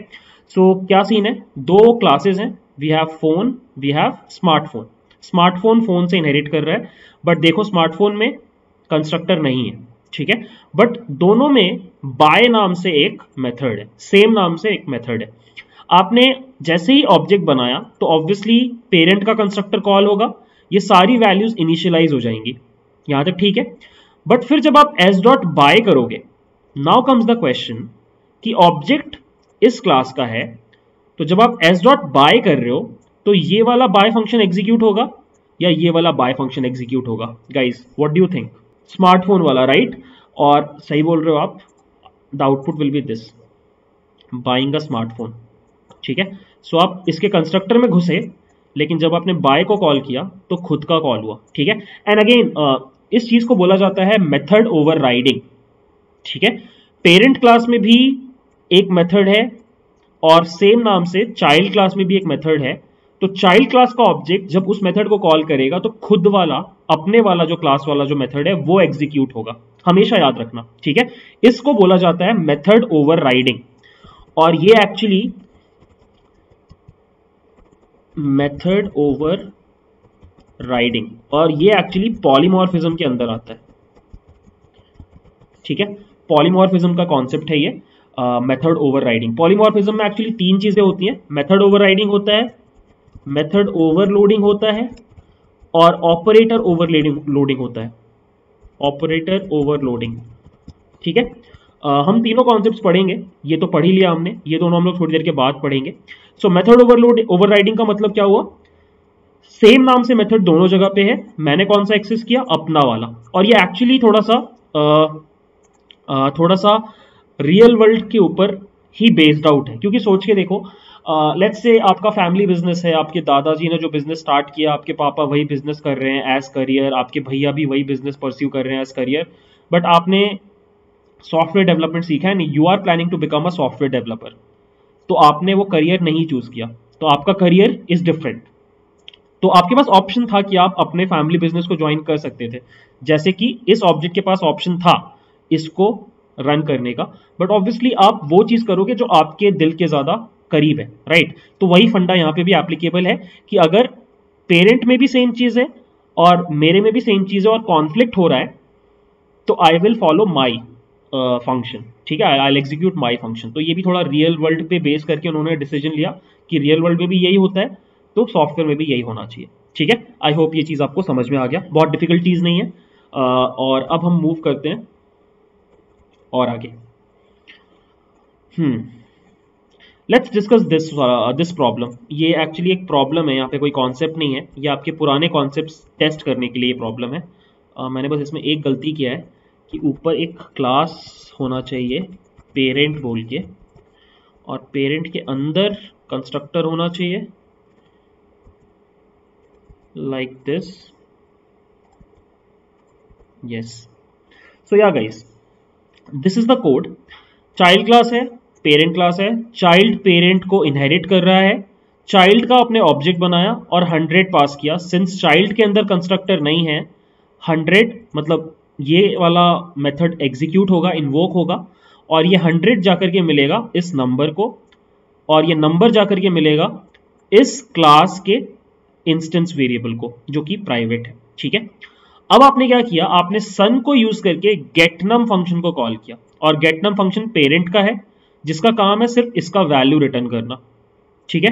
तो बताना है आपको प्रिंट क्या होगा, और फिर फाइनली आपने सन डॉट शो किया और शो में आपने बस ये लिखा print this is a this is in child class so can you tell me what will be the output of this code this will be the output यार simple है parent is not defined sorry capital P होगा. So या पहले वाले की वजह से hundred और दूसरे वाले की वजह से this in child class simple example था ये वाले में कुछ खास दम नहीं था. आई uh, होप आपको प्रॉब्लम नहीं है. नेक्स्ट पे मूव करते हैं. एग्ज़ाम्पल टू ये वाला शायद थोड़ा इंटरेस्टिंग हो. लेट्स सी कॉपी किया, वापस गए पेस्ट किया. थोड़ा सा इसको खुला खुला लिखते हैं सो so दैट आपको कंफ्यूजन ना हो. ओके सो या इस बार दो मेथड दो क्लासेस हैं. चाइल्ड पेरेंट को इनहेरिट कर रहा है बट नोटिस करना, इस बार आपके पास चाइल्ड में भी कंस्ट्रक्टर है और पेरेंट में भी कंस्ट्रक्टर है. आपने चाइल्ड का ऑब्जेक्ट बनाया सन और आपने हंड्रेड और टेन पास किया। ये हंड्रेड गया वैल के पास, ये टेन गया नम के पास, और यहाँ पे आपने क्या किया? वैल के अंदर इस वैल को डाल दिया। तो ये तो पता है कि इसके अंदर क्या स्टोर्ड है? हंड्रेड ठीक है? एंड दैट्स इट ये कोड खत्म हो गया। अब आपने ये प्रिंट किया पेरेंट नम और आपने सन से कॉल किया गेट नम को। ऑब्वियसली आप गेट नम को एक्सेस कर सकते हो। गेट नम का काम है ये बताना कि इस नम का वैल्यू क्या है? और अब आप बताओगे कि what will be the output of this particular print statement this is the output child object has no attribute first of all आप जैसे ही जस्ट वन सेकेंड जैसे ही आप गेटनम को कॉल कर रहे हो तो हम्म, हम्म, हम्म, ऐसा क्यों हुआ? ये एरर क्यों आ रहा है? क्योंकि एरर में लिखा हुआ है कि कोई एट्रीब्यूट ही नहीं है ये विच इज़ एक्चुअली लॉजिकल ना। सोच के देखो। पूरा फ्लो इमेजिन करो। आपने चाइल्ड क्लास का ऑब्जेक्ट बनाया तो सिंस अपने पास कंस्ट्रक्टर है तो मैं पेरेंट का कंस्ट्रक्टर इन्वोक नहीं करूँगा। मेरे कंस्ट्रक्टर को वैल में मिला हंड्रेड इस नम में मिला टेन बट मैंने अपने कंस्ट्रक्टर के अंदर क्या कोड लिखा? मैंने अपने कंस्ट्रक्टर के अंदर कोड लिखा कि ये जो वैल का वैल्यू है, इसका वैल्यू हो जाएगा हंड्रेड बट मैंने इस नम के वैल्यू का क्या करना है? कुछ नहीं किया राइट और दैट्स इट ये वाले कंस्ट्रक्टर का काम खत्म हो गया। अब ये वाले लाइन का काम खत्म हो गया। अब आप यहाँ पे पहुँचे और आप लिख रहे हो सन डॉट गेट नम तो पेरेंट वाला ये एग्जीक्यूट हुआ और आप इसको फेच करने जा रहे हो। बट गेस वॉट ये तो कभी इनिशियलाइज हुआ ही नहीं, क्योंकि पेरेंट का कंस्ट्रक्टर कभी ट्रिगर हुआ ही नहीं। तो ऑब्वियसली आपके पास ये वेरिएबल है ही नहीं। ये बात समझ में आ रहा है? यहाँ पे क्या प्रॉब्लम हुआ? कि सिंस आपका कंस्ट्रक्टर काम कर गया तो पेरेंट का कंस्ट्रक्टर इन्वोक नहीं हुआ, और पेरेंट का कंस्ट्रक्टर इन्वोक नहीं हुआ तो ये लाइन कभी एग्जीक्यूट नहीं हुई, ये लाइन कभी एग्जीक्यूट नहीं हुई तो ये वेरिएबल कभी बना ही नहीं। और अगर आप एक नहीं बने हुए वेरिएबल को फेच करना चाहोगे तो ऑब्वियसली आपको क्या एरर आएगा? No attribute error I hope आपको ये चीज़ समझ में आया। यहाँ पर एक कॉन्सेप्ट छुपा हुआ था, मैं फिर से एक बार समराइज कर रहा हूँ। अगर चाइल्ड के पास अपना कंस्ट्रक्टर नहीं है तो पेरेंट का कंस्ट्रक्टर ऑटोमेटिकली इन्वोक हो जाता है कॉल हो जाता है। बट अगर चाइल्ड के पास अपना खुद का कंस्ट्रक्टर है तो पेरेंट का कंस्ट्रक्टर कॉल नहीं होता है। याद रखना ठीक है? लेट्स मूव फॉरवर्ड ये वाला देखते हैं। हम्म, इसमें क्या है? सो so, मैंने कॉपी किया वापस गया रिप्लेस्ड क्लास ए है जिसके अंदर उसका कंस्ट्रक्टर है और डिस्प्ले वन बोल करके एक मेथड है। क्लास बी है जो ए से इनहेरिट कर रहा है और डिस्प्ले टू बोल करके एक मेथड है। आपने ऑब्जेक्ट बनाया बी का सिंस यहाँ पे कंस्ट्रक्टर नहीं है तो ये कोड एग्जीक्यूट हुआ। वैर वन का वैल्यू सेट हो गया हंड्रेड दैट्स इट और अब आप यहाँ पे आए, आपने डिस्प्ले वन को कॉल किया। ये कॉल हो सकता है। और वैर वन में आपने पास किया 200 ठीक है? वैर वन में आपने 200 पास किया। और अब आप प्रिंट कर रहे हो। Self dot var one what do you think will be printed hmm सही है ना? हंड्रेड ही तो होगा। अरे, आपने भेजा वैर वन बट आप उसको यूज़ कहाँ कर रहे हो? आप तो self dot var one use कर रहे हो, जो क्लास का एट्रीब्यूट है। तो आउटपुट तो हंड्रेड ही होगा। ठीक है? क्लास ए हंड्रेड ये इजी एग्जांपल था, इसमें फंसना नहीं था। Let's move to the next example next example is this one हाँ ये इंटरेस्टिंग है। हम अब नेक्स्ट पढ़ने जा रहे हैं सुपर कीवर्ड ठीक है? व्हाट इज़ सुपर सो देखो, ये इंटरेस्टिंग होता है। कॉपी पेस्ट यहाँ पे भी मुझे फीचर फेयर फ़ोन क्लास की ज़रूरत नहीं है। ये रिटर्न और बाय करने की ज़रूरत रिटर्न की ज़रूरत नहीं है। बाय है। और दैट्स इट देखो गाइस ये कोड कैसे काम कर रहा है कि यहाँ पर हमारे पास फ़ोन है कंस्ट्रक्टर है और एक बाय फ़ंक्शन है और स्मार्टफ़ोन में बाय फ़ंक्शन है, ठीक है? सो आपने जैसे ही स्मार्टफ़ोन का ऑब्जेक्ट बनाया 2000 एप्पल 13 जाकर के यहाँ पे मिल जाएगा। और अब आपने क्या किया? एस डॉट बाय को कॉल किया। तो first of all obviously method overriding की वजह से ये वाला कोड एग्जीक्यूट होगा ठीक है? तो सबसे पहले प्रिंट होगा बाइंग अ स्मार्टफ़ोन अब उसके बाद आपका कोड क्या लिखा हुआ है? सुपर डॉट बाय हमेशा याद रखना जब भी आप सुपर कीवर्ड यूज़ करते हो तो आप एक्चुअली पेरेंट के मेथड्स को और कंस्ट्रक्टर को इन्वोक कर सकते हो कॉल कर सकते हो. सो so, जैसे आपने लिखा सुपर डॉट बाय तो इस कोड का मतलब है कि आप क्या कर रहे हो? आप अपने पेरेंट का जो बाय मेथड है उसको एक्सेस कर रहे हो कॉल कर रहे हो. तो तुरंत से कंट्रोल यहाँ चला जाएगा और फिर ये चीज़ प्रिंट होगी और फिर कंट्रोल वापस यहाँ पे आ जाएगा। तो पहले प्रिंट होगा बाइंग अ स्मार्टफ़ोन और फिर इसको कॉल किया, इसलिए प्रिंट होगा बाइंग अ फ़ोन और आउटपुट आपका ये आ जाएगा। See inside phone constructor parent buying smartphone buying a phone ठीक है? आई होप आपको ये समझ में आ रहा है। अब हमेशा याद रखना सुपर कीवर्ड बाहर काम नहीं करता है। मतलब आप ये नहीं कर सकते कि आप ये लिख दो। S dot you can not do this S dot super dot buy ये कोड काम नहीं करेगा, क्योंकि सुपर कीवर्ड क्लास के बाहर काम नहीं करता है। ठीक है सो अगर आप इसको रन करोगे, ये कोड क्रैश कर जाएगा। ठीक है बोलेगा smartphone object has no attribute super तो कभी भी किसी भी प्रॉब्लम में आपको ये दिखाई दे रहा है कि सुपर कीवर्ड क्लास के बाहर यूज़ किया हुआ है एरर है, गलती है उसमें। ठीक है? सुपर कीवर्ड से सिर्फ़ दो चीज़ एक्सेस कर सकते हो। पेरेंट के मेथड्स पेरेंट का कंस्ट्रक्टर एट्रीब्यूट भी आप एक्सेस नहीं कर सकते ठीक है? ये आप याद रखना। सो uh, so, कुछ एग्जाम्पल्स देखते हैं सुपर के। uh, जैसे कि एक एग्ज़ाम्पल है ये जहाँ पे हम कंस्ट्रक्टर को इन्वोक करेंगे। Not this one this one और यहाँ पे आपको सुपर कीवर्ड का एक्चुअल यूटिलिटी समझ में आएगा कि क्यों यूज़ करना चाहिए। सो so, इसको सेव किया और यहाँ पे पेस्ट मारा। I don't need two functions right now I don't need this class and I don't need this buy function ठीक है? देखो। सो so, इस बार क्या है? मेरे पास फ़ोन में भी कंस्ट्रक्टर है। मेरे पास स्मार्टफ़ोन में भी कंस्ट्रक्टर है। ठीक है? बट अब जब मैंने ऑब्जेक्ट क्रिएट किया तो ऑब्वियसली सिंस मेरे पास कंस्ट्रक्टर है तो कोड यहाँ पे जाएगा और पहले ये कोड एग्जीक्यूट होगा। ठीक है? अब ये कोड में क्या है? बहुत ध्यान से देखो। बहुत स्मार्टली क्या किया गया है कि प्राइस ब्रांड, कैमरा, ओएस और रैम मांगा गया, जो आपने सारी चीज़ें प्रोवाइड की एक एक करके। अब सबसे पहले क्या किया गया, आपने सुपर को यूज़ करके, पेरेंट के कंस्ट्रक्टर को कॉल करके प्राइस, ब्रांड और कैमरा ऊपर पास कर दिया।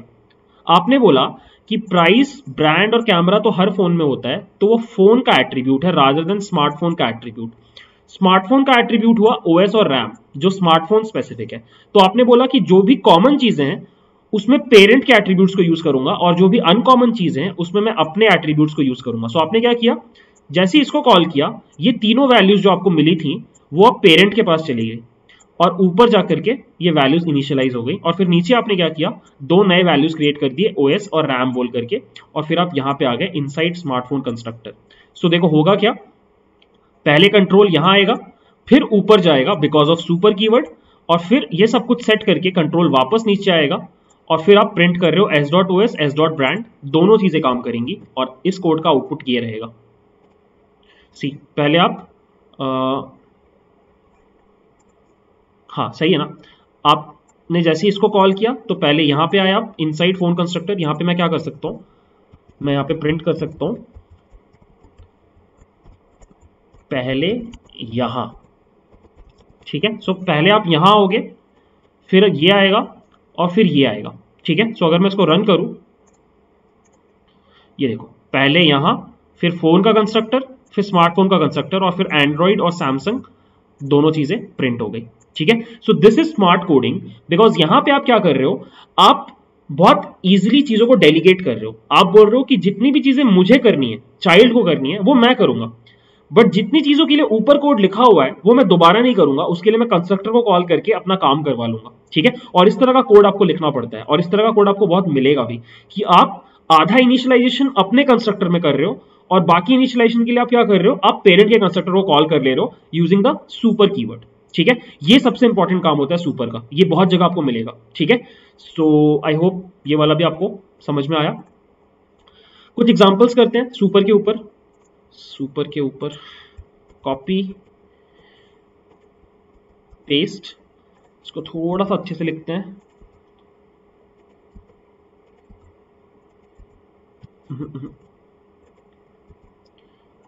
या। सो so, ये फंडा है गाइस देखना एक बार। चाइल्ड पेरेंट रिलेशनशिप है। चाइल्ड का ऑब्जेक्ट बनाया 100 और 200 भेजा सिंस इसके पास कंस्ट्रक्टर था। तो नम और वैल में 100 और 200 आ गया, ठीक है?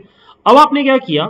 आपने सुपर को कॉल किया, सुपर को आपने कॉल किया और पेरेंट के कंस्ट्रक्टर को बुला लिया और पेरेंट के कंस्ट्रक्टर को आपने नम पास कर दिया विच इज़ हंड्रेड। तो अब यहाँ पे हंड्रेड आ गया, इसके अंदर हंड्रेड आ गया, ठीक है? और फिर काम हो गया इस कंस्ट्रक्टर का। आप वापस आए और आपने वैल में क्या सेट कर दिया? वैल विच इज़ 200 और आपके पास गेटनम है पेरेंट में और गेट वैल है चाइल्ड में ठीक है? अब आप जैसे ही गेट नम करोगे तो सिंस ये वैल्यू सेट है अब ये वैल्यू प्रिंट हो जाएगी और सिंस ये वैल्यू भी सेट है गेट वैल से ये वैल्यू भी प्रिंट हो जाएगी। तो थोड़ी देर पहले हमने जो एग्ज़ाम्पल डिस्कस किया ये उसका सोल्यूशन है ठीक है? सो so, अगर आप इसको रन करो 100 और 200 प्रिंट हो रहा है ठीक है? और एक चीज़ और गाइज़ ये सुपर को जो आप कॉल लेते हो ना ये आपका फ़र्स्ट स्टेटमेंट होना चाहिए फ़ंक्शन के अंदर, ये भी याद रखना। This should be your first statement constructor के अंदर this should be your first statement इसके बाद में काम नहीं करेगा ये। ठीक है? Okay now let's discuss one more example I guess ये थोड़ा सिंपल एग्जांपल है। देखते हैं, क्या है यहाँ पे? पेरेंट है, उसका कंस्ट्रक्टर है चाइल्ड है, उसका कंस्ट्रक्टर है, और चाइल्ड के अंदर शो है। ठीक है? आपने जैसे ही चाइल्ड का ऑब्जेक्ट बनाया, ये चीज़ कॉल हुई, ये चीज़ कॉल होकर के पेरेंट के कंस्ट्रक्टर को कॉल किया और ये वैल्यू सेट हो गई। पेरेंट में नम का वैल्यू 100 है। फिर आपने चाइल्ड में वैर का वैल्यू 200 कर दिया और फिर आपने शो को कॉल किया और आप बोल रहे हो print self dot num print self dot var my question is ये तो ठीक है सेल्फ डॉट वैर तो प्रिंट हो जाएगा क्योंकि इसी क्लास का है। ये डिफ़िकल्ट चीज़ है। सेल्फ डॉट नम काम करेगा कि नहीं? क्योंकि पहली बार आप क्या कर रहे हो? पेरेंट के एट्रीब्यूट को क्लास के अंदर से एक्सेस करना चाह रहे हो। जनरली हम क्या करते थे? बाहर ऑब्जेक्ट के थ्रू करते थे। बट इस केस में हम क्या कर रहे हैं? सेल्फ को यूज़ करके we are trying to access parent का attribute do you think it will work इस क्वेश्चन का आंसर इस चीज़ में छुपा हुआ है कि क्या आपको पता है सेल्फ कौन होता है? अगर आपको पता है सेल्फ कौन होता है तो आप इस क्वेश्चन का आंसर कर दोगे और आप बताओगे ये कोड एरर थ्रो करेगा या नहीं करेगा। सी गाइज़ मैंने आपके साथ डिस्कस किया था कि सेल्फ क्या था। सेल्फ कौन होता है? इस पूरे प्रोसेस में जैसे आपने सन बनाया और सन डॉट शो किया तो शो को सेल्फ में कौन मिलेगा? ये सन ऑब्जेक्ट ही तो मिलेगा। अगर ये सन ऑब्जेक्ट बाहर से पेरेंट के एट्रीब्यूट को एक्सेस कर सकता है तो सेल्फ और सन एक्चुअली सेम चीज़ है। तो सेल्फ यहाँ से भी कर सकता है। And that is why this code will run and you will get the output 100 and 200 so इसमें बस एक ही कंफ्यूजिंग पार्ट था कि क्या आप चाइल्ड क्लास के अंदर से सेल्फ को यूज़ करके पेरेंट के एट्रीब्यूट्स को कॉल कर सकते हो या नहीं? द आंसर इज़ यस कर सकते हो. Why because self is nothing but this object and that is why अगर ये ऑब्जेक्ट बाहर से कर सकता है तो ये ऑब्जेक्ट क्लास के अंदर से भी कर सकता है.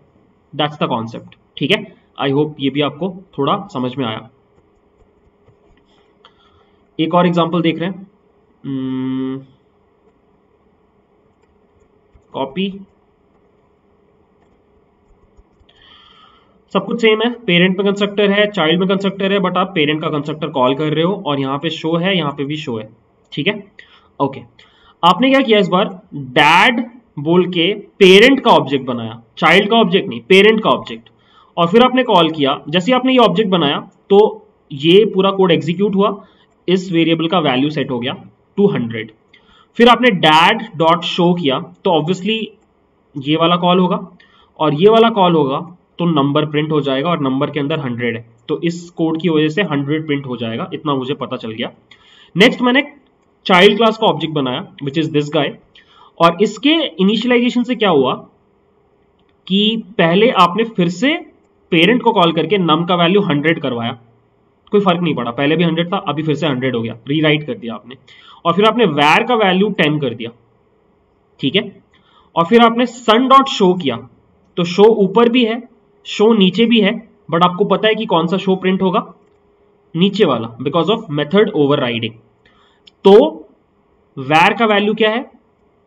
टेन तो यहाँ पे इसका आउटपुट आएगा टेन तो पहले प्रिंट होगा पेरेंट हंड्रेड यहाँ पे प्रिंट होगा चाइल्ड सो अगर मैं इसको सेव कर दूँ और फिर इसको रन करूँ तो पहले पेरेंट हंड्रेड फिर चाइल्ड टेन ठीक है?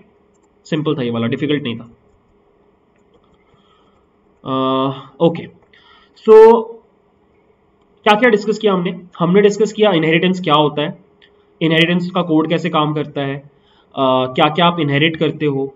Uh, अगर आपने कंस्ट्रक्टर डिफाइन नहीं किया तो पेरेंट का कंस्ट्रक्टर इन्वोक हो जाता है। आपने ये भी पढ़ा कि आप प्राइवेट मेंबर्स एक्सेस नहीं कर सकते और आपने सुपर कीवर्ड पढ़ा। यहाँ तक आपने इतनी चीज़ें पढ़ी। अब जो नेक्स्ट चीज़ हम पढ़ने जा रहे हैं, वो है जस्ट वन सेकेंड मैंने कॉपी पे लिख रखा है। हम पढ़ने जा रहे हैं टाइप्स ऑफ़ इनहेरिटेंस ठीक है? टाइप्स ऑफ़ इनहेरिटेंस हम पढ़ने जा रहे हैं। तो चार टाइप के इनहेरिटेंस होते हैं पाइथन में। लेट मी शो यू चार डिफरेंट टाइप का इनहेरिटेंस आपको पाइथन में दिखाई देगा। द फ़र्स्ट वन इज़ मैं यहाँ पे लिख रहा हूँ। द फ़र्स्ट वन इज़ मैं एक्चुअली एक काम करता हूँ। ब्लॉक्स बना लेता हूँ। ये पहला, ये दूसरा थर्ड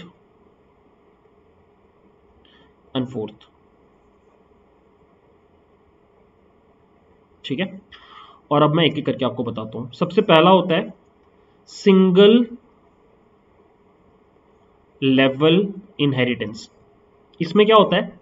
आपके पास सिर्फ़ एक पेरेंट क्लास होती है और एक चाइल्ड क्लास होती है और आपकी चाइल्ड क्लास पेरेंट क्लास से इनहेरिट कर रही होती है, जो हमने अभी तक देखा है। सिंपल ठीक है?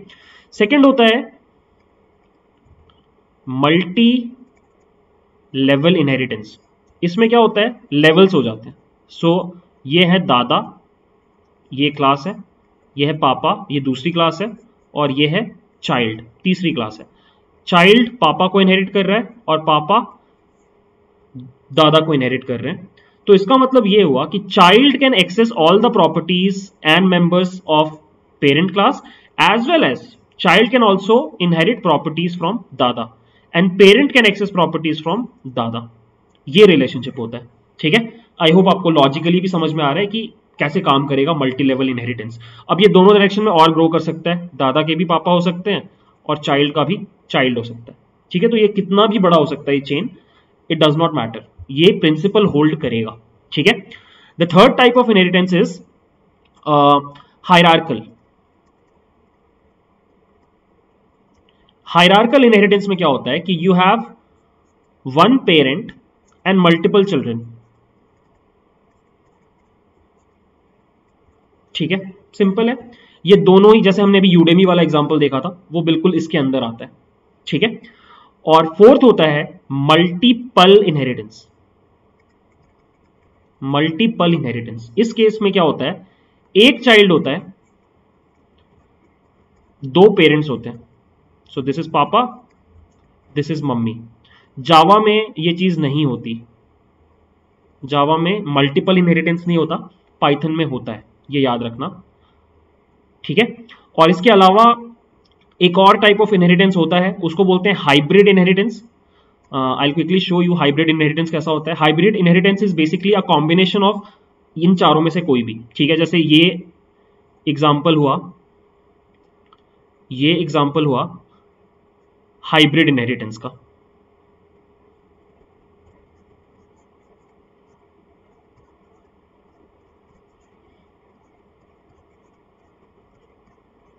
ये हाइब्रिड इनहेरिटेंस है। सो so, यहाँ पर first of all multi level भी है यहाँ पर हायरार्कल भी है यहाँ पे मल्टीपल भी है। तो दिस इज़ हाइब्रिड ठीक है? So these are the types of inheritance which are available in Python और अब हम क्या करेंगे? एक एक करके इन सबके एक एक एग्जाम्पल्स देखेंगे, ठीक है? सो दैट आपका कॉन्सेप्ट थोड़ा और स्ट्रांग हो जाए। तो I again go back to that file सबसे पहले हम लोग देख लेते हैं सिंगल लेवल इनहेरिटेंस क्या होता है? ये हमने ऑलरेडी देख रखा है तो यहाँ पे कुछ खास है नहीं गाइस ये देखो कि आपके पास फ़ोन है स्मार्टफ़ोन है स्मार्टफ़ोन फ़ोन से इनहेरिट कर रहा है तो स्मार्टफ़ोन का ऑब्जेक्ट बाय को कॉल कर सकता है which is a method of phone ठीक है? सिंपल था ये इसको रन करने का ज़रूरत नहीं है। मल्टी लेवल देख सकते हो आप। सो so, यहाँ पे देखो स्मार्टफ़ोन है जो इनहेरिट कर रहा है फ़ोन से और फ़ोन है जो इनहेरिट कर रहा है प्रोडक्ट से। ठीक है? और अब अगर इस कोड को मैं उठाऊं और इसको रन करके दिखाऊँ तो यू वुड सी यहाँ पे क्या चीज़ों का ज़रूरत नहीं है मुझे। रिटर्न फ़ोन का ज़रूरत नहीं है सो मैं इसको हटा रहा हूँ। Plus I am doing this thing कि मैं एक फ़ोन ऑब्जेक्ट भी बना रहा हूँ। Phone one thousand Samsung one megapixel ठीक है? एंड यू वुड सी कि आप पी डॉट रिव्यू भी कर पाओगे ठीक है? सो so, देखो स्मार्टफ़ोन का ऑब्जेक्ट बनाया और स्मार्टफ़ोन का ऑब्जेक्ट बाय को कॉल कर पा रहा है, जो कि फ़ोन का मेथड है, और रिव्यू को भी कॉल कर पाएगा, जो कि प्रोडक्ट का मेथड है बिकॉज़ ऑफ़ दैट चेनिंग ठीक है? और फिर आपने फ़ोन का ऑब्जेक्ट बनाया, इस क्लास का।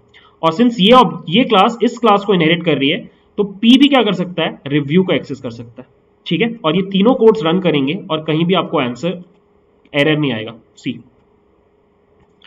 ठीक है? So this is an example of multi level inheritance okay let's proceed hierarchical देख लेते हैं एक बार. सो हायरार्कल इज़ बेसिकली कि एक सिंगल क्लास ऊपर है और उसके मल्टीपल चिल्ड्रन है. जैसे कि स्मार्टफ़ोन और फीचर फ़ोन ठीक है? रन करने का ज़रूरत नहीं है सिंपल है. इन दोनों के ही ऑब्जेक्ट्स पेरेंट के किसी भी मेथड को एक्सेस कर सकते हैं. सिंपल फंडा है. ठीक है? ओके यहाँ पे चीज़ें इंटरेस्टिंग है बिकॉज़ ये है मल्टीपल इनहेरिटेंस ठीक है? इसको कॉपी करके लेके जा रहा हूँ मैं बिकॉज़ यहाँ पे थोड़े से कुछ इंटरेस्टिंग चीज़ें हैं। कॉपी पेस्ट ठीक है? सो so, मेरे पास फ़ोन बोल के क्लास है मेरे पास प्रोडक्ट बोल के क्लास है और ये रिटर्न की ज़रूरत नहीं है इसको मैं हटा रहा हूँ। और अब जो मेरा स्मार्टफ़ोन है वो एक्चुअली देखो दो चीज़ों से इनहेरिट कर रहा है। फ़ोन से कॉमा लगा दिया आपने प्रोडक्ट से। अगर एक और क्लास से इनहेरिट करना होता कॉमा लगा के एक और क्लास लिख देते। तो आप कितने भी क्लासेस से इनहेरिट कर सकते हो, कोई प्रॉब्लम नहीं है। और यहाँ पे देखना एस डॉट बाय आप फ़ोन क्लास का एक्सेस कर रहे हो और एस डॉट रिव्यू आप प्रोडक्ट क्लास का रिव्यू कर रहे हो। एक इंटरेस्टिंग चीज़ क्या है कि सिंस स्मार्टफ़ोन में कंस्ट्रक्टर नहीं है तो किसका कंस्ट्रक्टर इन्वोक होगा? द आंसर इज़ फ़ोन वाले का। क्योंकि फ़ोन यहाँ पे पहले लिखा हुआ है। अगर फ़ोन में भी नहीं होता, अगर कंस्ट्रक्टर तो प्रोडक्ट वाले का इन्वोक होता। बट प्रोडक्ट में भी नहीं है तो फ़ोन वाले का इन्वोक हो रहा है। ठीक है? सो अगर आप इस कोड को रन करो तो ये रहा। दोनों के मेथड्स आप एक्सेस कर पा रहे हो। ठीक है? अब यहाँ पर एक कॉन्फ्लिक्ट का सिचुएशन आ सकता है। I show you let's say ये वाला कोड उठा रहा हूँ मैं। लेट्स से कि हम क्या कर रहे हैं? हम ये कोड को कॉपी कर रहे हैं। और यहाँ पर पेस्ट कर रहे हैं। और अब नोटिस करना कि दोनों पेरेंट्स में बाय बोल के एक मेथड है। स्मार्टफ़ोन इनहेरिट कर रहा है प्रोडक्ट से और फ़ोन से और फिर आप स्मार्टफ़ोन के ऑब्जेक्ट से बाय को एक्सेस कर रहे हो। तो द क्वेश्चन इज़ कि प्रोडक्ट वाला बाय एग्जीक्यूट होगा या फ़ोन वाला बाय एग्जीक्यूट होगा? देख लो आंसर ये है। प्रोडक्ट बाय मेथड ये वाला एग्जीक्यूट हुआ। क्यों एग्जीक्यूट हुआ? क्योंकि आपने प्रोडक्ट पहले लिखा था फ़ोन से। अगर आप फ़ोन पहले लिखते प्रोडक्ट से, और अब इस कोड को रन करते तो बाइंग अ फ़ोन आता। ठीक है? ये वाला एग्जीक्यूट होता। तो ये कैसे डिसाइड हो रहा है? कि आप जिस ऑर्डर में इनहेरिट कर रहे हो, उसी ऑर्डर में डिसाइड होगा कि प्रायोरिटी किसका है। और इसको बोला जाता है एम आर ओ इस कॉन्सेप्ट को बोला जाता है M R O method resolution order ठीक है? उसी क्लास का मेथड एग्जीक्यूट होगा कॉन्फ्लिक्ट के केस में जिसको आपने पहले इनहेरिट किया है। फ़ोन को पहले किया तो फ़ोन का होगा प्रोडक्ट को पहले किया तो प्रोडक्ट का होगा। तो इसमें कंफ्यूज मत होना ठीक है? अब कुछ और एग्जांपल्स देखते हैं। आ, जैसे कि दिस सीम्स इंटरेस्टिंग एक बार इसको यूज़ करते हैं। कॉपी पेस्ट देखना गाइस क्लास ए है क्लास बी है जो ए को इनहेरिट कर रही है क्लास सी है जो बी को इनहेरिट कर रही है तो this is an example of multi level inheritance ठीक है? आपने ऑब्जेक्ट वन बनाया ए का ऑब्जेक्ट टू बनाया बी का, और ऑब्जेक्ट थ्री बनाया सी का। आपको प्रिंट करना है कि इसका आंसर क्या होगा। तो जल्दी से आंसर करने का ट्राई करना गाइस ऑब्जेक्ट वन इस क्लास का ऑब्जेक्ट डॉट एम वन को कॉल करने पे। और बाय द वे तीनों ही क्लासेस में, दो क्लासेस में एम वन है, दो क्लासेस में एम टू है। तो पहले तो ये सोचो कि OBJ one dot M one जब रन करेगा तो आउटपुट क्या आएगा? ऑब्वियसली आप अपने क्लास के मेथड को एक्सेस करोगे और आप 20 रिटर्न करोगे। तो इस एक्सप्रेशन के बदले क्या आ जाएगा? 20 ठीक है? उसके बाद आपने कॉल किया object three dot M one object three dot M one आप गए अपने क्लास में क्लास सी में, और आपने खोजा एम वन है कि नहीं? नहीं है।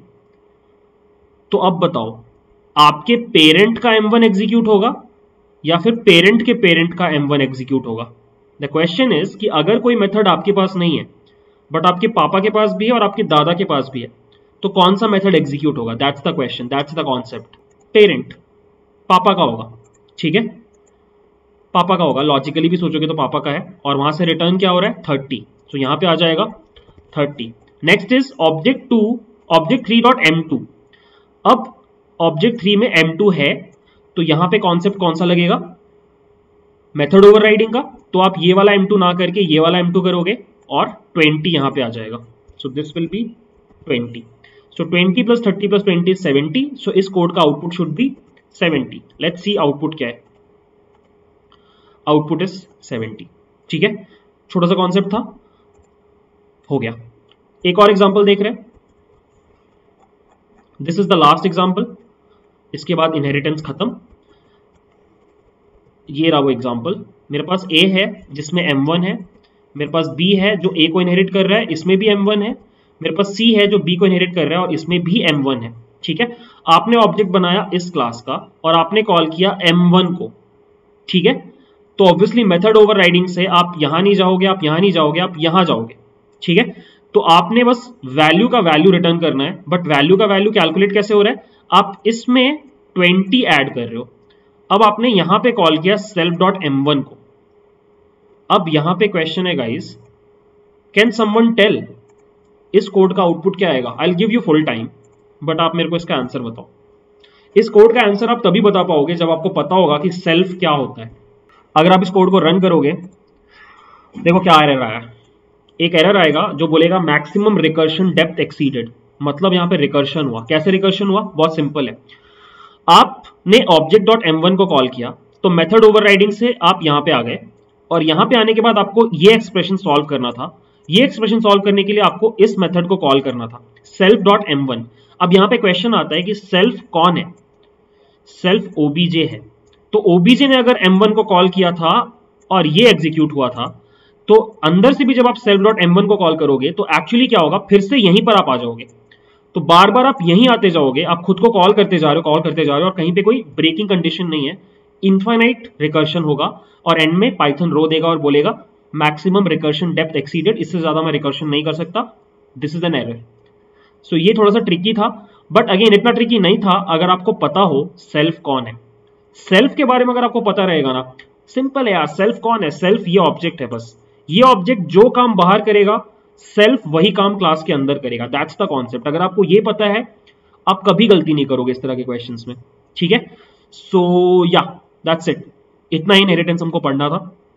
अब बस हम एक चीज़ और पढ़ेंगे। एक्चुअली uh, दो चीज़ें और पढ़ेंगे। Uh, और वो दो चीज़ें होंगी method overloading and operator overloading चलो फिर let's discuss what is operator overloading and what is method overloading so as I told you polymorphism में तीन चीज़ें होती हैं। पॉलीमॉर्फिज्म वर्ड का मतलब होता है पॉलीमॉर्फ पॉली मतलब मल्टीपल मॉर्फ मतलब फेसेस मल्टीपल फेसेस तो पहला टाइप हमने पढ़ लिया, इसको बोलते हैं मेथड ओवरराइडिंग ठीक है? सेकेंड जो है वो हम अभी पढ़ेंगे, इसको बोला जाता है मेथड ओवरलोडिंग ठीक है? और थर्ड जो होता है, वो भी हम थोड़ी देर के बाद पढ़ेंगे, इसको बोला जाता है ऑपरेटर ओवरलोडिंग ठीक है? ये तीन चीज़ें हम लोग पढ़ने वाले हैं। So let's talk about method overloading first so method overloading का कॉन्सेप्ट क्या है? कि मेथड ओवरलोडिंग का मतलब होता है कि आपका एक ही मेथड अलग अलग ढंग से इंप्लीमेंटेड है। मतलब आप एक ही मेथड को अलग अलग इनपुट दे करके अलग अलग बिहेवियर इंड्यूस करवा सकते हो। I give you one example let's say आपको एरिया कैलकुलेट करने का कोड लिखना है, ठीक है? अब एरिया तो अलग अलग शेप्स का अलग अलग तरीके से कैलकुलेट होता है बट कोड का रीडेबिलिटी अच्छा रहे, ये बोल करके मैं चाहता हूँ कि आप जितने भी शेप्स का एरिया कैलकुलेट करो, उन सारे फ़ंक्शंस का नाम एरिया रखो।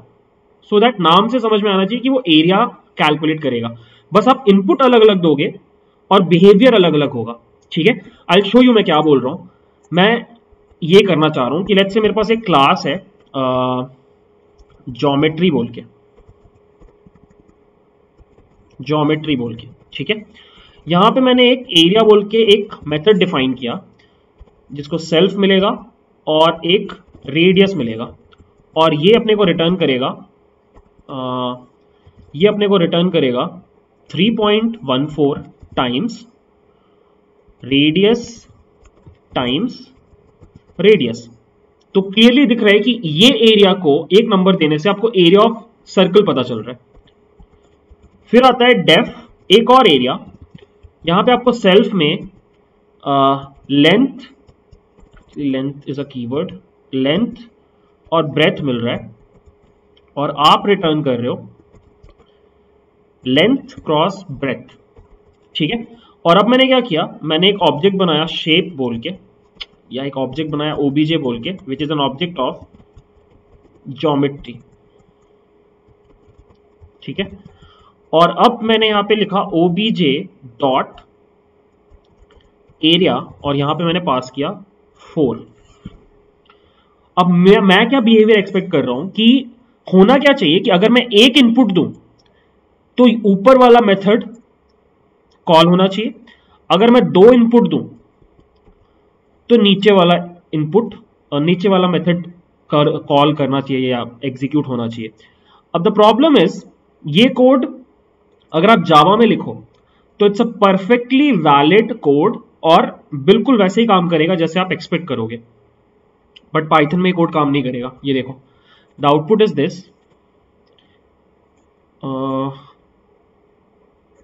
apparently काम कर गया क्योंकि मैंने दो चीज़ें भेजी। मैं सिर्फ़ एक भेज रहा हूँ और मैं प्रिंट कर रहा हूँ। क्योंकि हमने प्रिंट नहीं किया हम रिटर्न कर रहे हैं। सो so, सेव किया और इसको रन किया और ये कोड क्रैश कर गया। बोल रहा है एरिया को एक पोजिशनल आर्ग्यूमेंट का रिक्वायरमेंट था बी जो आपने दिया नहीं। सो so, यहाँ पे क्या हुआ कि जैसे आपने सेम नाम से एक सेकेंड फ़ंक्शन बनाया इस वाले ने ऊपर वाले को ओवरराइड कर दिया और अब जब आप ऑब्जेक्ट डॉट एरिया कर रहे हो तो आप सेकेंड वाले को ही पकड़ोगे। तो आप पाइथन में ये नहीं कर सकते कि आप एक ही नाम से मल्टीपल मेथड्स बनाओ और अलग अलग इनपुट देके अलग अलग बिहेवियर निकलवाओ। ऐसा नहीं हो सकता। जावा में ये कोड काम करेगा पाइथन में काम नहीं करता। सो so, पाइथन में मेथड ओवरलोडिंग टेक्निकली स्पीकिंग काम नहीं करती है। बट आप दिमाग लगा के काम करवा भी सकते हो। देखो कैसे। आप क्या करोगे? आप यहाँ पे ए कॉमा बी ले लोगे। दो चीज़ें एक्सपेक्ट करोगे और बी का वैल्यू डिफ़ॉल्ट में ज़ीरो सेट कर दोगे। और यहाँ पे आप लिखोगे if B equal to equal to zero तो यू वुड रिटर्न और rather you would print you would print circle comma 3.14 times A times a. Else, you would print rectangle comma a times b. And that's the code. अब मैं क्या कर रहा हूँ? Print करने की ज़रूरत नहीं है मैं अंदर प्रिंट कर रहा हूँ एनीवेज और यहाँ पे मैं लिख रहा हूँ obj डॉट एरिया और यहाँ पे मैं पास कर रहा हूँ फोर कॉमा फाइव और इस कोड को आप जैसे ही रन करोगे सर्कल का एरिया कैलकुलेट हो गया रेक्टेंगल का एरिया कैलकुलेट हो गया. सो so, आपने क्या किया? डिफ़ॉल्ट आर्ग्यूमेंट को यूज़ करके स्मार्टली वही काम कर लिया जो आप जावा में करते। सो so, अभी भी बाय डेफिनेशन ये मेथड ओवरलोडिंग है क्योंकि आपका एक ही मेथड अलग इनपुट देने से अलग ढंग से बिहेव कर रहा है। And that is the definition of method overloading कि एक ही मेथड को अगर आप अलग इनपुट दोगे तो उसका बिहेवियर अलग हो जाएगा। अब अगर इनके इसके अंदर का लॉजिक बहुत बड़ा हो जाता तो फिर डिफ़िकल्ट हो जाता। मतलब बहुत बड़ा कोड एक ही फ़ंक्शन के अंदर लिखना। अलग अलग केसेस भी हो सकते हैं जैसे यहाँ पे सिर्फ़ सर्कल और स्क्वायर है। आ, कौन हो सकता है सिलेंडर हो सकता है तो बहुत सारे केसेस हो जाएँगे। तो आप क्या कर सकते हो, सबके लिए बाहर एक दूसरा फ़ंक्शन बना दो और यहाँ पे आप फ़ंक्शन कॉल कर लो। तो ये बस एक राउटिंग फ़ंक्शन बन जाएगा बट आपका ये फ़ंक्शन इजिली आपको मेथड ओवरलोडिंग करके दे रहा है। तो पाइथन ने यही बोला कि टू बी ऑनेस्ट आपको जावा वाले फीचर की ज़रूरत नहीं है, क्योंकि आप थोड़ा सा जुगाड़ करके डिफ़ॉल्ट आर्ग्यूमेंट्स लगा करके आप एनीवेज वो बिहेवियर अचीव कर सकते हो तो हम मेहनत नहीं कर रहे। दैट्स द फिलोसफी ठीक है? बट येस थोड़ा जुगाड़ करके आप मेथड ओवरलोडिंग कर सकते हो। Technically speaking method overloading exist नहीं करता पाइथन में टेक्निकली स्पीकिंग बट आप सेम चीज़ करवा पा रहे हो ठीक है? So yeah this was method overloading now next is what is operator overloading ठीक है? Let me first discuss the definition formal definition operator overloading का। सो so, ऑपरेटर्स होते हैं प्रोग्रामिंग लैंग्वेजेस में हमने फ़र्स्ट सेकंड डे ही पढ़ा था operators so there was plus minus multiplication these were arithmetic operators then we had relational operators logical operators ठीक है? तो हर ऑपरेटर का एक डिफ़ॉल्ट बिहेवियर होता है. ठीक है? जैसे अगर आप प्लस साइन का बात करो तो उसका एक डिफ़ॉल्ट बिहेवियर है. वो डिफ़ॉल्ट बिहेवियर क्या है? कि अगर आप उसको दो नंबर्स दोगे तो उन दोनों को मैथमेटिकली ऐड करता है. प्लस का यही तो मतलब है मैथमेटिकल एडिशन बट अगर आप कभी प्लस को यूज़ करके कुछ और बिहेवियर इंड्यूस कर रहे हो तो that is known as operator overloading है वो प्लस ऑपरेटर ही. बट जब आप उसको दो नंबर्स दे रहे हो तो उसको मैथमेटिकली ऐड कर रहा है और कभी कुछ और दे रहे हो तो कुछ और ढंग से बिहेव कर रहा है. I give you one example let's say आपने दो स्ट्रिंग्स के बीच में प्लस यूज़ किया. अब ये मैथमेटिकल एडिशन नहीं होगा. स्ट्रिंग कॉन्कैटिनेशन होगा.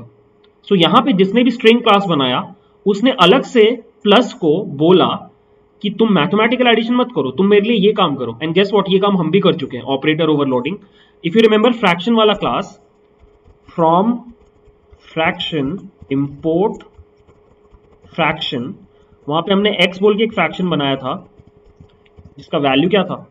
Let's say three comma four Y का वैल्यू क्या था? लेट्स से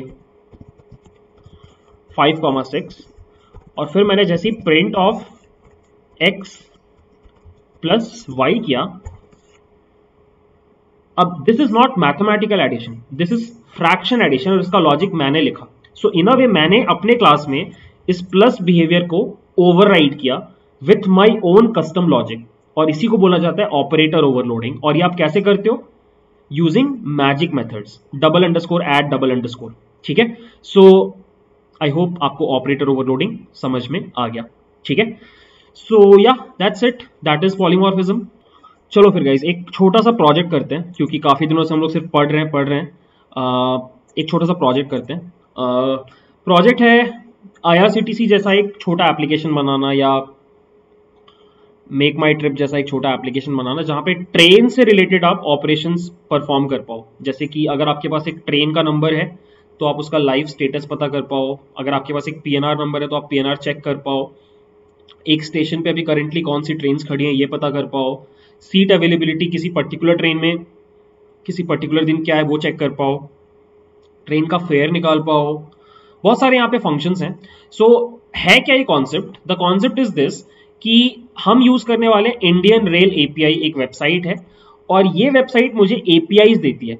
एपीआईज मैंने आपके साथ डिस्कस किया था क्या होता है। एपीआईज आर बेसिकली फ़ंक्शंस जिसका काम होता है किसी दूसरे का डेटा मुझे ला करके देना। सो so, यहाँ पर ये जो एपीआईज हैं this are basically set of functions जो मुझे इंडियन रेलवेज का डेटा ला करके देंगी अगर मैं उससे सही इनपुट दूँगा तो। ठीक है I give you one example let's take this example I'll I'll take this example. Train schedule.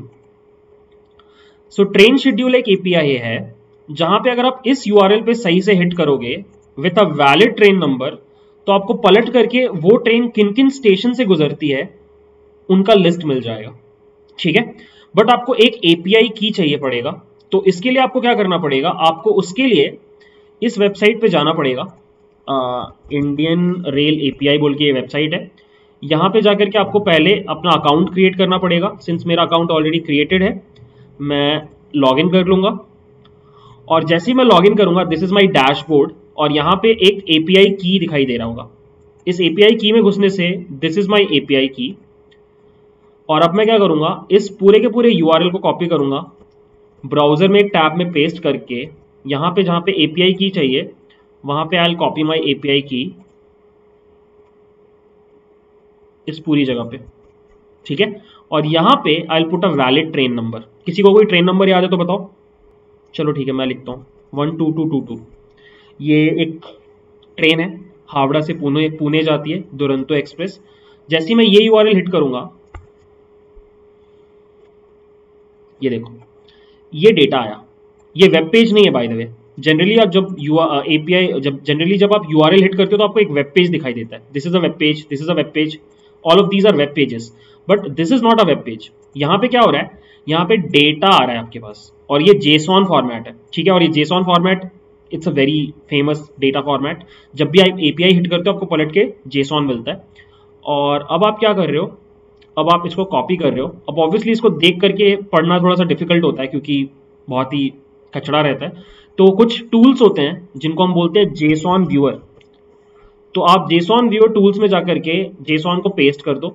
और फिर व्यूअर में जाओगे तो आपको उसका सही ट्री स्ट्रक्चर दिखाई देता है। सो so एक्चुअली ये जो है ना ये ऑब्जेक्ट जो है ये पूरी चीज़ है ये एक्चुअली एक डिक्शनरी है पाइथन डिक्शनरी की तरह। और डिक्शनरी के अंदर क्या होते हैं? की वैल्यू पेयर्स यहाँ पे देखो की वैल्यू पेयर है। पहला की क्या है? रिस्पॉन्स कोड उसका वैल्यू क्या है? 200 दूसरा की क्या है? स्टेटस उसका वैल्यू क्या है? सक्सेस uh, तीसरा है मैसेज उसका वैल्यू क्या है? नल चौथा है रूट और उसका वैल्यू एक लिस्ट है। ठीक है? तो जैसे मैं इसको एक्सपैंड कर रहा हूँ तो इस लिस्ट के अंदर और इतनी सारी डिक्शनरीज हैं। और फिर मैं उसमें से पहली डिक्शनरी में घुस रहा हूँ तो ये सारी चीज़ें वहाँ पे स्टोर्ड है ठीक है? और यहाँ पर यू कैन सी जो फ़र्स्ट स्टेशन है that is Howrah. Second station is Tatanagar third station is Bilaspur. और लास्ट स्टेशन इज़ पुणे ठीक है? सो so, अगर मैं यहाँ पे ट्रेन चेंज कर दूँ लेट्स से यहाँ पे मैंने लिख दिया 2096 आई होप कोई ट्रेन होगी। एक्चुअली ये ट्रेन नहीं है। 2196 ट्राई करते हैं हम्म ये कोई ट्रेन है। इसको मैंने कॉपी किया और वापस टेक्स्ट में गया, इस पूरे कोड को रिप्लेस कर दिया। व्यूअर में गए, फिर से रूट में घुसे और ये ट्रेन इतने स्टेशन से गुजरती है। तो ये जो भी ट्रेन है अजमेर से स्टार्ट होती है और ये जाती है आगरा तक। अजमेर से आगरा जाती है ट्रेन ठीक है? सो आपको बस कुछ नहीं करना है। आपको बस इस यूआरएल में जाकर के ट्रेन का नाम चेंज करते रहना है। आपको ये डेटा मिलेगा। और इस डेटा से आपको सही इंफॉर्मेशन निकाल करके डिस्प्ले करना है। बट ये सारा काम हम क्या करेंगे? पाइथन को यूज़ करके करेंगे, ठीक है? सो उसके लिए आपको क्या करना पड़ेगा? उसके लिए आपको एक पैकेज एक लाइब्रेरी इंस्टॉल करना पड़ेगा कमांड प्रॉम्प्ट में जाकर के। उस लाइब्रेरी का नाम है पिप इंस्टॉल मतलब उस लाइब्रेरी का नाम है रिक्वेस्ट बट आपको उसको इंस्टॉल करने के लिए ये कोड लिखना पड़ता है पिप इंस्टॉल रिक्वेस्ट जैसे आप एंटर मारोगे अगर आपके मशीन में ऑलरेडी इंस्टॉल्ड होगा तो यहाँ पे लिखा आएगा रिक्वायरमेंट ऑलरेडी सेटिस्फाइड जैसे मेरे मशीन पे ऑलरेडी है। अगर आपके मशीन पे नहीं होगा तो इंस्टॉल हो जाएगा। इंटरनेट से डाउनलोड होता है इंस्टॉल हो जाएगा। ठीक है? अब हम क्या करेंगे? इस लाइब्रेरी को यूज़ करके हम लोग इस एपीआई पे हिट करेंगे यूजिंग पाइथन ये डेटा हमारे पास आएगा और इस डेटा के अंदर से हम सारे स्टेशन का नाम निकाल करके डिस्प्ले करवाएँगे। ठीक है? This is what we are going to do so yeah ये सारा काम मैं पाईचाम में कर रहा हूँ क्योंकि जब आप कोई प्रॉपर एप्लीकेशन बनाते हो तो आपको पाईचाम जैसा कोई टूल यूज़ करना चाहिए। यहाँ पे गलतियाँ होने का चांसेस कम है। सो so, मैं जब भी कभी कोई वेबसाइट बनाता हूँ या एप्लीकेशन बनाता हूँ तो मैं आइडल यूज़ नहीं करता। आइडल बस पढ़ाने के लिए और कोड टेस्ट करने के लिए है जल्दी से जल्दी। बट अगर आपको एक प्रॉपर एप्लीकेशन डेवलपमेंट करना है तो आपको पाईचाम जैसा टूल इंस्टॉल करके रखना चाहिए। ठीक है? सो यहाँ पे मैंने ऑलरेडी एक प्रोजेक्ट बना रखा है आईआरसीटीसी क्लोन बोल करके लास्ट क्लास में बनवाया था, पिछले बैच में।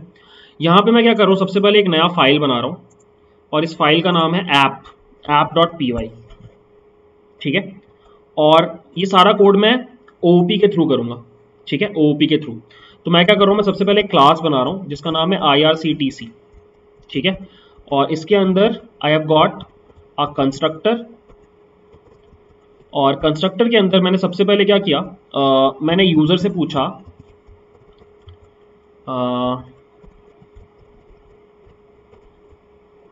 how would you like to proceed question mark और पहला ऑप्शन है enter one to check live train status enter two enter 2 to check PNR 3 enter 3 to check train schedule जो हम अभी करने वाले हैं, ठीक है? यूज़र कुछ इनपुट देगा, उसको मैं एक वेरिएबल में स्टोर कर लूँगा I call it user underscore input ठीक है? और डिपेंडिंग ऑन वो इनपुट क्या है if user input is equal to equal to one अभी मैं प्रिंट कर रहा हूँ, बस फ़ंक्शन कॉल नहीं कर रहा। लाइव ट्रेन स्टेटस ठीक है? Elif user input equal to equal to two then print कर रहा हूँ पी एन आर और एल्स में अभी मैं प्रिंट कर रहा हूँ एक्चुअली मैं प्रिंट नहीं कर। रहा मैं self dot self dot train schedule बोल के एक फ़ंक्शन है, उसको कॉल कर रहा हूँ। ठीक है? या। बाहर आया मैं, और मैंने ट्रेन शेड्यूल फ़ंक्शन को कॉल किया। You can see automatically self यहाँ पे लिख जाता है क्योंकि सबको पता है इंपॉर्टेंट है। और यहाँ पे मैं सबसे पहले क्या करूँगा? सबसे पहले मैं यूज़र से ट्रेन का नंबर मांगूँगा। सो मैं इससे पूछ रहा हूँ input enter the train number user ने जो भी दिया, उसको मैं ट्रेन अंडरस्कोर नंबर वेरिएबल में स्टोर कर रहा हूँ। ठीक है? और जैसे ही ट्रेन नंबर मेरे पास आ जाता है, मैं एक फ़ंक्शन को कॉल कर रहा हूँ, जिसका काम है डेटा फैच करके लाना और उस फ़ंक्शन को मैं पास कर रहा हूँ ट्रेन नंबर ठीक है?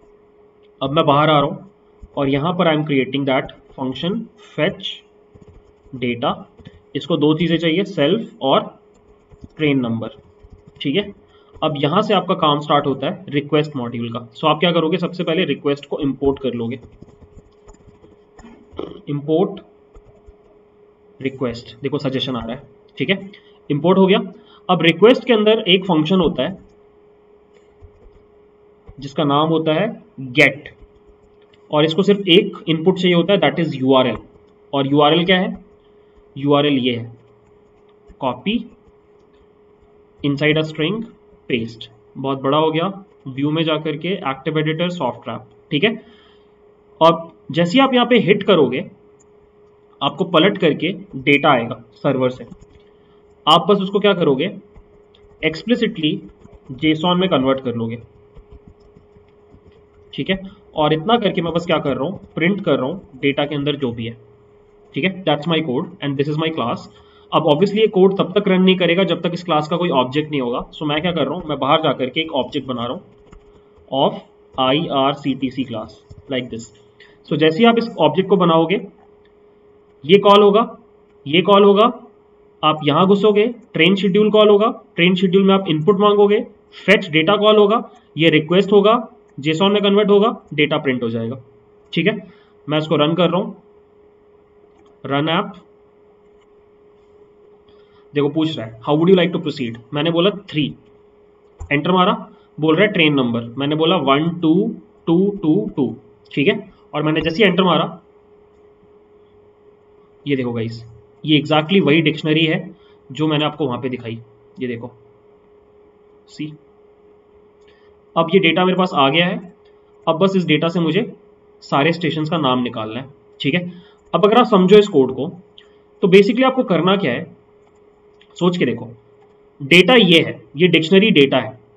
डेटा के अंदर की वैल्यू पेयर्स हैं। कोई सोच के बताएगा, कौन से की में घुसने से मुझे स्टेशन का नाम मिलेगा? रिस्पॉन्स कोड स्टेटस रूट या मैसेज रूट में। राइट मतलब इतना सोचना नहीं है। तो मैं क्या कर रहा हूँ? मैं सिंस इट्स डिक्शनरी मैं डेटा का कौन सा की फेच कर रहा हूँ? रूट और अब देखो इस कोड को मैं फिर से रन कर रहा हूँ। मैंने फिर से डाला three one two two two two enter मारा।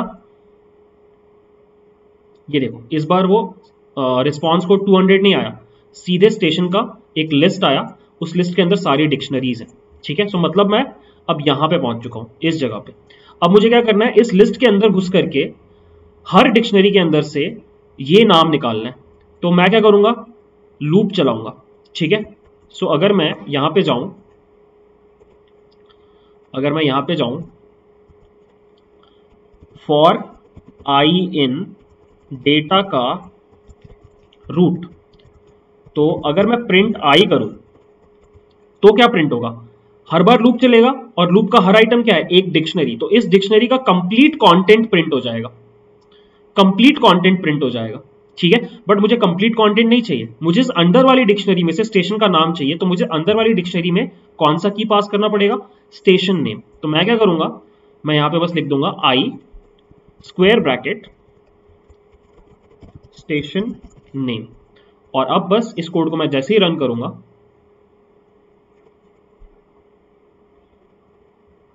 three one two two two two Howrah, Pune, Duronto. और ये रहा आपका आंसर गलत क्यों आया? मेरे को पता है, ये ट्रेन हावड़ा, पुणे, दुरंतो है बट ये अजमेर से आगरा फोर्ट क्यों जा रही है? इस कोड में क्या गलती है? कोई बताएगा? इस कोड में गलती है ना भाई? आप कोई भी नंबर डालोगे, हमेशा वो ट्रेन अजमेर से आगरा ही जाएगी। ऐसा क्यों? क्योंकि आपका यूआरएल में आपने हार्ड कोड कर रखा है ये ट्रेन नंबर ऑब्वियसली आपको इसके जगह पे ये वेरिएबल डालना पड़ेगा। तो आप क्या करोगे? इस स्ट्रिंग को फॉर्मेट कर दोगे by putting this dot format और फॉर्मेट के अंदर आप डाल दोगे जो भी ट्रेन नंबर के अंदर वेरिएबल है। ठीक है? और अब ये काम सही से करेगा। सो so, अगर मैं इस कोड को फिर से रन करूँ और यहाँ पे मैं थ्री डालूं one two two two two ये रहा। हावड़ा से पुणे। अब ये सही है। अगर मैं कुछ और भी ट्राई करूँ। Three there is this train one two zero two four Jan Shatabdi express. Patna से हावड़ा जाती है। काम कर रहे हैं? आप और भी चीज़ें प्रिंट कर सकते हो। लेट्स से अगर आपको साथ में प्रिंट करना है कि कितने बजे उस स्टेशन पे पहुँचती है तो आपके पास अराइवल टाइम है। कितने बजे स्टेशन से निकलती है तो डिपार्चर टाइम है। कितना किलोमीटर ट्रैवल कर चुकी है, जहाँ से स्टार्ट हुई थी। ये तीनों चीज़ें आप प्रिंट कर सकते हो। देखो मैं क्या कर रहा हूँ। मैं लिख रहा हूँ कॉमा, थोड़ा सा फॉर्मेटिंग देते हैं, कॉमा आई अराइवल टाइम बिल्कुल ये की, जो मैंने यहाँ पे देखा, ये वाली चीज़, ठीक है? सिमिलरली फिर से comma comma I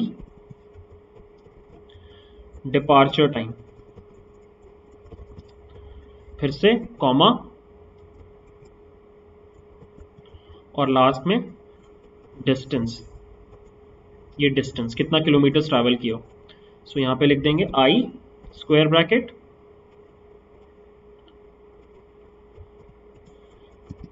डिस्टेंस ठीक है? और लास्ट में we can put kilometres because distance kilometres में. And that's the code guys अगर इस कोड को फिर से रन करो तो थोड़ा वेल फॉर्मेटेड ज़्यादा इंफॉर्मेशन वाला कोड आपको मिलेगा। One two two two two ये देखो। हावड़ा आठ बज के बीस मिनट पे स्टार्ट होती है। ज़ीरो किलोमीटर डिस्टेंस ट्रैवल हुआ। पुणे अगले दिन ग्यारह बजे पहुँचती है। दो हज़ार तैंतीस किलोमीटर ट्रैवल करके। सो आई नो अच्छा प्रॉपर जियो नहीं है but this is a console application यहाँ पे जियो इज़ नॉट पॉसिबल बट आप बहुत ईजिली इस चीज़ को जियो में कन्वर्ट कर सकते हो या एक वेबसाइट में कन्वर्ट कर सकते हो। अब आप क्या कर सकते हो? आप और फीचर्स ऐड कर सकते हो। आप यहाँ से you can go to some other API actually यहाँ पे कुछ एपीआई डाउन है। जब से कोविड चल रहा है तो इंडियन रेलवे की एपीआई ठीक से काम नहीं कर रहे। लेट्स uh, से हम हम कौन सा यूज़ करते हैं? लाइव स्टेशन में क्या देखते हैं? अच्छा। यहाँ पे आप क्या करोगे? स्टेशन कोड प्रोवाइड करोगे। इसको ट्राई कर रहा हूँ मैं। सो so, यहाँ पे मैंने क्या किया? मैंने यहाँ पे एपीआई की में अपना एपीआई की डाल दिया। First of all that is the first requirement ये मेरा एपीआई की गया। स्टेशन कोड में मैंने हावड़ा डाल दिया। एच डब्ल्यू एच और आवर्स का फॉर्मेट क्या है? बताया है? आवर्स का फॉर्मेट अच्छा टू टू फोर मतलब अगले दो से चार घंटे के बीच में। मैंने यहाँ पे दो डाल दिया और एंटर मारा। सो अगले दो घंटे में हावड़ा स्टेशन पे कितनी ट्रेन आएँगी, कौन सी ट्रेन आएगी, उनका लिस्ट है ये। होना चाहिए। लेट्स होप ये काम कर रहा है, क्योंकि इनकी कुछ एपीआई डाउन है तो काम नहीं भी कर सकता है। लेकिन ये लॉकडाउन के पहले जब ट्रेन पूरा चलती थी, ये वेबसाइट मस्त काम करती थी। मेरे को नहीं लगता ये वाला एपीआई काम कर रहा है। नहीं काम कर रहा है। तो अब आप एक काम करो, आप इस वेबसाइट को थोड़ा सा देखो, समझो कौन कौन से फीचर्स काम कर रहे हैं। आई गेस ये वाला काम कर रहा होगा। कौन सा? ट्रेन बिटवीन स्टेशन ट्राई करते हैं। ये वाला ट्राई कर रहा हूँ मैं। Copy paste first I would like to paste my A P I की इसको बंद कर रहा हूँ मैं अभी। और यहाँ पे फ्रॉम में डाल रहा हूँ मैं एच डब्ल्यू एच और टू में डाल रहा हूँ। N D L S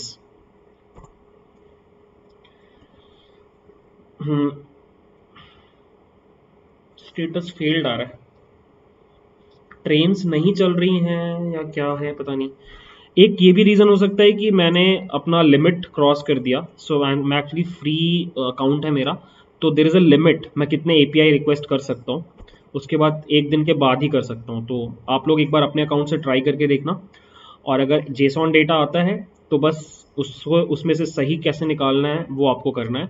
But yes that is how you create application in Python using O op